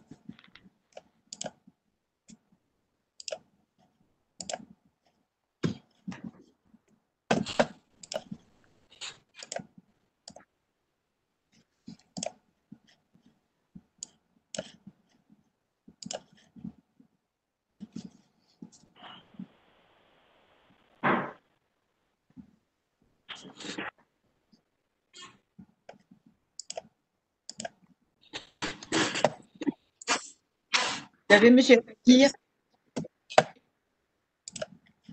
bah, J'attends toujours. Dès que j'ai la main, je commence mon intervention. Je vais demander à M. Bensouda s'il peut signaler. oui, euh, oui, professeur. Oui. Ils sont en train de vous contacter par téléphone juste pour euh, voir si c'est bon. Oui, allô Oui, oui. Oui, oui, non. Bon, la technologie ne remplacera jamais le- la chaleur humaine et la proximité hein, et les conférences en direct pour l'instant. Oui, oui. C'est bon, professeur? Je pense que je ferais mieux de me reconnecter, donc euh, je vais quitter et me reconnecter. C'est ce que me demande un peu le. D'accord, très bien, parfait.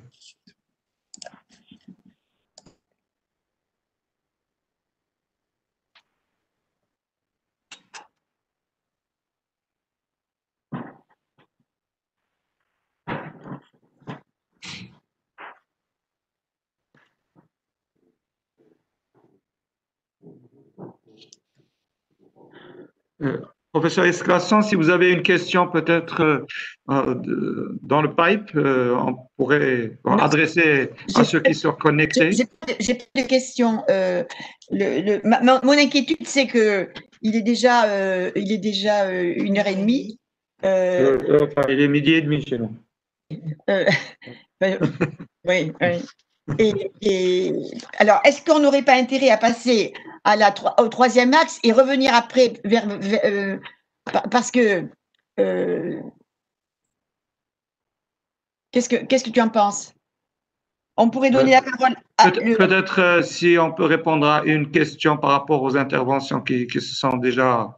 Mais j'ai pas vu les. J'ai pas vu. Je n'ai pas vu les questions. Vous n'avez pas encore de questions? Non, non. D'accord. Je vais faire le point et je, je reviens vers vous. Merci. Madame Escasson, Madame la Présidente, Oui. nous, nous avons reçu quelques questions. Euh, je pourrais euh, vous- On peut en prendre, on peut en prendre en prendre une, une ou deux. Oui. Une ou deux. Oui, oui, très bien. Alors, euh, nous avons une, première question qui, d'une manière euh, très prévisible, parlait un peu de la, de la crise euh, du Covid. Euh, la question dit, la crise sanitaire liée au Covid-19 se- soulève deux questions. Celle de savoir à partir de quel indicateur on peut considérer qu'une épidémie peut être qualifiée de pandémie, et celle de déterminer quels sont les critères de mesure de l'efficacité et de l'efficience des dépenses publiques de la santé. Voilà une première question. Oui. Et une deuxième question. Là, euh, mobilise les ressources financières nécessaires pour faire face à la crise sanitaire actuelle? D'accord. Voilà deux premières questions, Madame la Voilà. Présidente. Pour la première question, je pense que c'est un, un, un- un professeur, un épidémiologiste marocain euh, qui pourrait peut-être répondre, en répondre en, en, en trois minutes, hein, parce qu'il pourrait essayer de, de rester un peu dans le, dans le créneau horaire. La deuxième question, ça pourrait être Monsieur Matt qui pourrait répondre. Euh, Pour la Juste première vous informer que, que je suis prêt, donc euh, quand vous voulez. ah, si vous êtes prêts, alors on, on reporte les questions à tout à l'heure. Qu'est-ce qui est prêt C'est Monsieur El Fakir. Je propose de reporter les questions à tout à l'heure. C'est Euh, parfait. hein, Parfait, ça. professeur, oui. Et, on donne la parole à Monsieur El Fakir. Merci, Madame la Présidente. Euh, merci, Monsieur le Trésorier général du Royaume. Euh, Est-ce que vous voyez mes slides? Oui. Et merci de tenir les 20 minutes, Monsieur El Fakir. Ça sera fait. Merci, Madame. Merci.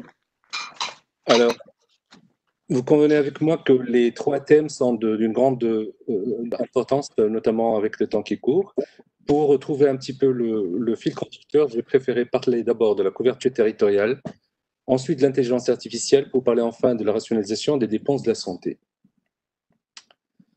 Mais avant de parler de ça, un peu comme ce que faisait euh, mon ami le professeur Jafar Hekel, il va falloir donner un peu l'état de santé au Maroc.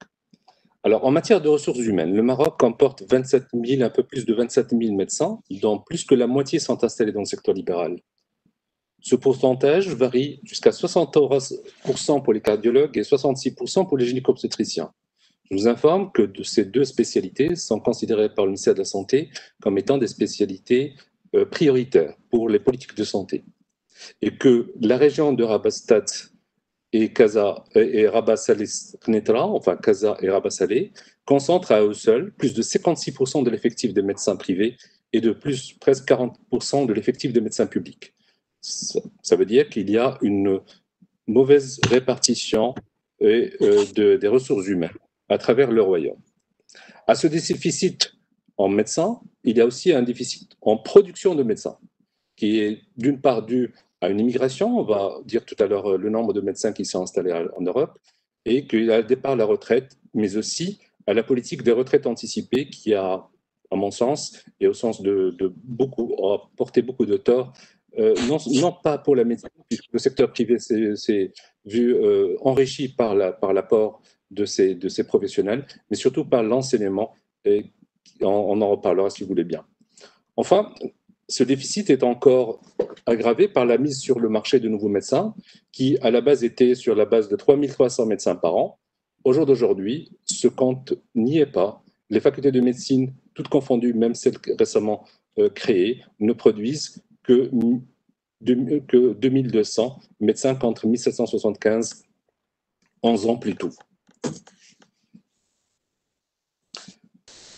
Au fait, quand on rapporte tous ces chiffres, le ratio des médecins au Maroc est de 7,1 médecins pour 100 000 habitants. Avec ce chiffre, le Maroc est loin de répondre au standard de l'OMS fixé à 15,3 médecins pour, 10 000 habitants.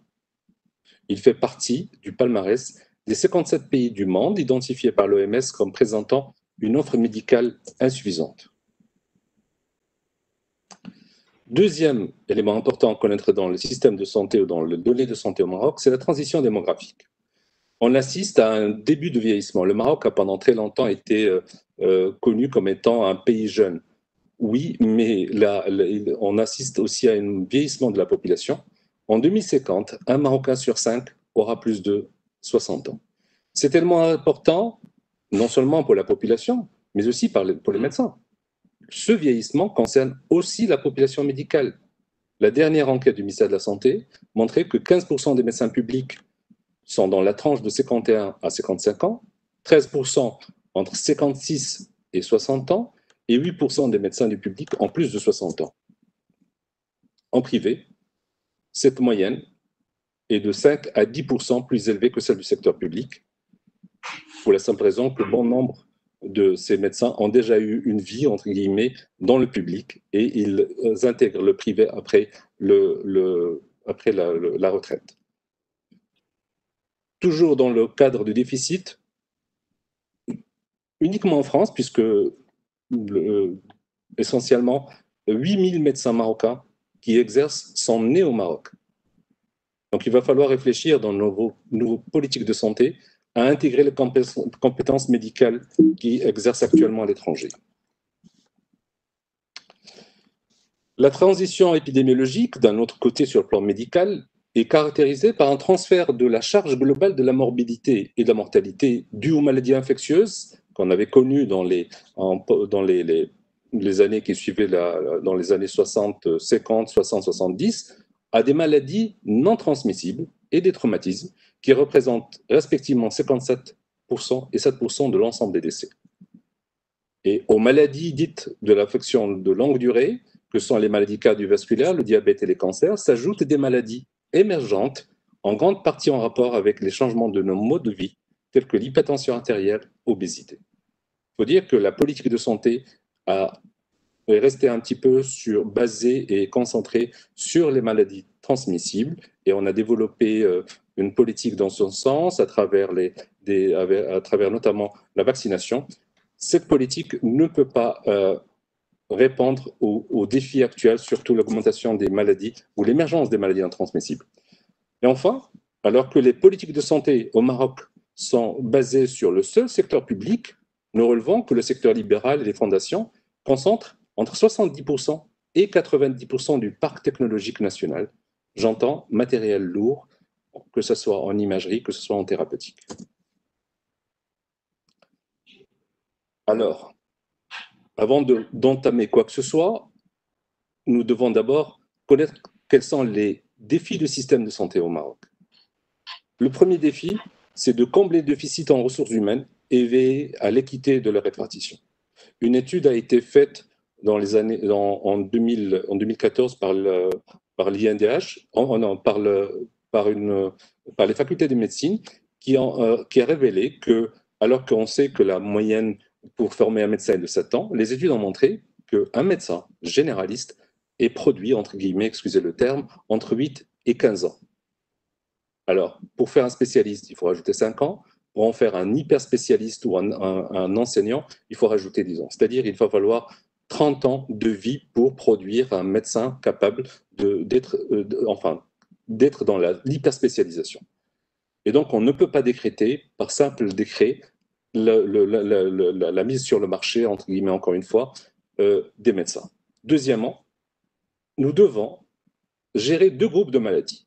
Les maladies transmissibles, on disait tout à l'heure, nos, nos, mes prédécesseurs avaient parlé de quelque chose comme 30%, mais aussi les maladies non transmissibles, les MNT, qui sont le cancer, les pathologies cardiovasculaires et d'autres. Et avec tout ça, il va falloir assurer en nombre et en qualité l'offre de soins à travers le royaume. Et je, je viens un peu dans l'objet du sujet. Au fait, ce qui m'a été demandé, c'est l'intelligence artificielle. Je vais faire un petit passage, un petit survol sur le digital, puisque je pense que avec ces défis, l'intégration du digital tel que nous l'avons connu apparaît comme l'une des solutions pertinentes de notre système, que notre système devrait adopter. Elle n'est pas l'unique ni la meilleure, mais une qui doit être intégrée dans d'autres, dans d'autres politiques de santé. Juste pour vous rappeler un peu le, le domaine du digital med. On ne, comporte pas uniquement la télémédecine, la M-santé, mais il va falloir euh, intégrer l'ensemble de ces données. La télésanté est importante. Au fait, c'est nos, euh, nos, moyens d'information. Il va falloir euh, qu'on régule un petit peu les docteurs Google euh, pour l'intérêt du patient. La M-santé, c'est tous les objets connectés. La télémédecine, c'est de la téléconsultation à la téléexpertise et c'est important. Ce qui m'a été demandé aujourd'hui est de parler de l'intelligence artificielle qui n'est qu'un élément du puzzle. Finalement, Comment définir cette intelligence artificielle? Si on doit l'appliquer un petit peu comme à la manière de Google, ça, c'est le contraire de bêtise et le contraire de naturel. Est-ce que l'intelligence artificielle fait appel à un quotient intellectuel? Est-ce qu'elle a intérêt à copier l'intelligence humaine? Est-ce qu'elle est son impact est plutôt individuel ou collectif? Au fait, pour faire de l'intelligence artificielle, les chercheurs développent des approches et techniques multiples. Ils s'appuient pour cela sur des disciplines aussi variées et diverses comme l'informatique, les statistiques, la neuroscience, mais également la psychologie cognitive, l'ergonomie, la linguistique, la sociologie, et j'en passe. Si bien que la vraie définition de l'intelligence artificielle est la capacité des ordinateurs à percevoir, apprendre, raisonner et aider à la prise de décision pour résoudre des problèmes d'une manière similaire aux humains. C'est important. C'est-à-dire que quand on parle d'intelligence artificielle, on met en valeur d'abord l'intelligence humaine. Et c'est de là dont il s'agit. L'intelligence artificielle ne produit que ce qu'on a voulu lui demander comme question. Donc il faut poser les bonnes questions. Nous allons voir aussi que, que les courants de l'intelligence artificielle s'opposent. Il y a ceux, et là vous avez l'image de Robocop, ceux qui sont pour une intelligence artificielle forte, qui vise à concevoir une machine capable de raisonner comme l'humain, voire le dépasser. Et, et c'est ça, au fait c'est d'être dépassé. Et puis, détenant de ce qu'on appelle l'intelligence artificielle dite faible, qui met en œuvre toutes les technologies disponibles pour concevoir des machines capables d'aider les humains dans leurs tâches. Nos politiciens, nos acteurs de santé devraient en débattre pour faire le choix de le courant qu'on devrait adopter. Dans l'intelligence artificielle, classiquement, il y a deux types. Il y a ceux qu'on appelle symboliques et d'autres numériques. Symbolique, c'est quelque part euh, une, fait partie des intelligences dites euh, faibles, c'est au fait c'est les données qui vont nous permettre d'être capables de produire des mécanismes cognitifs qu'on appelait des données experts. Et là, on, en sait des choses, surtout en matière de radiologie, où, il y a une aide au diagnostic, ce qu'on appelle les, CAD, les, les Computer euh, Aid Tomography. Et, et puis d'autres numériques, dont le maître mot et le deep learning, c'est-à-dire un apprentissage profond, où l'ordinateur apprend de lui-même en lui donnant une capacité de réflexion et apprend de lui-même et elle apprend aussi de ses, de ses fautes et, de ses expériences. Quel est son apport dans le, le système de santé? Ben, Elle représente une véritable ressource d'espoir pour mettre en pratique les promesses d'une politique de santé ou de médecine qu'on appelle 4P, c'est-à-dire prédictive, préventive, personnalisée et participative. Un système qui repose sur l'IA, développe seul son modèle en apprenant de ses erreurs et s'adapte plus facilement à l'environnement qui l'entoure. Mais ceci est tributaire de données. Il va falloir le nourrir. Et c'est ce qu'on appelle les big data. L'intelligence artificielle qui va révolutionner le monde de la santé est au cœur de la médecine du futur, avec des données d'avancées qui a été précédemment euh, rapportées. C'est des, avancées de cancer, de prédiction des maladies, de suivi de patients à distance ou encore de médecine de précision et, d'autres. Elle, offre, de ce fait, des perspectives intéressantes, que ce soit euh, à l'échelle individuelle que collective.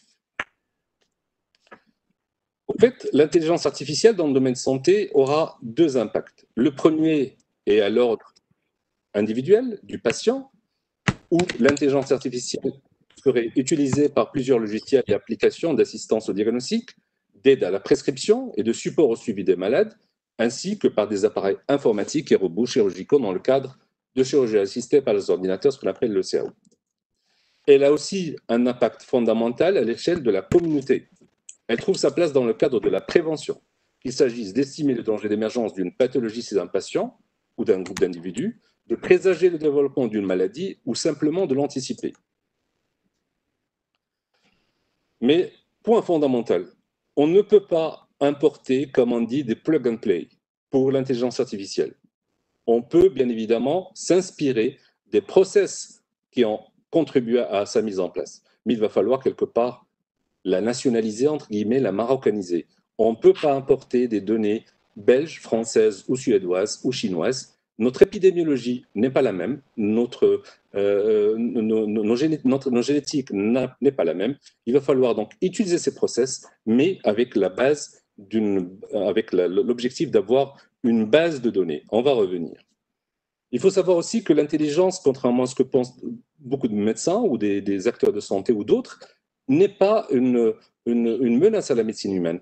La prise de décision finale reviendra, devrait dans tous les cas revenir, et ça c'est des politiques euh, qui doivent euh, débattre sur ça devraient toujours revenir aux praticiens et aux patients. L'intelligence artificielle viendra par contre, et ça c'est important, rationaliser cette prise de, décision en minimisant les risques d'erreur. Les professionnels de santé doivent être sensibilisés au, au jeu de l'intelligence, aux enjeux de l'intelligence artificielle, mais on doit aussi l'intégrer dans la formation. Donc, on doit instaurer des formations initiales et continues adaptées aux pratiques du futur dans le but de renforcer à la fois les ressources médicales existantes et de former ce qu'on appelle des médecins augmentés, capables de gérer les, nouveaux défis de la médecine numérique ainsi que la transition digitale. Il va falloir donc qu'au-delà du domaine médical, dans le domaine de la formation médicale, qu'on ait un double cursus, que les médecins apprennent à, connaître l'intelligence, à la, à la personnaliser, à poser les bonnes questions et à l'apprivoiser l'apprivoiser. L'idée, c'est quoi? C'est de, de, produire de la bonne IA. Au fait, l'intelligence artificielle ne produit que ce qu'on lui donne.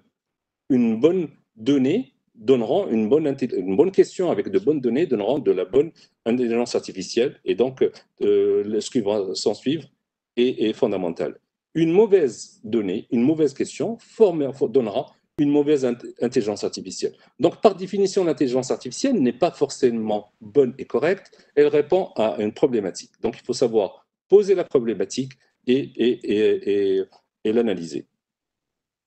On ne peut pas parler d'intelligence artificielle s'il n'y a pas de base de données, ce qu'on appelle les big data.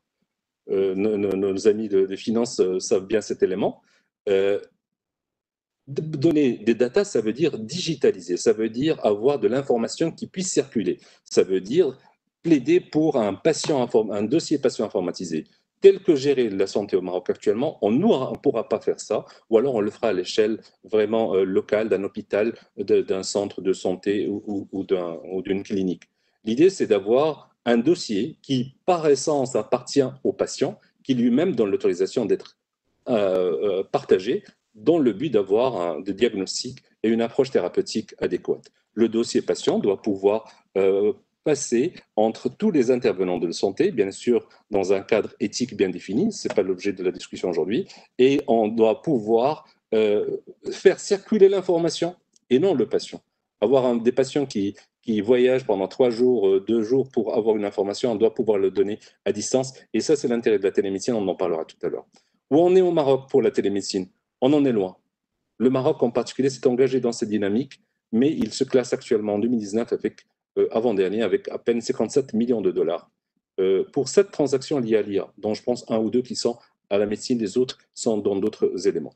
Je vous laisse voir un petit peu le palmarès des autres pays. J'arrive à la troisième partie euh, de, ma conférence, c'est les dépenses de la santé. La crise sanitaire nous a appris beaucoup de choses. Et nous a surtout appris que si la bonne santé peut coûter cher à la société, la mauvaise société ou la, mauvaise santé ou la perte de santé impacte de façon directe et négative l'économie de toutes les sociétés, quel que soit leur niveau de développement et d'industrialisation. Le rapport de la Banque mondiale publié en juillet 2020 démontre chiffre à l'appui comment une crise sanitaire s'est transformée en une crise économique mettant les budgets publics, les ménages et les secteurs publics sous pression, avec pour conséquence la récession économique de la quasi-totalité des pays, dont les plus industrialisés. Nous devons donc considérer les dépenses de la santé sous le prisme de l'investissement dans le bien-être du capital humain. Le retour sur investissement en matière de santé s'évalue comme l'enseignement à moyen et à long terme. Il n'a pas la même temporalité ni les mêmes exigences en matière de productivité que les entreprises commerciales, en l'occurrence sa gestion doit obéir aux règles de bonne gouvernance avec une meilleure optimisation des moyens et des ressources. Comment se font-ils actuellement le financement au Maroc? On l'a vu tout à l'heure avec des chiffres euh, qui font rêver en France. Au Maroc, l'État prend en charge 25,2%, les couvertures médicales, qu'elles soient AMO, RAMED, 18%, et les ménages supportent plus que la moitié, plus que 53%. Alors, quel serait l'impact de ces digital, de l'intelligence artificielle digitale sur la santé? À l'échelle individuelle L'impact direct sur la qualité de prise en charge du citoyen est fondamental. Parce que quand on intègre l'intelligence artificielle dans son cabinet, dans sa clinique ou dans un hôpital, ça suppose qu'on est en parfaite connaissance du dossier clinique et du patient, c'est important, c'est 50% du traitement, qu'on dispose de l'historique du patient éventuellement de sa famille, c'est encore 20% du traitement, et puis qu'on est à jour des connaissances scientifiques et des recommandations internationales ce qui est fondamental pour une prise en charge thérapeutique personnalisée. Ceci va permettre d'écourter les temps de diagnostic une meilleure approche diagnostique. Elle va éviter la demande ou la répétition d'examens complémentaires, souvent onéreux, non nécessaires et qui sont budgétivores. Et puis, elle va éviter ce qu'on appelle le tourisme, médical.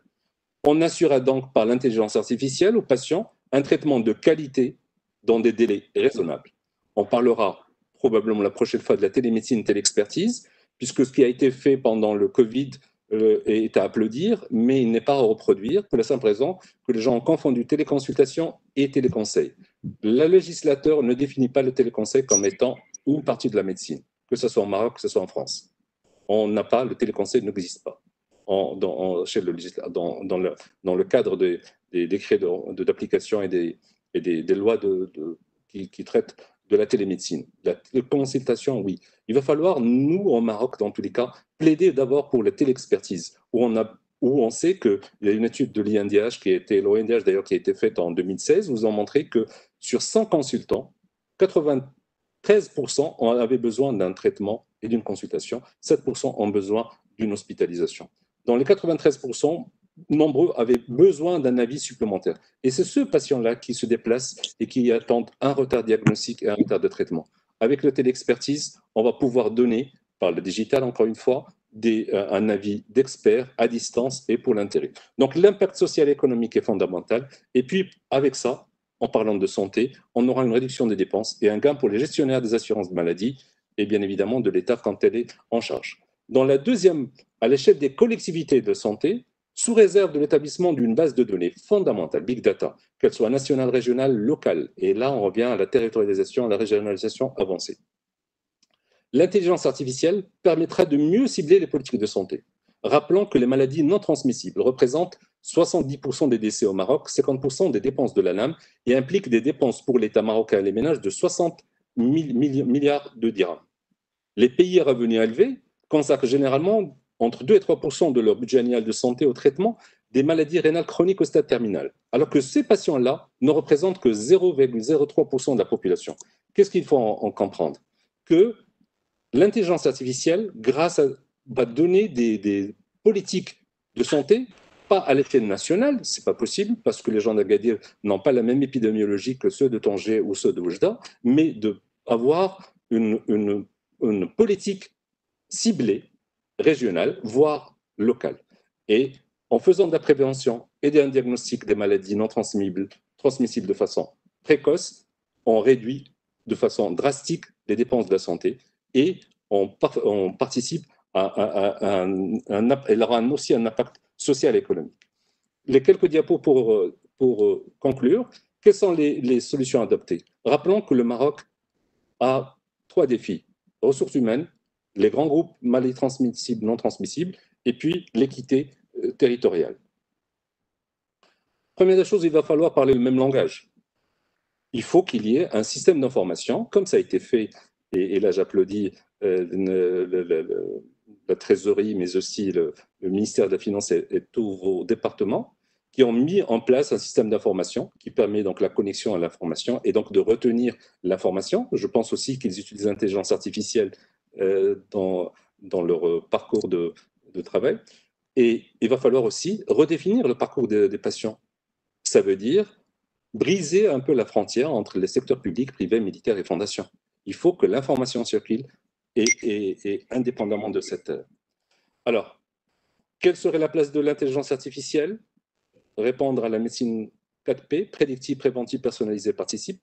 Elle aura un impact direct sur la santé du citoyen et de la collectivité, et par là même un impact social et économique, une aide précieuse aux politiques de santé, et un impact sur la santé par la diminution de charges, des dépenses à charge du citoyen, qui, rappelons-le, sont de 52%, mais aussi des dépenses, des dépenses qui sont euh, à charge des organismes et de l'État. Il va falloir revoir notre système de financement de la santé. Nous sommes convaincus de la nécessité de revoir à la hausse le budget alloué par l'État au domaine de la santé, qui devrait arriver à échéance à 12% du, budget, contre seulement 6% actuellement.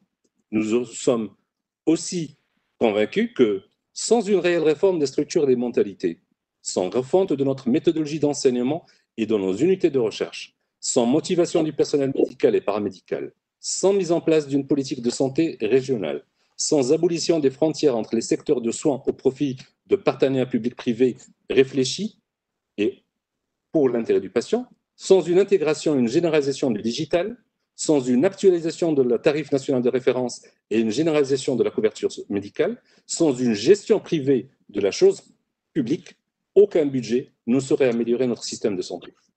Et la dernière diapositive, je vous informe, enfin je vous rappelle que la conférence internationale de la santé en juin 1946 avait défini la santé comme un état de complet bien-être physique, mental et social et ne consiste pas seulement en une absence de maladie ou d'infirmité.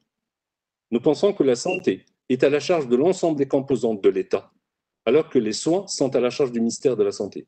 Et ça, c'est fondamental dans l'approche de notre système de santé. Enfin, et ça la diapositive, c'est que malgré tout, on parle d'intelligence artificielle, on est d'abord dans l'intelligence humaine. Il va falloir, euh, pour réussir notre politique de santé, passer nécessairement par une refonte de notre système de santé. Et je vous remercie.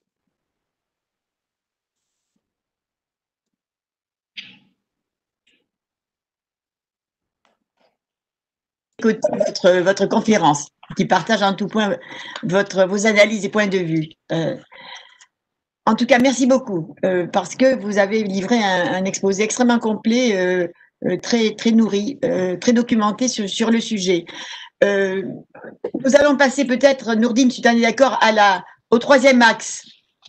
Si vous le permettez, Marie-Christine, c'est que j'ai eu beaucoup de demandes pour la continuité du professeur Jafar Heikel. Oui. Parce qu'il il était en plein élan. Est-ce est qu'il est, est, en mesure de. Est-ce qu'il est en mesure de. Je pense que oui. oui. Et j'espère qu'il va oui. nous répondre tout de suite. Oui, je suis là, je vous écoute. Euh, je vais peut-être. Si vous pouvez reprendre là où. Une différence importante entre, vous le voyez. C'est incompréhensible. Euh, professeur euh, Esclasson, professeur Heikel, si vous le permettez.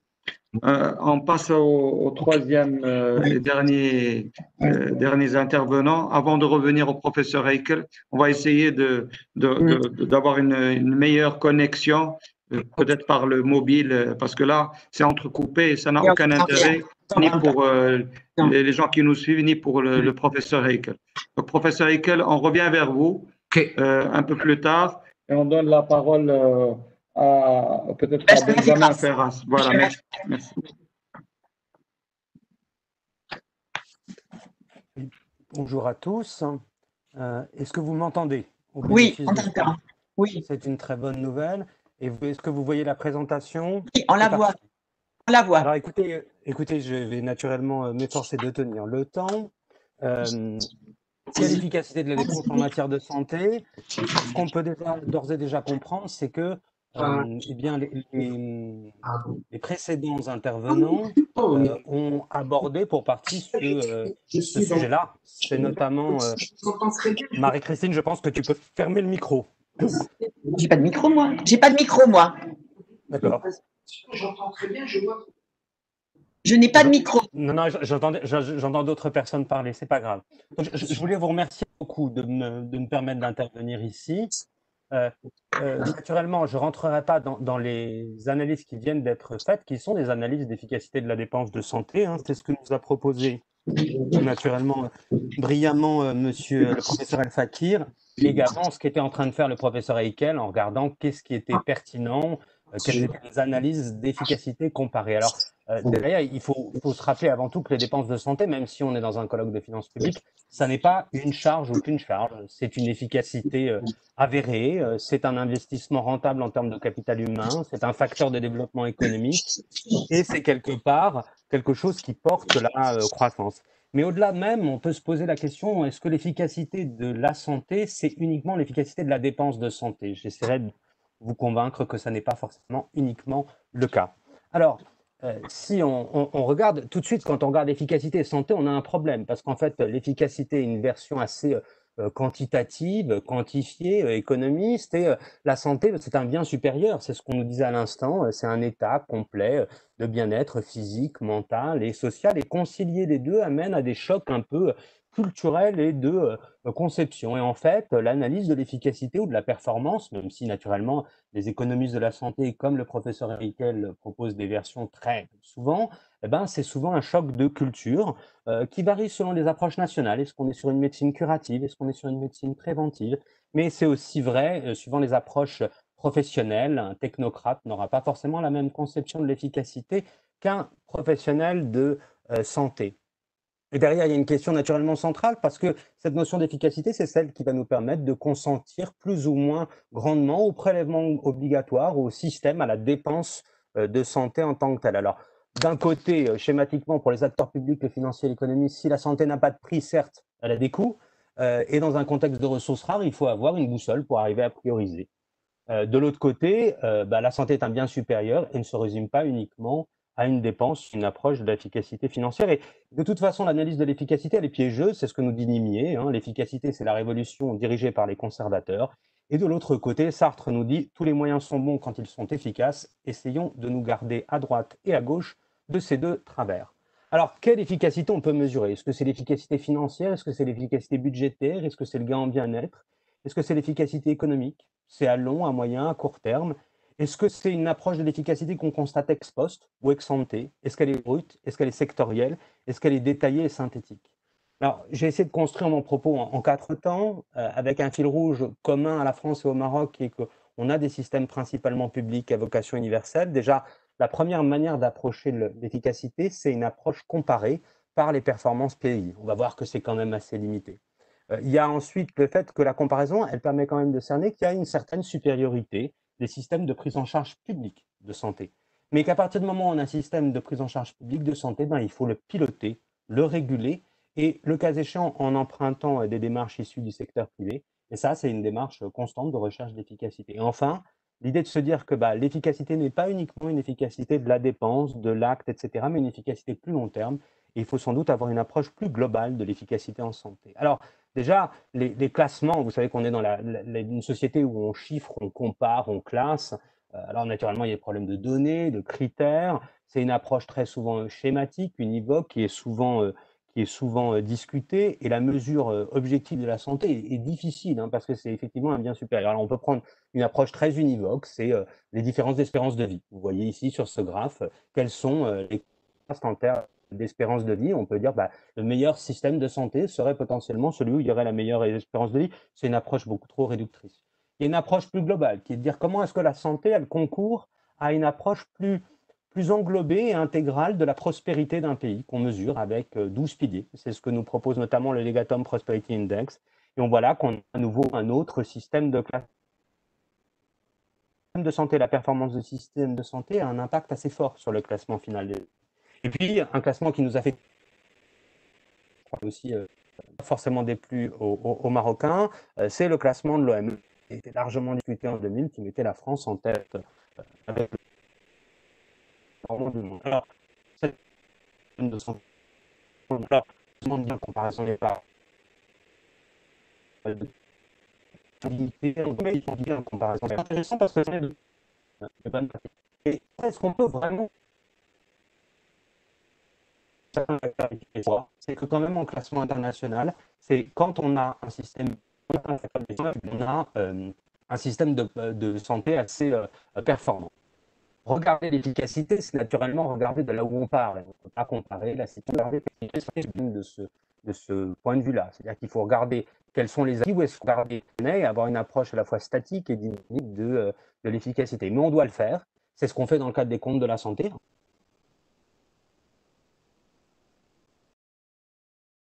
Je le fais en France. On le fait aussi euh, euh, pour, au Royaume-Uni, pour le NHS, et on le fait aussi, on fait en règle. J'ai mis les liens on fait dans la, dans la présentation à ce sujet. Ce qui est vrai, c'est que le système de socialisation publique, c'est celui qui mobilise potentiellement la part de PIB, euh, parfois importante, mais relativement moins importante que d'autres euh, approches ou d'autres systèmes qui peuvent reposer sur euh, une forte intervention du, privé, et pas forcément avec un gain en bien-être très important. Et l'exemple de la France de ce point de vue-là est assez éclairant parce que ben, on voit que bah, plus la part de la consommation de soins et de biens médicaux dans le PIB largement porté par la solidisation publique en France augmente, plus on a gagné en espérance de vie. C'est une approche à nouveau un petit peu univoque, mais ça permet quand même d'avoir d'approcher euh, euh, quelque chose, et notamment quand on regarde l'écart avec euh, les situations suisses ou américaines, les écarts sont extrêmement négatifs. Alors qu'est-ce qu'on voit? On voit que bah, ce choix de, système de socialisation publique est assez efficient. Il repose souvent sur une prise en charge publique. Hein. Je ne parle pas de système public de systèmes de santé nationaux, hein. je parle bien de socialisation publique du risque maladie. Donc il y a une prise en charge publique assez forte. Il y a une socialisation plus ou moins forte de la dépense que nous, nous montraient nos, nos, collègues marocains euh, dans l'importance euh, du reste à charge qui demeure euh, côté ménage au Maroc. Il faut voir que bah, pour diminuer le reste à charge en France, on est allé sur une trajectoire de plusieurs années. Il y a, un, trait commun aussi, c'est qu'on a cherché à universaliser de plus en plus la couverture et de donner une couverture de plus en plus large. C'est la dynamique qu'on a eue en France et qui est toujours à l'œuvre. C'est la dynamique qu'on constate également au Maroc, comme nous le disaient les différents intervenants euh, précédemment.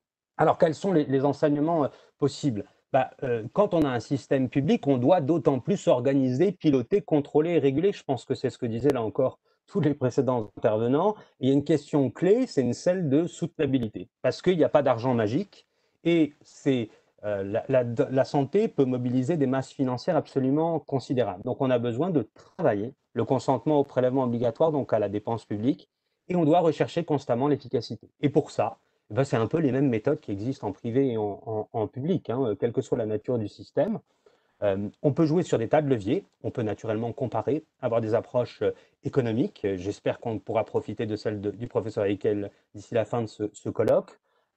mais il y a des grands leviers. Il y a euh, jouer sur les équilibres prix-volume par rapport aux biens médicaux, biens et services médicaux. Il y a tous les jeux sur les systèmes de tarification hein, de la médecine générale, des actes hospitaliers, etc. Euh, le levier du pay for performance. Et puis, euh, quelque chose qui a été indiqué à plusieurs reprises, tout ce qui est incitation à la qualité. Alors, affirmer tout cela, c'est très simple. Donner des réponses, c'est beaucoup, beaucoup, beaucoup plus compliqué. Néanmoins, ce qui est sûr, c'est que la régulation et le pilotage de la dépense sont incontournables, surtout dans un système public. Alors, ça peut apparaître paradoxal de demander à un Français de dire quelles sont les leçons d'efficacité, parce que l'idée qu'on a, c'est notamment l'idée du déficit de la Sécu, des charges et du trou. Euh, et c'est vrai que l'essentiel de la dette sociale en France, elle a été constituée par euh, les dépenses d'assurance maladie.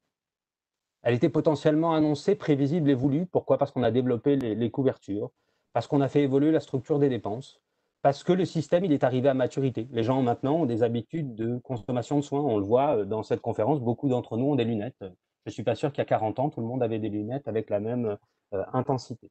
Ce qui est vrai, c'est que cette dette, elle est considérée comme assez peu soutenable et intolérable en France, et donc on s'est efforcé d'éviter les déficits, d'apurer la dette, ce d'autant plus qu'on est confronté à deux tensions, la croissance des dépenses de soins, de ville en particulier, et le coût des innovations thérapeutiques. Et vous voyez déjà euh, ici les taux d'évolution qui sont en fait, qui correspondent à des degrés de maturité différents du système de santé français. On a des taux d'évolution bien plus faibles de la dépense sur la période récente par rapport au moment où on a lancé le système.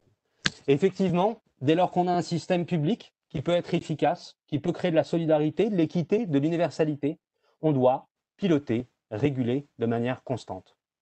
Alors, en France, comme souvent en Europe, on a une assurance maladie obligatoire qui est très loin le premier, sinon l'exclusif financeur des acteurs de soins.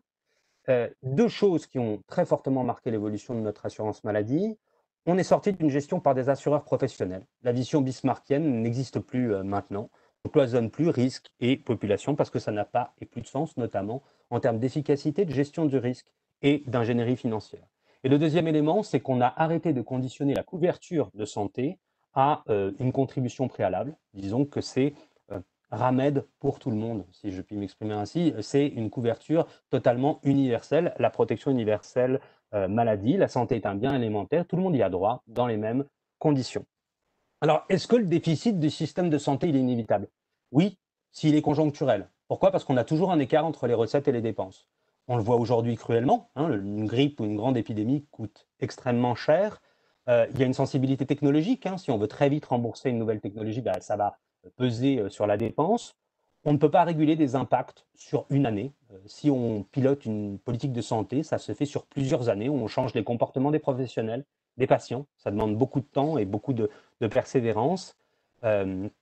Et on voit ça donc, comme ça nous l'a été dit, avec l'impact de la crise de la Covid-19, notamment en France. Mais cette dette du social liée à l'assurance maladie, elle est inassumable politiquement parce que c'est un transfert des dépenses courantes aux générations futures. Parce que le profil de consommation, il est centré sur les personnes les plus âgées, notamment en France. Et donc, c'est vraiment un transfert intergénérationnel. Et donc, on a essayé, comme l'indiquait brillamment Jean-Luc Matt, de cantonner cela, d'affecter des recettes à l'amortissement de cette dette, de mettre ça dans des structures ad hoc, la CADES. Et derrière, on a piloté et régulé. Et piloter et réguler, bah, on a eu une, difficulté à tendre vers euh, l'équilibre, mais vous voyez qu'entre 99 et 2018, progressivement, on est arrivé à un équilibre jusqu'à ce que le Covid arrive et remette en cause très grandement euh, l'ampleur des efforts qui avaient été euh, accomplis. Vous le voyez aussi ici avec le taux d'évolution de l'objectif national de dépenses d'assurance maladie, l'élément principal du pilotage de l'évolution de la dépense d'assurance maladie en France que décrivait Jean-Luc Matt, eh ben, on est revenu à des taux d'évolution euh, très très élevés euh, qui ont un caractère ici relativement euh, conjoncturel. Mais ceci étant, ce qui est vrai, c'est que le modèle français, il a créé de l'effet parce qu'on a réussi à respecter les objectifs de dépenses qu'on s'est fixés. Ça, c'était très important pour s'assurer de, de, la soutenabilité du, système. Vous voyez qu'on est arrivé sur des niveaux d'atterrissage de plus en plus petits, hein, plus, la pastille est petite, plus l'ampleur du, dépassement est, est, ténue. Mais on l'a tenu, l'ONDAM, entre 2010 et 2019. Donc c'est tout à fait possible. On l'a tenu très largement du fait des efforts qui ont été faits par les établissements de santé, beaucoup moins du fait des efforts faits par la médecine de ville, qui a conduit derrière, comme l'indiquait également Jean-Luc Matt, à redesserrer la contrainte financière suite à la crise de la Covid-19 euh, dans le cadre des accords du Ségur pour donner plus d'air aux établissements euh, hospitaliers. Alors la route, elle a été très longue. Hein. Comment est-ce qu'on a réussi à piloter euh, tout ça bah, Déjà, on a rassemblé ce qui était épars, on a créé des comptes consolidés, on a assuré de la solidarité par des transferts, on a fait converger la couverture, etc., etc. On a aussi rationalisé le paysage institutionnel, on a mis au clair le financement, c'est ce que indiquait Jean-Luc Mac. Mais surtout, on a structuré le débat. Une loi spécifique, la loi de financement de la sécurité sociale. Un objectif, l'objectif national de dépenses d'assurance maladie depuis 1996. Et ça, ça a marqué un tournant d'avoir chaque année un débat sur notre système de santé. En plus, ces lois, elles sont adaptées parce qu'elles sont pluriannuelles. Et comme je viens de vous l'indiquer, le pilotage de la dépense et de la recette de santé, c'est sur plusieurs années notamment. Les dépenses, elles ne sont pas limitatives, ça n'est pas un budget, mais c'est bien des objectifs. Et on essaye de veiller au respect des objectifs, tout en ayant une démarche d'efficacité. On compare les objectifs et les résultats. Alors, cette approche-là, elle a été beaucoup discutée, mais elle a créé des effets euh, euh, très, euh, très important et c'est un, nouveau paradigme qui s'est imposé vraiment en, France. Alors, on voit bien qu'on peut le faire, qu'on a une sensibilité, qu'on peut piloter et réguler un système, que le système qui crée a priori le plus de bien-être, c'est plutôt un système public, qui nécessite une approche d'efficacité, que ça, c'est un défi en matière de pilotage des finances publiques et de, de, régulation annuelle. Mais au-delà de ça, est-ce que la dépense de santé, son efficacité est que budgétaire ou financière? On, peut, en douter. D'une part, le but de l'assurance maladie, c'est celui de créer de la solidarité. Donc on doit la questionner. Euh, on doit réformer tout le temps, mais la réforme, elle est très difficile, elle est très impopulaire. Euh, piloter les dépenses, c'est piloter les revenus euh, des établissements, des industriels, des professionnels de santé. On doit agir sur les comportements, ce n'est pas une chose aisée, et ça n'a des effets qu'au terme de plusieurs années. Pendant ce temps-là, bah, il y a de la disruption, il y a des besoins ponctuels, conjoncturels, des chocs technologiques, et on doit anticiper les évolutions économiques, sociales et démographiques. Donc il faut en parler. Alors, on a des défis qui sont absolument considérables à relever. Je crois qu'ils ont été euh, évoqués au cours de ce, colloque, mais il y a la question de l'organisation des soins. C'est un problème central au Maroc, c'est un problème central en France. Il y a la question de l'intégration de l'innovation, et notamment un des sujets qui est à quel moment on met de l'argent sur l'innovation et à quel moment il se substitue par rapport à d'autres dépenses qui existent. Est-ce que c'est uniquement de la dépense en, plus et comment est-ce qu'on arrive à piloter cela? Il y a la question absolument fondamentale, en France comme au Maroc, des inégalités de santé et euh, des inégalités d'accès au système de santé, mais aussi des inégalités sociales, puisqu'on est clairement dans une situation de, cumul d'inégalités. Et puis, euh, élément qui a été très largement évoqué euh, par plusieurs intervenants, le choc à venir du vieillissement de la population avec un défi de transition à la fois démographique et épidémiologique. Mais vous voyez néanmoins que bah, le modèle français il est potentiellement moins affecté en projection que les autres modèles.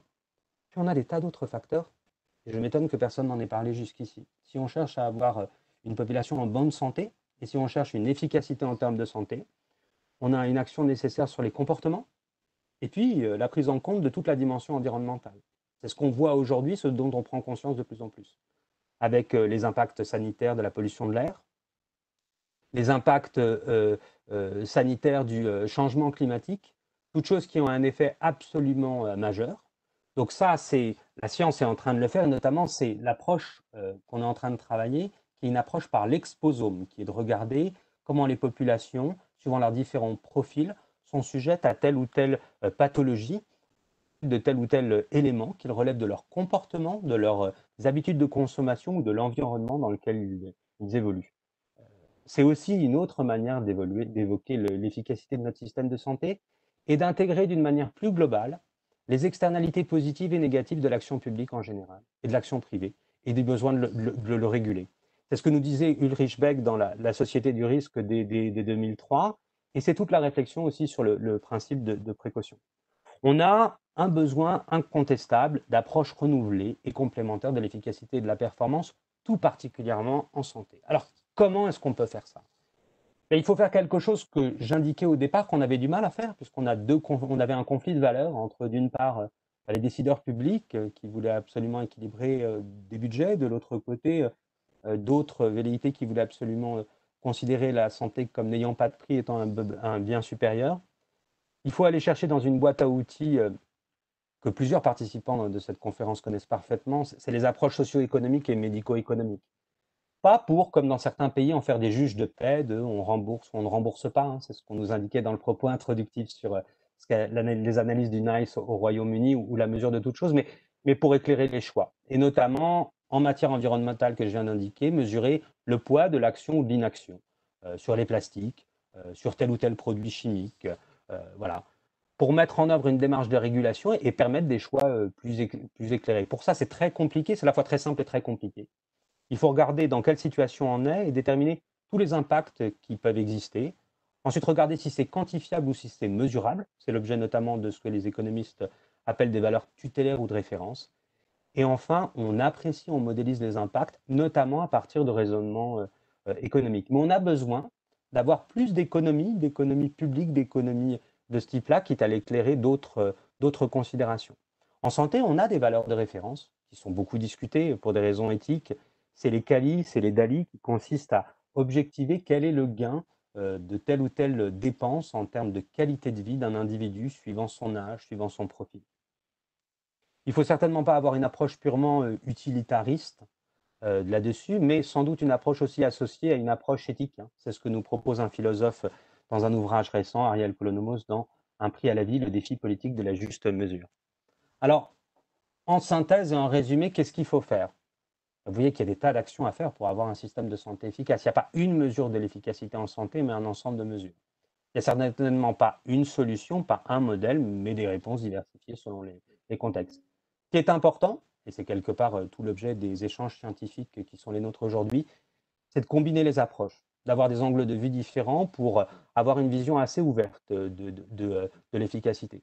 Il ne faut jamais oublier que la dépense de santé elle a des effets économiques très puissants elle présente des dimensions d'efficacité euh, avérées. Investir dans la santé, c'est des industries non délocalisables. C'est euh, un avantage comparatif à, l'export.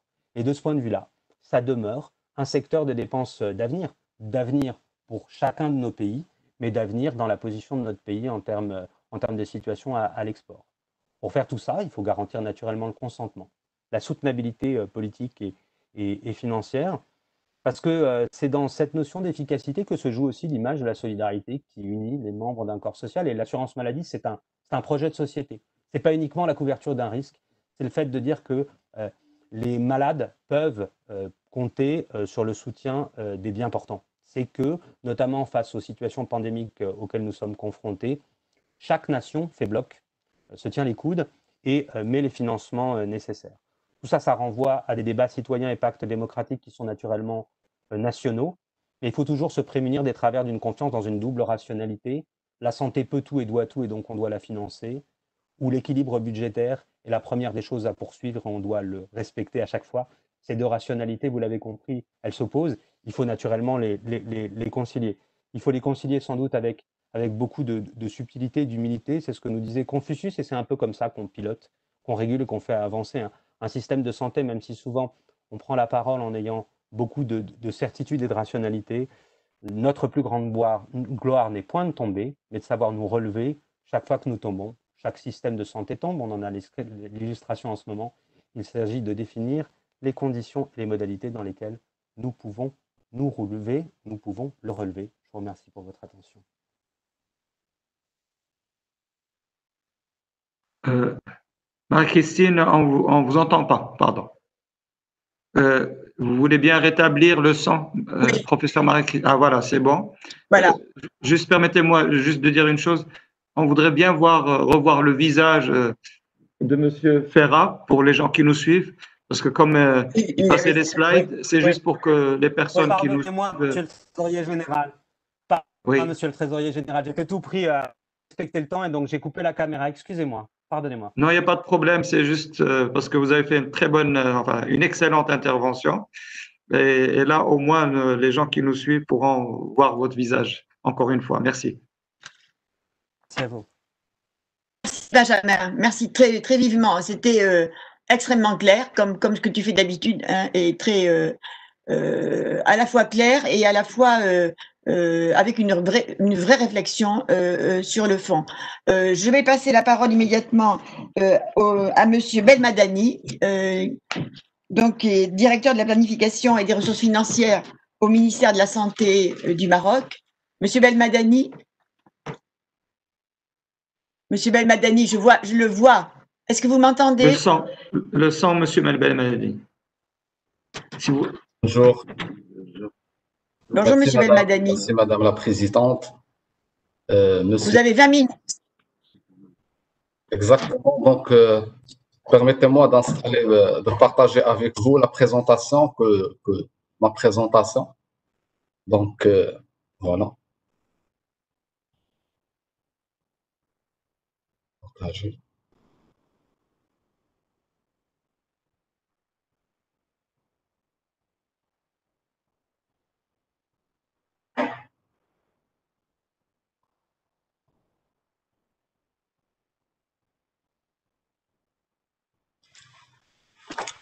Madame la Présidente, Monsieur le Trésorier général du Royaume, Mesdames et Messieurs les, intervenants et chers, euh, collègues, Mesdames, euh, mesdames et Messieurs l'ensemble des participants, donc, euh, c'est un, grand honneur pour moi aujourd'hui d'assister avec vous à, à ce colloque fort, intéressant et qui nous interpelle tous dans ces moments difficiles, dans ces moments de pandémie, d'autant plus que qu'on est en plein, en plein, en plein riposte à une pandémie, à une crise, sanitaire. Alors, le thème de, mon exposé, euh, concerne donc, le financement de la santé au Maroc et l'efficacité de la dépense en matière, de santé.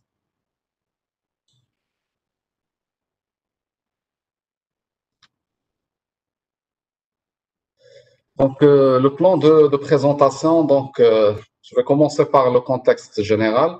Les indicateurs clés dans notre système de santé, mais je vais, faire, je vais vous faire l'économie de plusieurs slides, étant donné que mes collègues, euh, monsieur, monsieur le professeur et le professeur Heikel, ont fait donc, euh, donc présenter ces indicateurs. Une vue d'ensemble sur notre, notre, notre système de, de financement de la santé avec les acquis et également les défis qui nous, qui nous restent et les perspectives d'amélioration de, de, de notre système de financement de santé sous le prisme de l'amélioration de l'efficacité et l'efficience de la dépense en santé.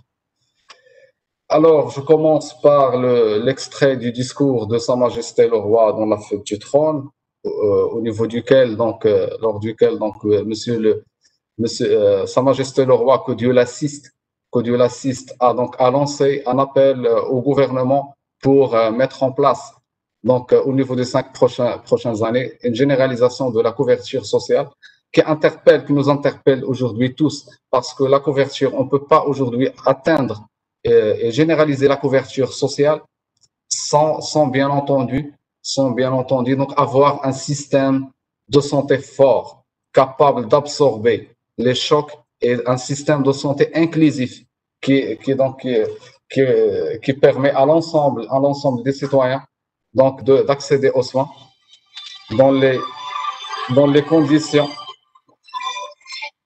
qui permet aux citoyens donc d'accéder donc euh, aux soins dans les mêmes conditions, dans les, conditions d'équité et d'égalité.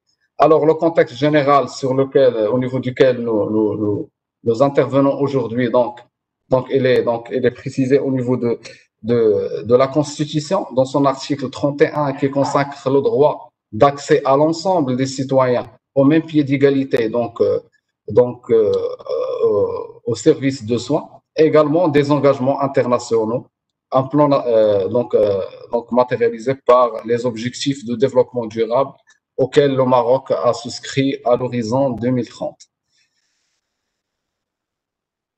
Alors, les principaux indicateurs clés dans notre système de santé.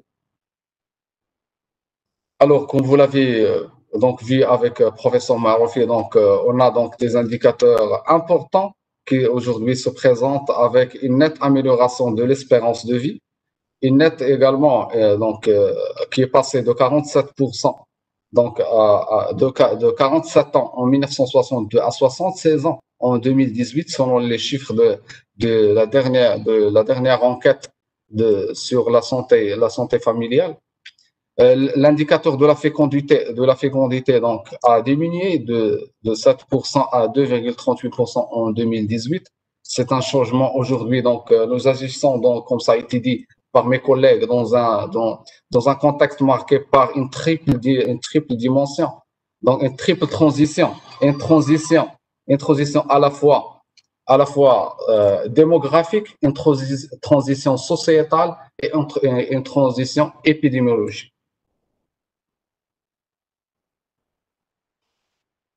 La mortalité maternelle donc, a, donc, a connu donc, une, nette, euh, une nette baisse, comme ça a été donc, présenté par monsieur le, monsieur le Trésorier général du Royaume dans son allocution, passant de 3, 332 décès pour 100 000 naissances, naissances vivantes en 1990 à 76,6 euh, décès pour 100 000 naissances vivantes en 2018 et l'objectif c'est d'atteindre 36 euh, en 2030, sachant que l'objectif aujourd'hui de, donc de, développement durable il s'établit à 76, 76, 76 décès pour 100 000 naissances vivantes. Nous avons aujourd'hui atteint l'objectif de développement durable. On continue donc dans notre, dans notre lutte pour réduire davantage la mortalité maternelle et la mortalité infanto-juvénile. Alors, ce slide, il montre donc la charge de morbidité. comme ça a été donc dit, donc la charge de morbidité. Donc, euh, les, euh, donc les maladies non transmissibles représentent 86%. 86%.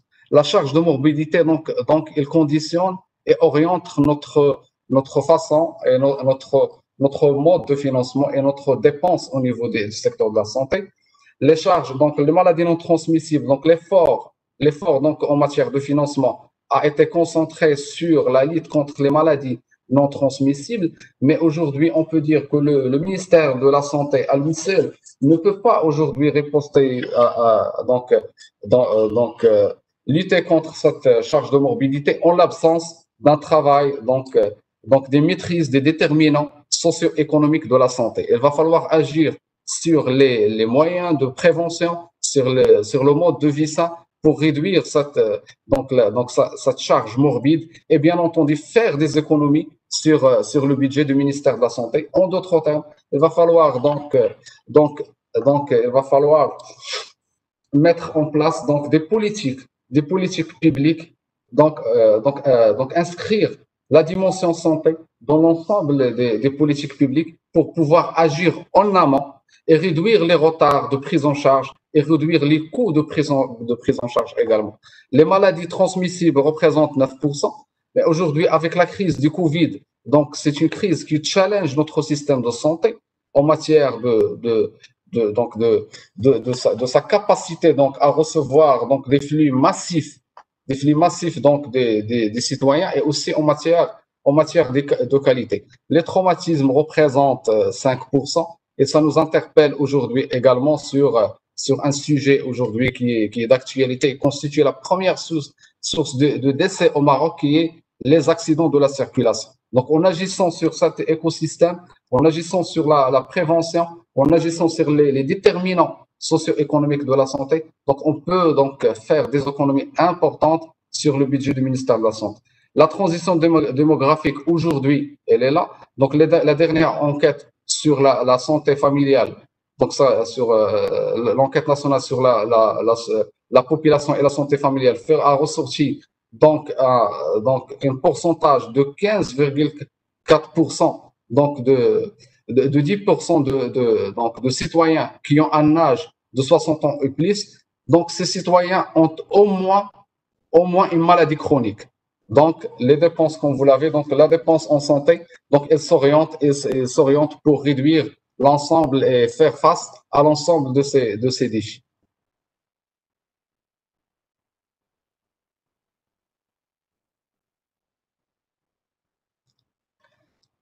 Sur le plan quantitatif, donc je vous fais l'économie. Donc on a fait donc euh, des réalisations importantes sur le plan de soins de santé primaire, sur le plan de, donc d'offres de soins en matière publique et privée, parce qu'au Maroc, contrairement à d'autres pays, donc on a on a fait le choix donc depuis depuis le, le début d'avoir un système un système bicéphale, un système public, un système de santé bicéphale public et privé. Aujourd'hui donc le, le challenge, le vrai défi, c'est de faire de faire plus de cohérence et de coordination entre le secteur public et privé. Et je rejoins, je rejoins donc euh, l'allocution, donc euh, ce qu'a dit Monsieur le, trésorier général du royaume sur la carte sanitaire.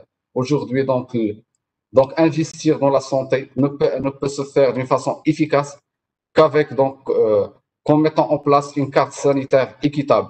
Nous avons aujourd'hui l'offre de soins. Notre offre de soins, est, est concentrée dans un axe donc qui est bien défini, Kenetra, Rabat, Kaza, Il Jadida. Euh, donc le, également, le, les ressources humaines, bien entendu, comme ça a été dit par un de mes collègues, sont concentrées sur sa taxe. Donc l'efficacité, donc aujourd'hui, donc on a donc des besoins importants en matière de d'offres de soins sur l'ensemble des régions du royaume.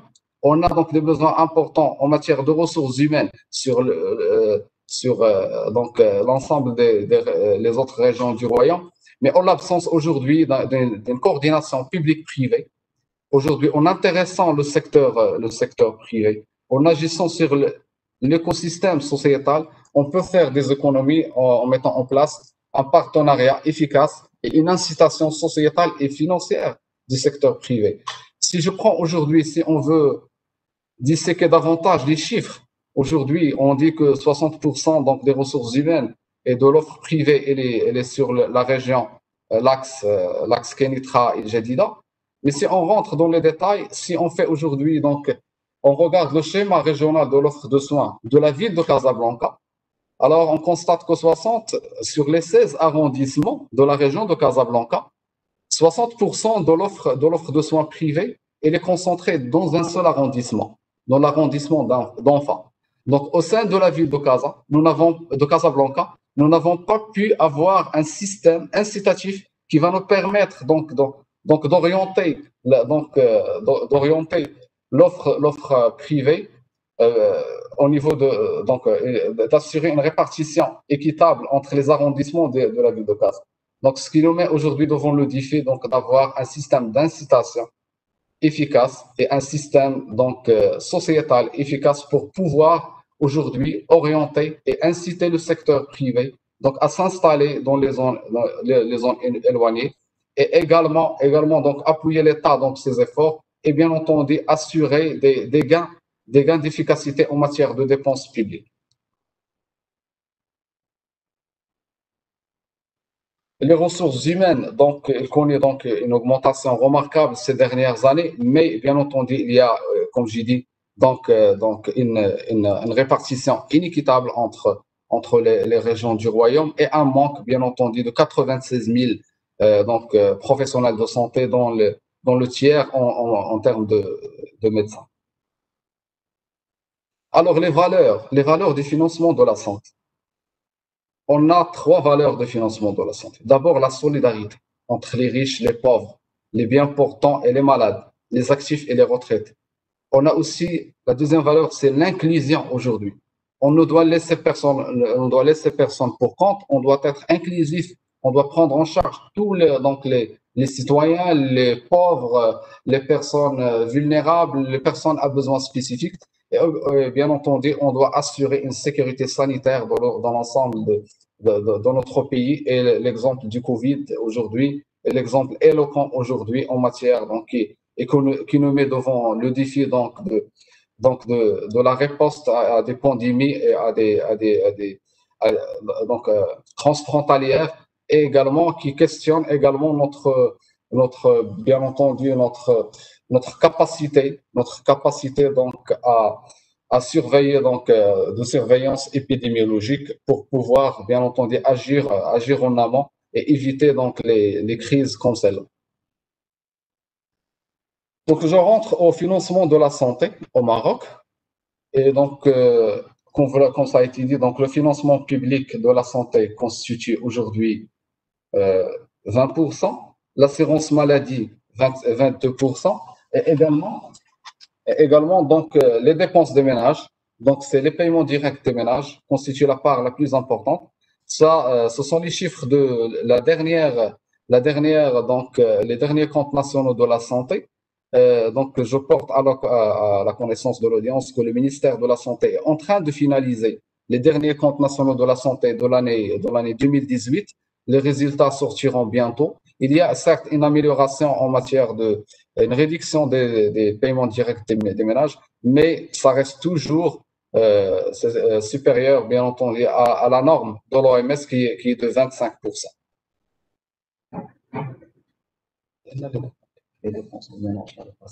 alors, pour, euh,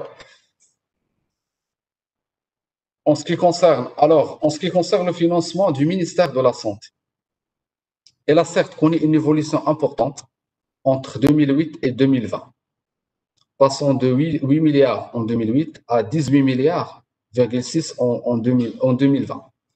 Mais aujourd'hui,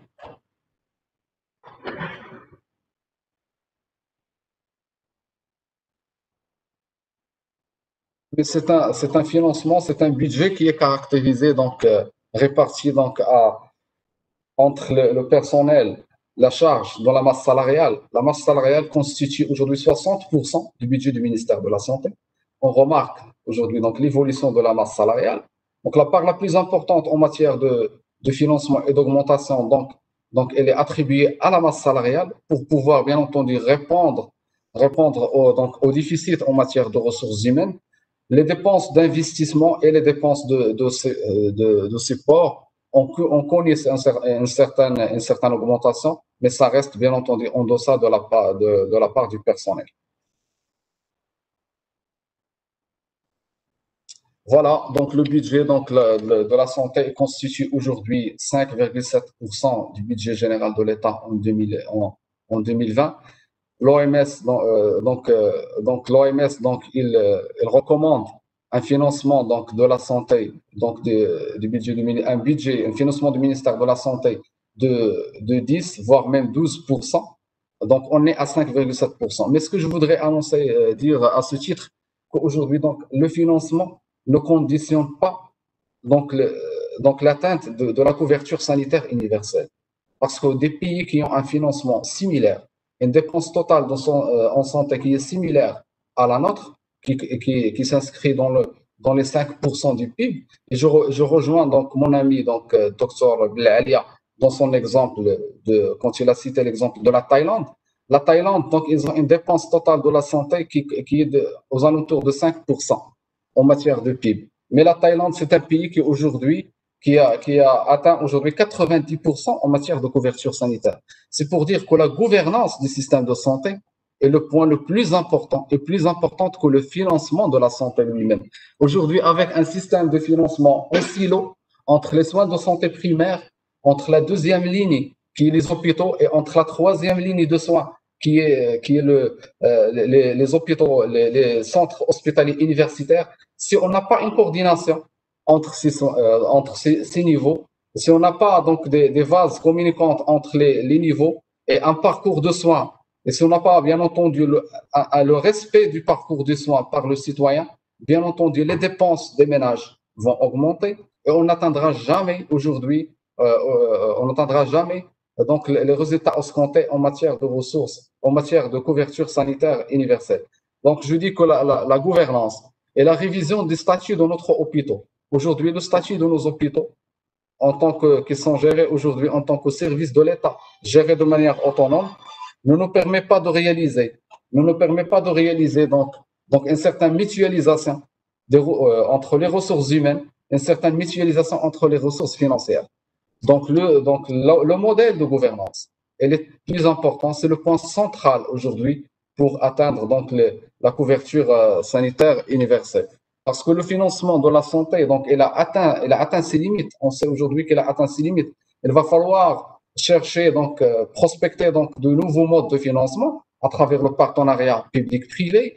Donc, mettre en place une carte sanitaire attractive pour le secteur privé pour, pour qu'il puisse se déployer au niveau, donc, de, des zones, des zones peu dotées en, donc, au niveau des zones peu dotées en, en offre, en offre de soins et en ressources humaines et il va falloir donc avoir donc euh, une certaine attractivité des, territoires dans le cadre de la régionalisation avancée pour permettre bien entendu donc, donc euh, le déploiement de, de secteur privé. Et donc dans ce, dans ce cadre, la régionalisation avancée constitue aujourd'hui une opportunité pour améliorer cette attractivité des territoires et pour avoir, et pour avoir une offre de soins qui est équitablement répartie sur le territoire national. Alors, pour la répartition des dépenses en santé, donc, euh, la, euh, la dépense totale en, santé est répartie euh, comme suit. Les médicaments s'accaparent 26% de la dépense totale en santé. Les cliniques et cabinets privés bénéficient de 37% de la dépense totale en santé, alors que l'hôpital public, aujourd'hui, les hôpitaux publics bénéficient à peine de 10% de l'ensemble des paiements directs et des paiements directs des, euh, organismes gestionnaires de l'amont. Donc, aujourd'hui, comme j'ai dit, il va falloir, il va falloir revoir aujourd'hui la structure de management de l'hôpital public. Il va falloir aujourd'hui mettre à la disposition de l'hôpital public les mêmes outils, les mêmes outils managériels pour qu'ils puissent entrer donc, à, donc attirer donc les, donc les, la patientèle et attirer bien, bien entendu donc avoir des ressources supplémentaires. Donc euh, l'hôpital public aujourd'hui donc elle est fréquentée, elle est fréquentée à 80 il est fréquenté à 80% par, des, par les ramidistes. Et le financement, le problème du RAMED, c'est que, le, que le financement ne suit pas le patient. On a, on a un financement qui est décalé par rapport à l'ensemble, à, à, la prise en charge. On va voir donc l'exemple du RAMED tout à l'heure, mais avant de passer au RAMED, donc je vous présente donc le, le schéma de la couverture sanitaire aujourd'hui au Maroc, nous avons trois, donc, trois blocs. Donc, un financement, l'AMO, avec ces deux compartiments, l'AMO public et l'AMO privé. Et aussi, nous avons le RAMED. Donc, le tiers, aujourd'hui, le tiers de la population, elle est assurée AMO. L'autre tiers, elle est assurée, elle est donc couverte par le RAMED. Et il nous reste un autre, le troisième tiers de, donc, de la population qui n'est pas aujourd'hui assuré et qui, donc, et qui aussi dans des, dans des, des extrêmes, partant du, de l'architecte, du notaire, de l'avocat, jusqu'au donc l'artisan, l'agriculteur et le, travailleur dans le secteur informel. Donc, ce qui nous reste aujourd'hui, c'est on a atteint aujourd'hui presque de 70% de la couverture euh, santé, de la couverture euh, santé. Ce qui nous reste Demain, ce qui nous reste, c'est le plus important, c'est le secteur informel, c'est les indépendants. Donc aujourd'hui, donc, euh, donc nous avons nous avons relevé le challenge pour mettre en place donc euh, une assurance maladie des indépendants. Nous sommes en train donc de mener les concertations, mais ce qui nous reste, comme j'ai dit, donc euh, ce n'est pas une tâche facile aujourd'hui, en l'absence bien, bien entendu d'un nouveau paradigme, d'un nouveau modèle de financement de la santé donc, et dont les contours sont aujourd'hui donc euh, euh, tracés par le discours de, Sa Majesté le Roi, c'est-à-dire mettre en place un système assurantiel pour l'ensemble de, de, des citoyens. Alors, pour parler du, du RAMED, aujourd'hui, donc la répartition régionale, la répartition par région de la, de la prise en charge donc des, des citoyens euh, donc inscrits sur le RAMED. Alors, on remarque aujourd'hui que 80%, 80% de la prise en charge est, donc, réalisée dans les régions où il y a le CHU.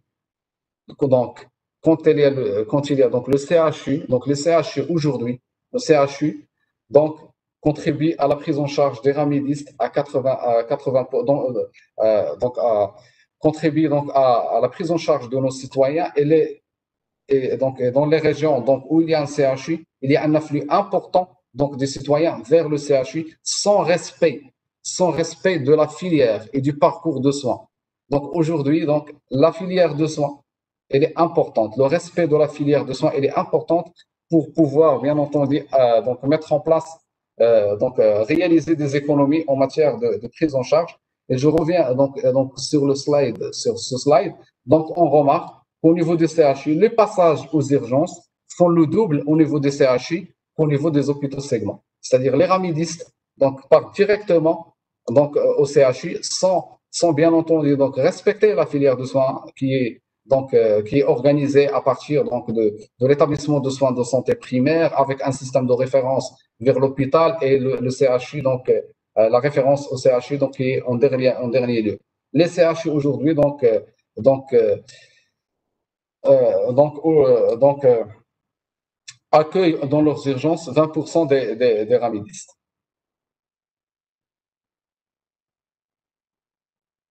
Là alors, donc, en matière de couverture sanitaire, comme j'ai dit tout à l'heure, donc l'essentiel, l'essentiel, c'est d'avoir, d'assurer les trois dimensions. C'est couvrir donc l'ensemble de la population avec un panier de soins équitable et en évitant d'exposer la population à des, donc, à des risques financiers. Donc, les trois dimensions de la couverture sanitaire, donc c'est donc la couverture, la couverture de l'ensemble des citoyens avec un paquet, un paquet de soins équitable, équitable à l'ensemble des citoyens et bien entendu donc euh, en évitant de les, de, donc, de les exposer aux, aux risques financiers. Euh, excusez-moi, c'est Belmadani, euh, avec la permission de Madame Mesclasson, parce que euh, les gens qui nous suivent depuis 9 heures du matin, et on a beaucoup pris de temps, est-ce que vous pouvez résumer et aller peut-être à la conclusion pour tirer les, solutions d'avenir? Je vous prie de, m'excuser de vous avoir interrompu. Alors, je pars directement à ce slide qui trace les, les inefficiences du système de santé, selon l'OMS et selon la Banque mondiale. Les systèmes de santé au monde peuvent réaliser euh, 20 jusqu'à 40% aujourd'hui en matière, en matière d'efficience. En mettant en place une répartition du personnel et des ressources humaines équitable, en, donc, en utilisant à bon escient les équipements euh, et en, et en mutualisant, mutualisant, les efforts entre le secteur public et le secteur privé. Si je prends un seul point aujourd'hui en matière d'efficacité de la dépense publique, je prends le cas du, donc de, la maintenance. La maintenance aujourd'hui, il coûte 200 millions de dirhams par an au ministère de la Santé. 20 millions de dollars aujourd'hui par année elle est investie, donc elle est investie au niveau de la maintenance. Alors comment peut-on comment peut-on réaliser des gains en matière de maintenance? Alors euh, on peut réaliser des gains en matière de maintenance en mettant en place un système un système de rémunération basé sur la performance, en permettant à, à, nos ressources humaines de s'approprier l'hôpital public, de travailler donc dans, dans des conditions et de, de, faire une rémunération axée sur le résultat. En l'absence de rémunération axée sur les résultats, donc le décalage restera toujours entre les ressources humaines et l'hôpital. Il faut aujourd'hui donner la possibilité à nos ressources humaines de s'approprier donc l'hôpital public et ça permettra bien entendu donc de, de, réaliser des gains importants en matière de, de, la maintenance. Alors les, principes, les principales perspectives du financement de la santé, donc, des, donc comme je dis, donc on peut réaliser des gains de, en efficience à travers bien entendu donc en agissant sur les dépenses les dépenses de la maintenance, euh, donc, donc la disponibilité des ressources humaines et une meilleure répartition des ressources humaines, mais également en agissant sur la partie financement, en mettant en place des nouveaux financements de la santé. Donc, euh, donc l'exemple qui a été donc, euh, donc, donc présenté par, par Monsieur Ferras donc, est un exemple important. Aujourd'hui, donc, il va falloir mettre le principe pollueur-payeur au niveau de la santé. Aujourd'hui, une personne, si moi je suis fumeur, une personne euh, donc, euh, un fumeur, par exemple, aujourd'hui, il consomme, il consomme plus donc, euh, donc de services de soins à l'hôpital. Donc, il va falloir mettre, par principe d'équité, mettre en place des taxes aujourd'hui et les orienter. Donc, il doit payer plus en matière, en matière de, couverture sanitaire. Il va, il va, falloir mettre des taxes sur les produits nocifs en santé. Parce que celui qui utilise les produits nocifs de la santé, il consomme plus en matière d'assurance maladie. Il va falloir mettre le lien entre le, le finance, entre le, euh, donc, euh, donc le, financement de la santé et bien entendu le risque de, euh, le, risque donc le risque en matière de, santé. Le système d'information et la digitalisation aujourd'hui est un point important qui va permettre aujourd'hui, bien entendu, donc de faire des, économies importantes en matière de financement de la santé. Et on revient au statut de ressources humaines et au donc statut de notre structure hospitalière qu'il va falloir refondre pour, pour leur donner donc la possibilité de réaliser une mutualisation des ressources humaines, une mutualisation des ressources financières et réaliser des gains d'efficience avec un système de rémunération qui est axé sur sur sur la sur la performance. Donc euh, donc, euh, le dernier slide, donc euh, voilà, donc il faut orienter donc les ressources vers, vers les priorités. Donc, donc je, je, vous remercie, Monsieur le Président. Je vous remercie donc Madame la, la, Présidente. Je remercie donc l'ensemble des collègues. Merci.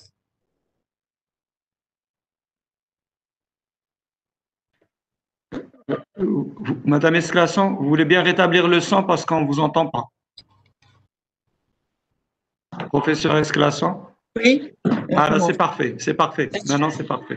Je remercie M. Belmédani pour, pour son propos qui rejoignait euh, des propos antérieurs. Euh, et donc, on voit qu'on a une convergence de conclusions, en particulier sur, sur les intervenants qui ont insisté sur le, la, nécessité de repenser le modèle de gouvernance, entre autres. C'est pas le seul moyen. Hein. Euh, donc, euh, merci M. Belmédani et merci euh, à Benjamin Ferras et merci aux, intervenants antérieurs. On va peut-être prendre Monsieur Fekel. Monsieur, Monsieur Ekel, pardon. Monsieur Ekel, est-ce qu'il peut? Oui, alors je, suis avec vous là. Je ne vois pas.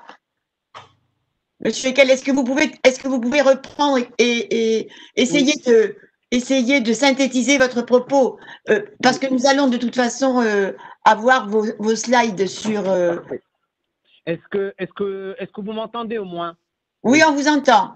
Très bien, parfait. Est-ce que, vous, pourriez essayer de tenir en 10 minutes maximum? Oui, je vais tenir en 10 minutes, Madame la Présidente. Est-ce que vous voyez mes slides? Oh, Très bien, on les voit très bien. Merci. Alors, euh, comme j'arrive tout à l'heure, euh, je parlais du parcours de soins erratiques. On a travaillé sur le terrain, on a vu que la couverture sanitaire universelle n'était pas le principal donc déterminant de l'utilisation des services de santé, mais d'autres facteurs vont jouer. Regardez cette slide qui compare un diabétique qui hospitalisé pour la même période entre l'hôpital public et la clinique privée et regardez les écarts importants x 7. Regardez également le détail sur les dépenses moyennes au cours d'un parcours de soins en détaillant par segment de dépenses, vous l'avez en face de vous, et regardez entre l'hôpital et la clinique privée.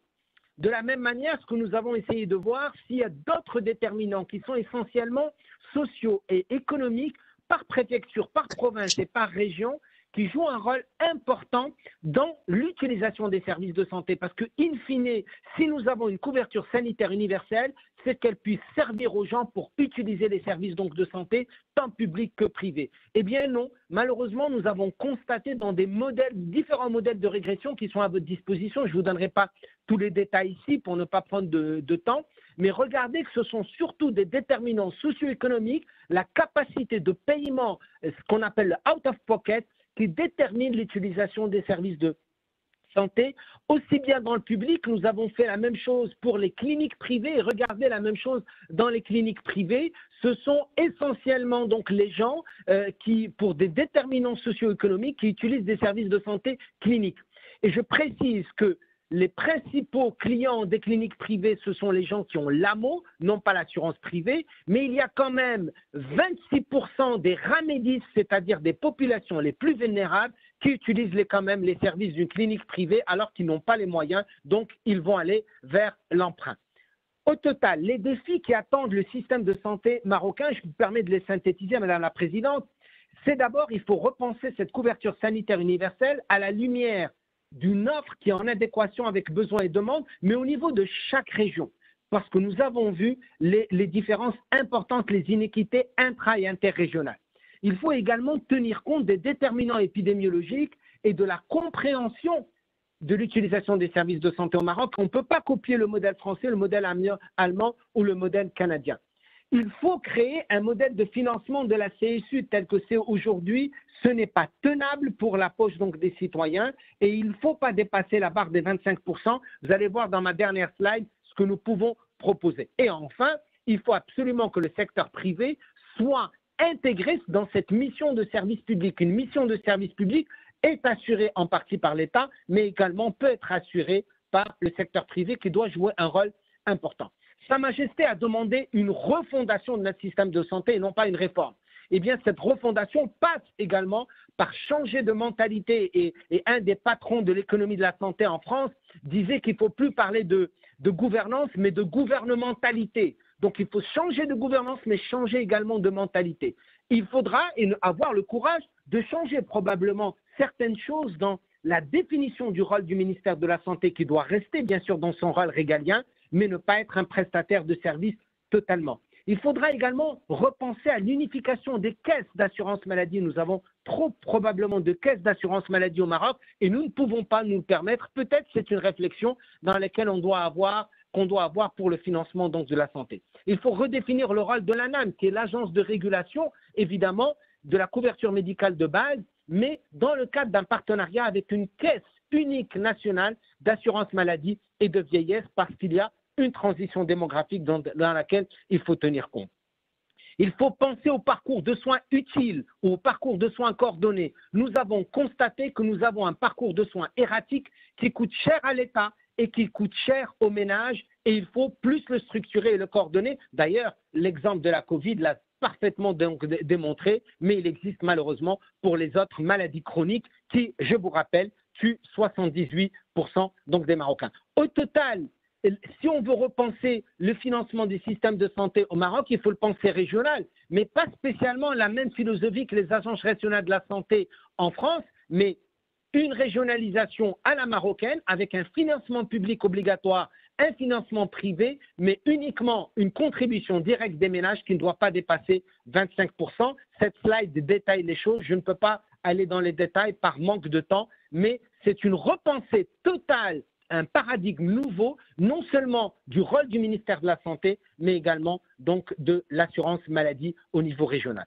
En conclusion, il faut aussi beaucoup de courage politique, parce que changer un système de santé, le refondre, malgré euh, tout ce que l'on qu'on dit, nécessite du courage politique. Parce qu'il faut accepter certaines incohérences, et je pense que monsieur le trésorier général du Royaume en a parlé, certaines incohérences en termes de politique publique. Il faut revoir le rôle ambigu, voire ambivalent de certaines collectivités locales qui ont un rôle important dans le financement de l'assurance maladie ou de la couverture sanitaire universelle. L'État, je suis pour que l'État reste fort dans son rôle régulateur, de concepteur, de garant de ses droits qu'assure la Constitution à la santé des patients, mais avec plus d'équité sanitaire et plus d'accès aux soins. Et ce changer de paradigme veut dire que la voie de la couverture sanitaire universelle marocaine n'est pas spécialement la voie de la couverture sanitaire universelle en France ou en Allemagne ou dans les autres pays, mais qu'il faut absolument revoir cela dans le cadre d'un parcours de soins qui est plus efficient au Maroc. Et pour conclure, cette politique publique est justifiée. Nous avons besoin du RAMED au Maroc. Nous avons besoin d'une couverture sanitaire universelle à tout niveau, mais il faut revoir sa mise en œuvre. Ce n'est pas le principe du RAMED ou de la couverture sanitaire universelle qu'on rediscute. Ce qu'on doit rediscuter, avoir le courage de le faire au, au Maroc et entre Marocains et entre politiques publiques marocaines, c'est la mise en œuvre qui n'a pas été efficiente. Il faut le reconnaître. En quoi? En termes d'accès total aux services de santé, on a paupérisé les structures étatiques hospitalières, on a aggravé dans certaines situations l'insatisfaction des patients par rapport au système sanitaire et on n'a pas amélioré de façon substantielle les dépenses catastrophiques de santé des ménages. En conclusion, il faut planifier, évidemment, il faut penser région et surtout, encore une fois, il faut penser à cette adéquation besoin, demande et offre si nous voulons un système de santé efficient parce qu'aujourd'hui, dans le contexte marocain, malgré tous les efforts qui ont été faits, on ne peut pas se permettre que les citoyens payent autant pour la santé. La santé est un droit, c'est vrai qu'elle a un coût, mais ce coût, il faut mieux le partager pour être équitable. Merci beaucoup, Madame la Présidente. J'espère que je n'ai pas dépassé mon temps et je m'excuse infiniment pour les problèmes techniques qui sont survenus. Non, non, mais merci. C'est nous qui vous remercions, Monsieur Professeur Ekel, euh, pour ce, propos euh, euh, qui, qui, qui rejoint euh, les propos aussi qui ont été tenus euh, auparavant. Vous ajoutez, vous ajoutez une, une, nuance importante. Vous appelez à changer de paradigme, si j'ai bien compris. et puis, j'avais retenu antérieurement les cinq avatars du système de couverture sanitaire universelle du Maroc que vous aviez parfaitement commenté et illustré. merci infiniment. Je suis certaine. Pardon? Merci infiniment. Je suis certaine que tous ces propos euh, de l'ensemble des, tables rondes euh, vont euh, nourrir la réflexion, appeler des débats et qui sait, nous aurons peut-être l'occasion de prolonger cette réflexion dans, dans une autre conférence. Pour l'heure, nous pouvons prendre quelques questions. Professeur Esclasson, vous en avez déjà deux que vous avez annoncées tout à l'heure si vous voulez les. On va, les, on va les La première concernait, je n'avais pas, pas eu le temps de la noter. La première question concernait euh, la crise sanitaire. Euh, comment, comment, comment, on, définit, comment on définit une pandémie. Une pandémie. Euh, donc j'avais pensé que un, professeur épidémiologiste marocain pouvait répondre là-dessus. Oui, c'était le professeur Maroufi qui devait peut-être répondre. Oui, voilà. Il est toujours avec nous.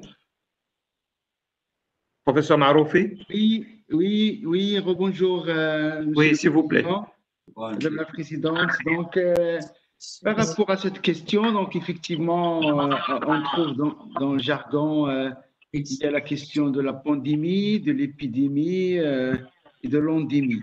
Alors la pandémie, telle que l'OMS euh, le définit, hein, c'est lorsqu'on a une maladie qui se propage de manière importante au niveau géographique, c'est-à-dire lorsqu'il y a une propagation mondiale d'une maladie ou sur un territoire beaucoup qui déborde un pays ou quelques pays, on parle d'une pandémie. Donc c'est pan, ça veut dire c'est vraiment territoire plus large et démis, c'est ces populations.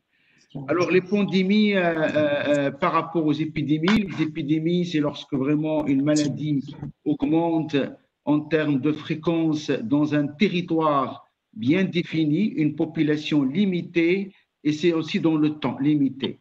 Donc, en fait, une pandémie, c'est une épidémie qui déborde sur les, les, les frontières d'un pays, qui peut toucher plusieurs pays, un continent, voire même au niveau mondial. Alors, on est en plein pandémie de la Covid. Vous vous rappelez, l'OMS, l'a déclaré comme une pandémie le 11 mars, lorsque vraiment une centaine de pays étaient touchés par ce virus du SARS-CoV-2.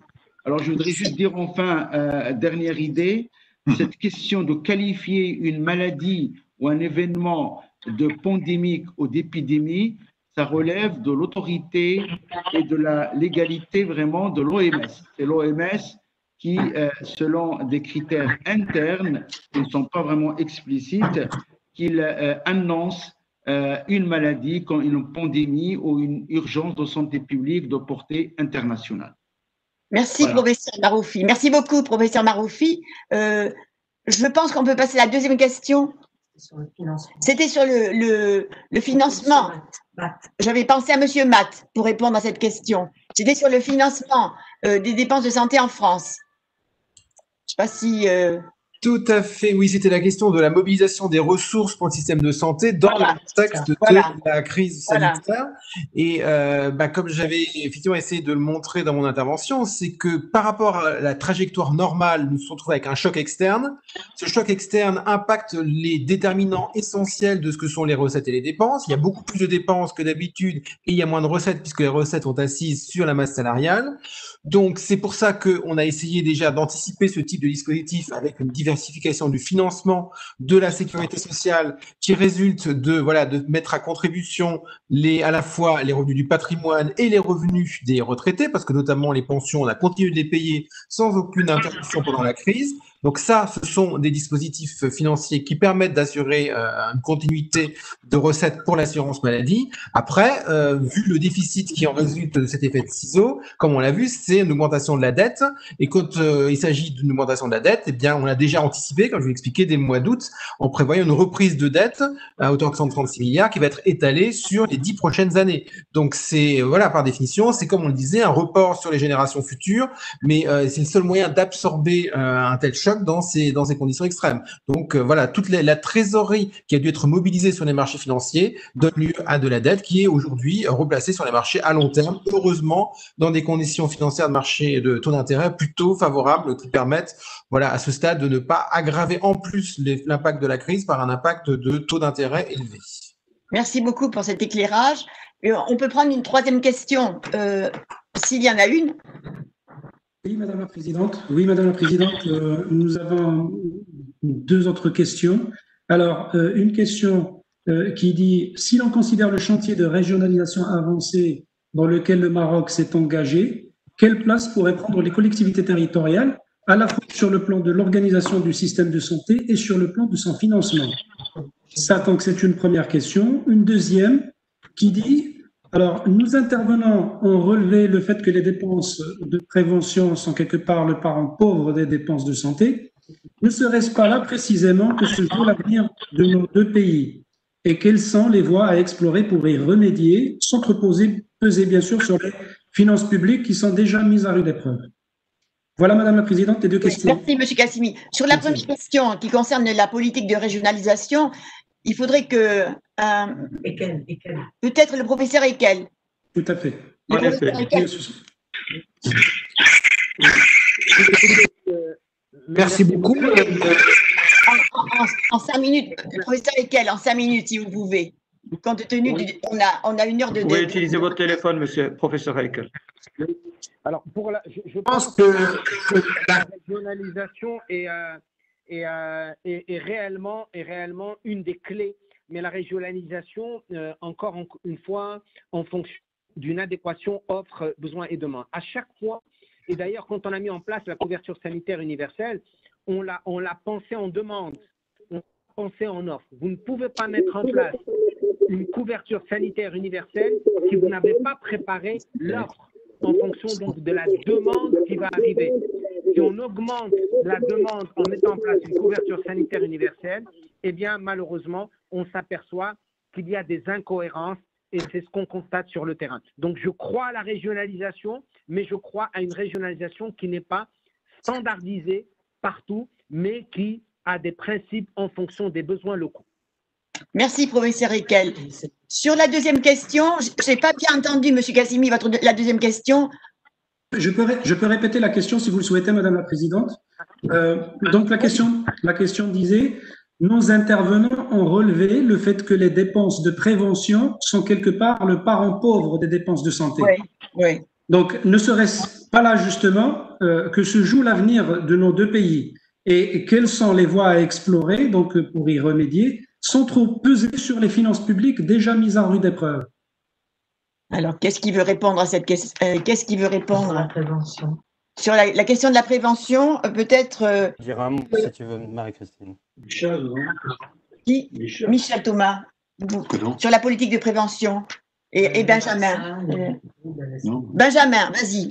Benjamin.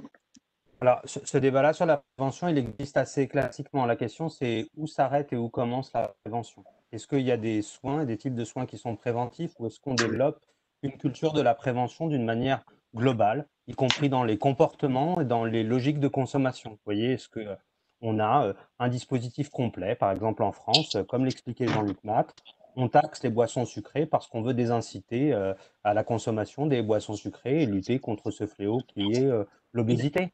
Mais il y a des tas d'autres manières d'intervenir là-dessus. Est-ce qu'il faut regarder les différents leviers pour le faire? La réponse est oui. Est-ce que de toute façon l'avenir va conduire à faire cela? C'est tous les propos des intervenants sur à la fois l'intelligence artificielle et d'autre part la médecine prédictive de fait, on est sur un changement de modèle. La logique préventive qui existera demain n'est plus du tout la prévention qui existait euh, précédemment. Et peut-être terminer sur une forte singularité nationale. euh, vous savez peut-être la différence entre la médecine asiatique et les autres médecines? La médecine asiatique, c'est une médecine qui est normalement purement préventive. Vous payez en médecine traditionnelle chinoise le médecin tant que vous n'êtes pas malade. Quand vous êtes malade, vous ne le payez plus.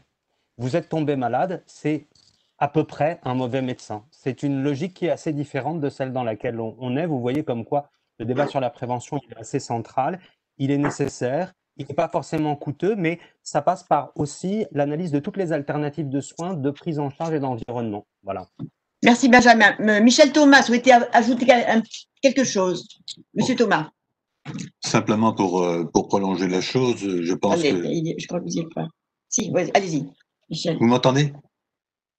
Oui, oui, oui, on vous entend. Bon, je pense que pour la prévention, euh, l'essentiel serait surtout la, la vaccination. Prolonger les, les recherches sur les vaccinations futures et accélérer la, vaccination sur les, les vaccins déjà existants. Voilà. Je pourrais juste ajouter un point, s'il vous plaît, Madame la Présidente. Oui, monsieur professeur Beloulia, c'est Bel, euh, oui. Belalia. Euh, Je voulais juste dire que la prévention rend au rôle des soins de santé primaires. Donc, euh, à ce titre, les centres de santé jouent un rôle très important. Euh, donc, le Maroc, euh, depuis un certain nombre d'années, a enclenché plusieurs réformes pour les soins de santé primaires, avec notamment la mise en avant du rôle du médecin de famille. C'est une réforme qui tarde encore à voir le jour, donc euh, qui tarde à pouvoir se concrétiser, avec notamment ce rôle très important du médecin de famille et de, ce qu'on appelle aussi l'approche communautaire, c'est-à-dire le rôle de la communauté pour pouvoir participer à cette fonction-là de la prévention, qui est en quelque sorte de la responsabilité de, de la santé publique, euh, les collectivités locales et la communauté aussi. Merci, Madame la Présidente. Merci à vous, professeur Belalia. Oui, professeur, bon, je pense que on est arrivé pratiquement à la fin après toutes ces interventions, ces réponses euh, très, très claires euh, par rapport à- au sujet qui est très, je dirais, il est d'actualité, mais qui, est, qui, qui, qui se poursuit. Euh, donc, je, je vous laisse peut-être conclure avant de remercier tous les intervenants euh, en fin de, de- cette conférence. Ben, moi, je, voudrais euh, surtout remercier tous les intervenants pour la qualité et la clarté du propos.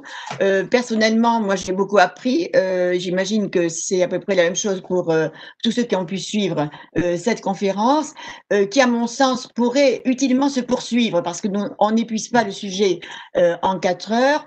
Nous avions beaucoup de choses à voir.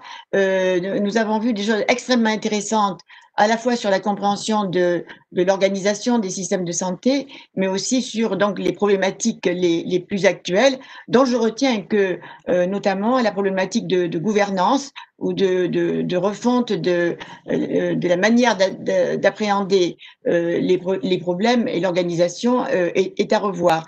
Donc merci à tous. Euh, et je donne rendez-vous euh, à une prochaine conférence, j'espère avec la, trésorerie générale du, Royaume. Je repasse la parole à, à notre ami euh, Nourdine Bensouda. Merci, professeur. Euh, je tiens à remercier tous les intervenants, marocains et français, et tous les participants. Pour votre information, on était suivi en direct par plus de 500 personnes, plus exactement 504 personnes. Euh, effectivement, nous, vo nous voyons qu'il y a une sorte de consensus sur euh, la question de la gouvernance ou, comme l'a dit le professeur Jafar Heikel, de la gouvernementalité, donc un changement de mentalité qui est nécessaire. Et pour ma part, euh, avant d'annoncer ce qui va arriver dans les, mois prochains par rapport à nos conférences, j'ai saisi au, au passage euh, ce qu'a dit Benjamin Ferrat sur le consentement effectivement, le consentement d'une politique publique est fondamental parce qu'en en fait, il y a public, mais il y a aussi politique. Et je crois qu'à ce niveau-là, le fait d'avoir une stratégie très claire et partagée et pour laquelle tout le monde est d'accord est un élément fondamental pour la réussite de toutes nos politiques publiques. À ce propos, euh, permettez-moi de vous annoncer que l'un des sujets sur lesquels euh, nous allons travailler dans les mois à venir, plus exactement le 20 mars 2021, c'est celui du consentement, mais cette fois-ci, c'est du consentement à l'impôt. Donc, une manière comment on peut financer encore les dépenses d'avenir, notamment l'éducation et la santé. Et ça, c'est un sujet fondamental parce qu'il va falloir euh, améliorer nos ressources publiques pour faire face aux besoins de toute la société et de tous nos concitoyens. Euh, je tiens aussi à vous informer que nous avons prévu dans les échanges avec Fondafip je tiens à remercier, je tiens à remercier le professeur Michel Bouvier et le professeur Marie-Christine Esclasson. Normalement, nous avons la conférence euh, annuelle le 4 et le 5 décembre 2020. Euh, nous n'avons pas pu faire cette conférence en septembre, comme à l'accoutumée, vu les conditions sanitaires. J'espère que d'ici là, euh, nous allons dépasser cette, cette étape un peu difficile et pouvoir organiser cette conférence comme ça, nous tenons quand même nos engagements et c'est fondamental pour la continuité de la réflexion dans, dans, des domaines de politique publique en général et des finances publiques en particulier. Donc, euh, mesdames et messieurs, je tiens à vous remercier. Je tiens à remercier aussi les équipes de la Trésorerie générale du Royaume et les équipes de Fondafip qui ont pu euh, euh, se tenir euh, prêts pour organiser cette conférence. Et je vous dis à la prochaine conférence euh, j'espère le 4 et 5 décembre 2020. Voilà, je vous remercie tous. Merci. Merci Nordine. On, fait, on, arrête là Oui. Non, non, je vais dire au revoir. Au revoir.